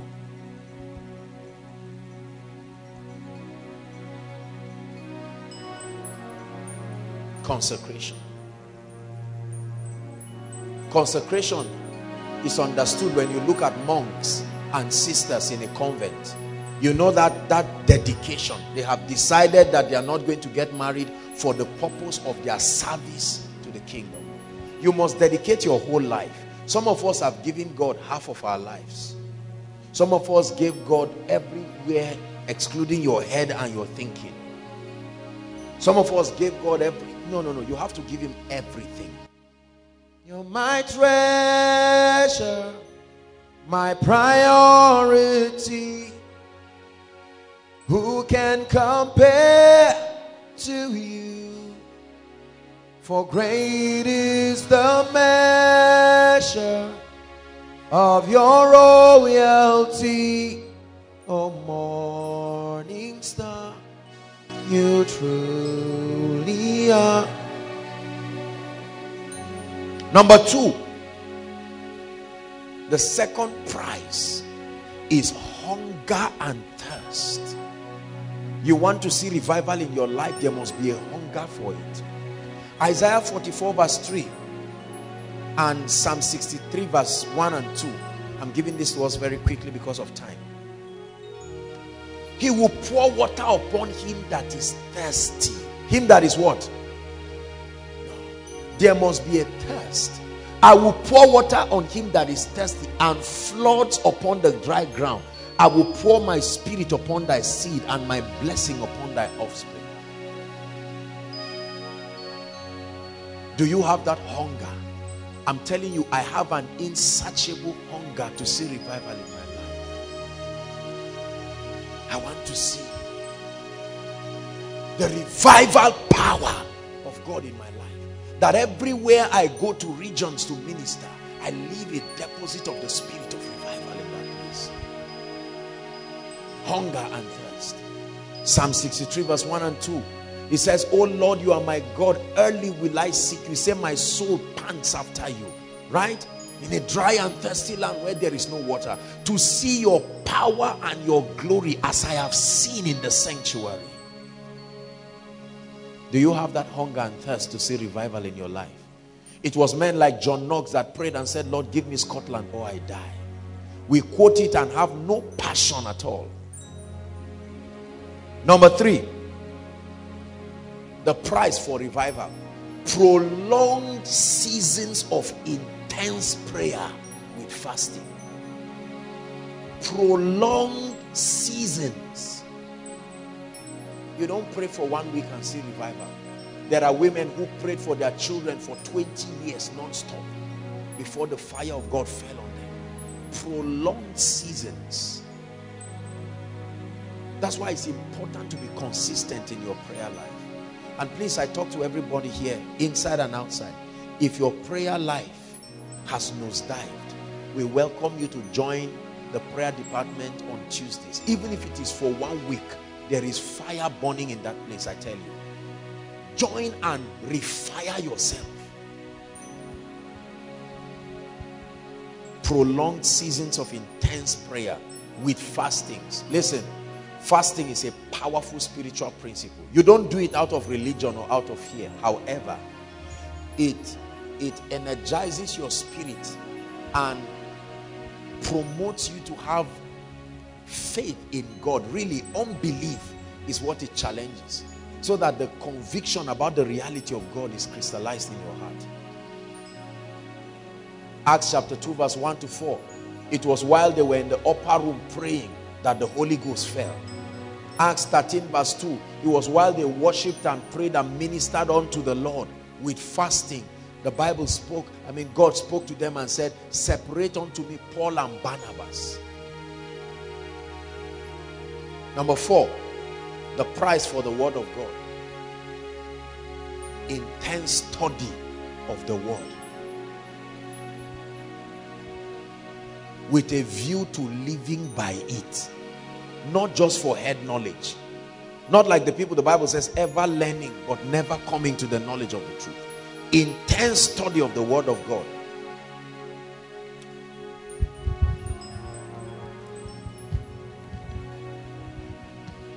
Finally, the last price for revival is the sacrifice of time. The sacrifice of time. You want to see God's might in your life, you must give him time. I don't mind waiting I don't mind waiting. I don't mind waiting on you, Lord. I don't mind waiting. I don't mind waiting. I don't mind waiting on you. You're not going to rush God and see his glory. The proof of passion is the investment of time. Anything you love, you have time for it. Please give God time. Remember I told us last week, you must give God time. Give God one hour. Don't give God two hours. There are times where you have to dedicate a whole day and just say, Lord, this is for you. A time of worship and prayer. Let his presence host you that day you are dedicating it just for watching movies that will build your life bible stories watching messages listening to teachings worship prayer you mustn't even be fasting you can just focus this day is unto you imagine if someone walked up to you and said i'm dedicating my tomorrow for you no matter how antisocial you are even if you say no thank you you will be happy that somebody can sacrifice his day. When you come to somebody and he tells you, look, I don't have time, I'm busy. Sometimes you feel bad. You feel, ah, this person doesn't value me so much. That's what happens when we come to God and just rush in. God, are you aware that I have problems? Okay, I'm aware. Do something about them. I'm on my way.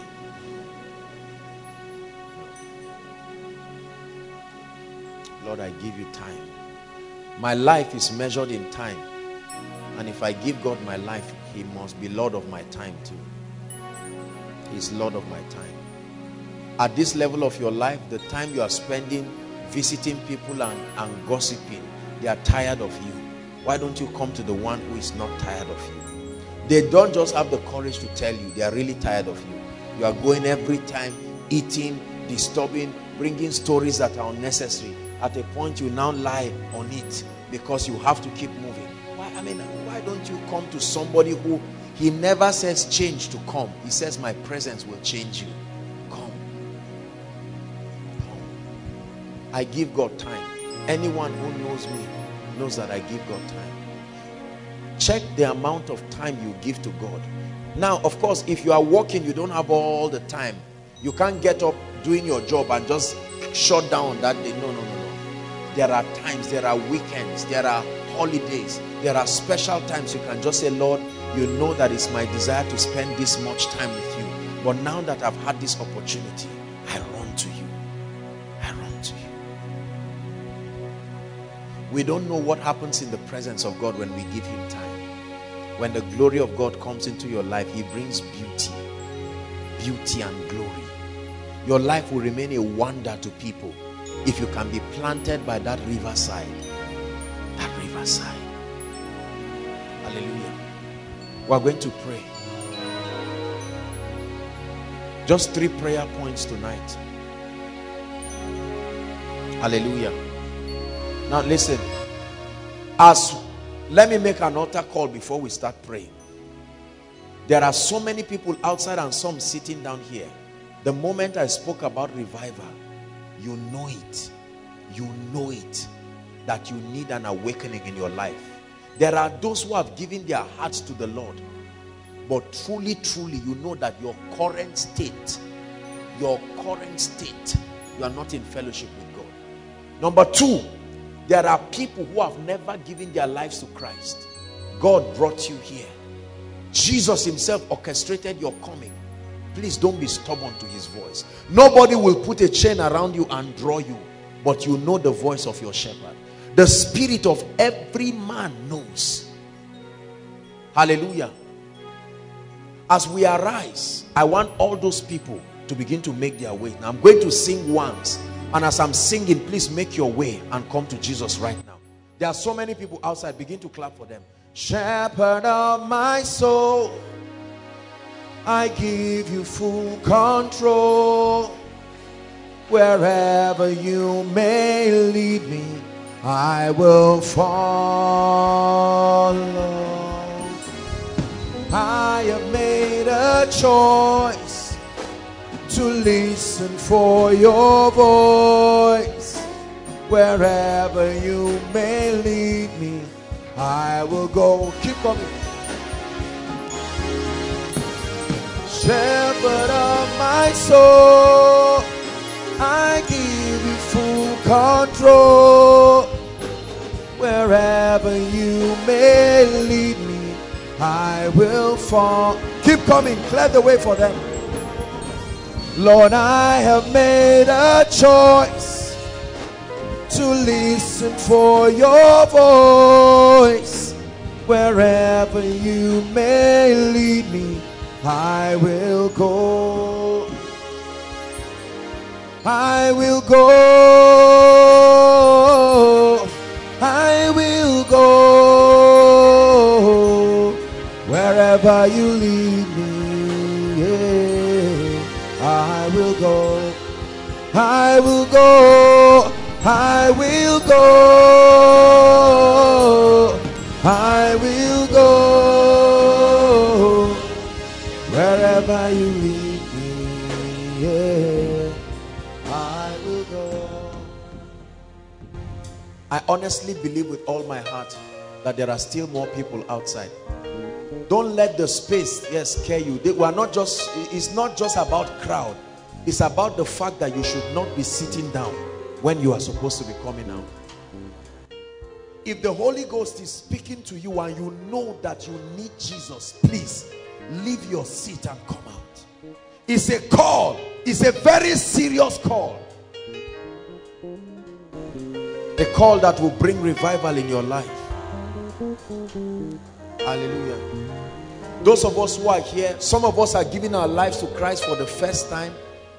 Some of us have given our lives to Christ before, but the, the encumbrances of life have pushed us out of alignment. I want you to know that there is hope for you. This is, this is a family of faith. Hallelujah. We are going to pray. Before I pray for you in one minute, can you talk to Jesus by yourself? Truly from your heart. Say, Lord, I've come to you. I'm not ashamed. I'm tired of moving in circles and pretending like I'm finding fulfillment. There is a vacuum in my heart. Lord, I cry that you will lift me. Feel that vacuum. Help. help. Cry to your maker. Feel that vacuum. Lord, I've filled it with relationships. I've filled it with friends. I've filled it with sin. I've filled it with the flesh. But this night, help them under the anointing please This night, Jesus, Son of God, I believe in you. Please talk to Jesus by yourself.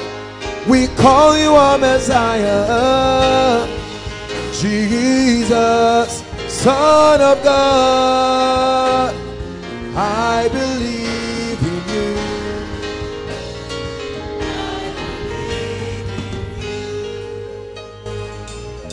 Hallelujah. Please lift your right hand. I salute you for the courage. Listen, I want you to know that Jesus is in this place and heaven is rejoicing over your courage.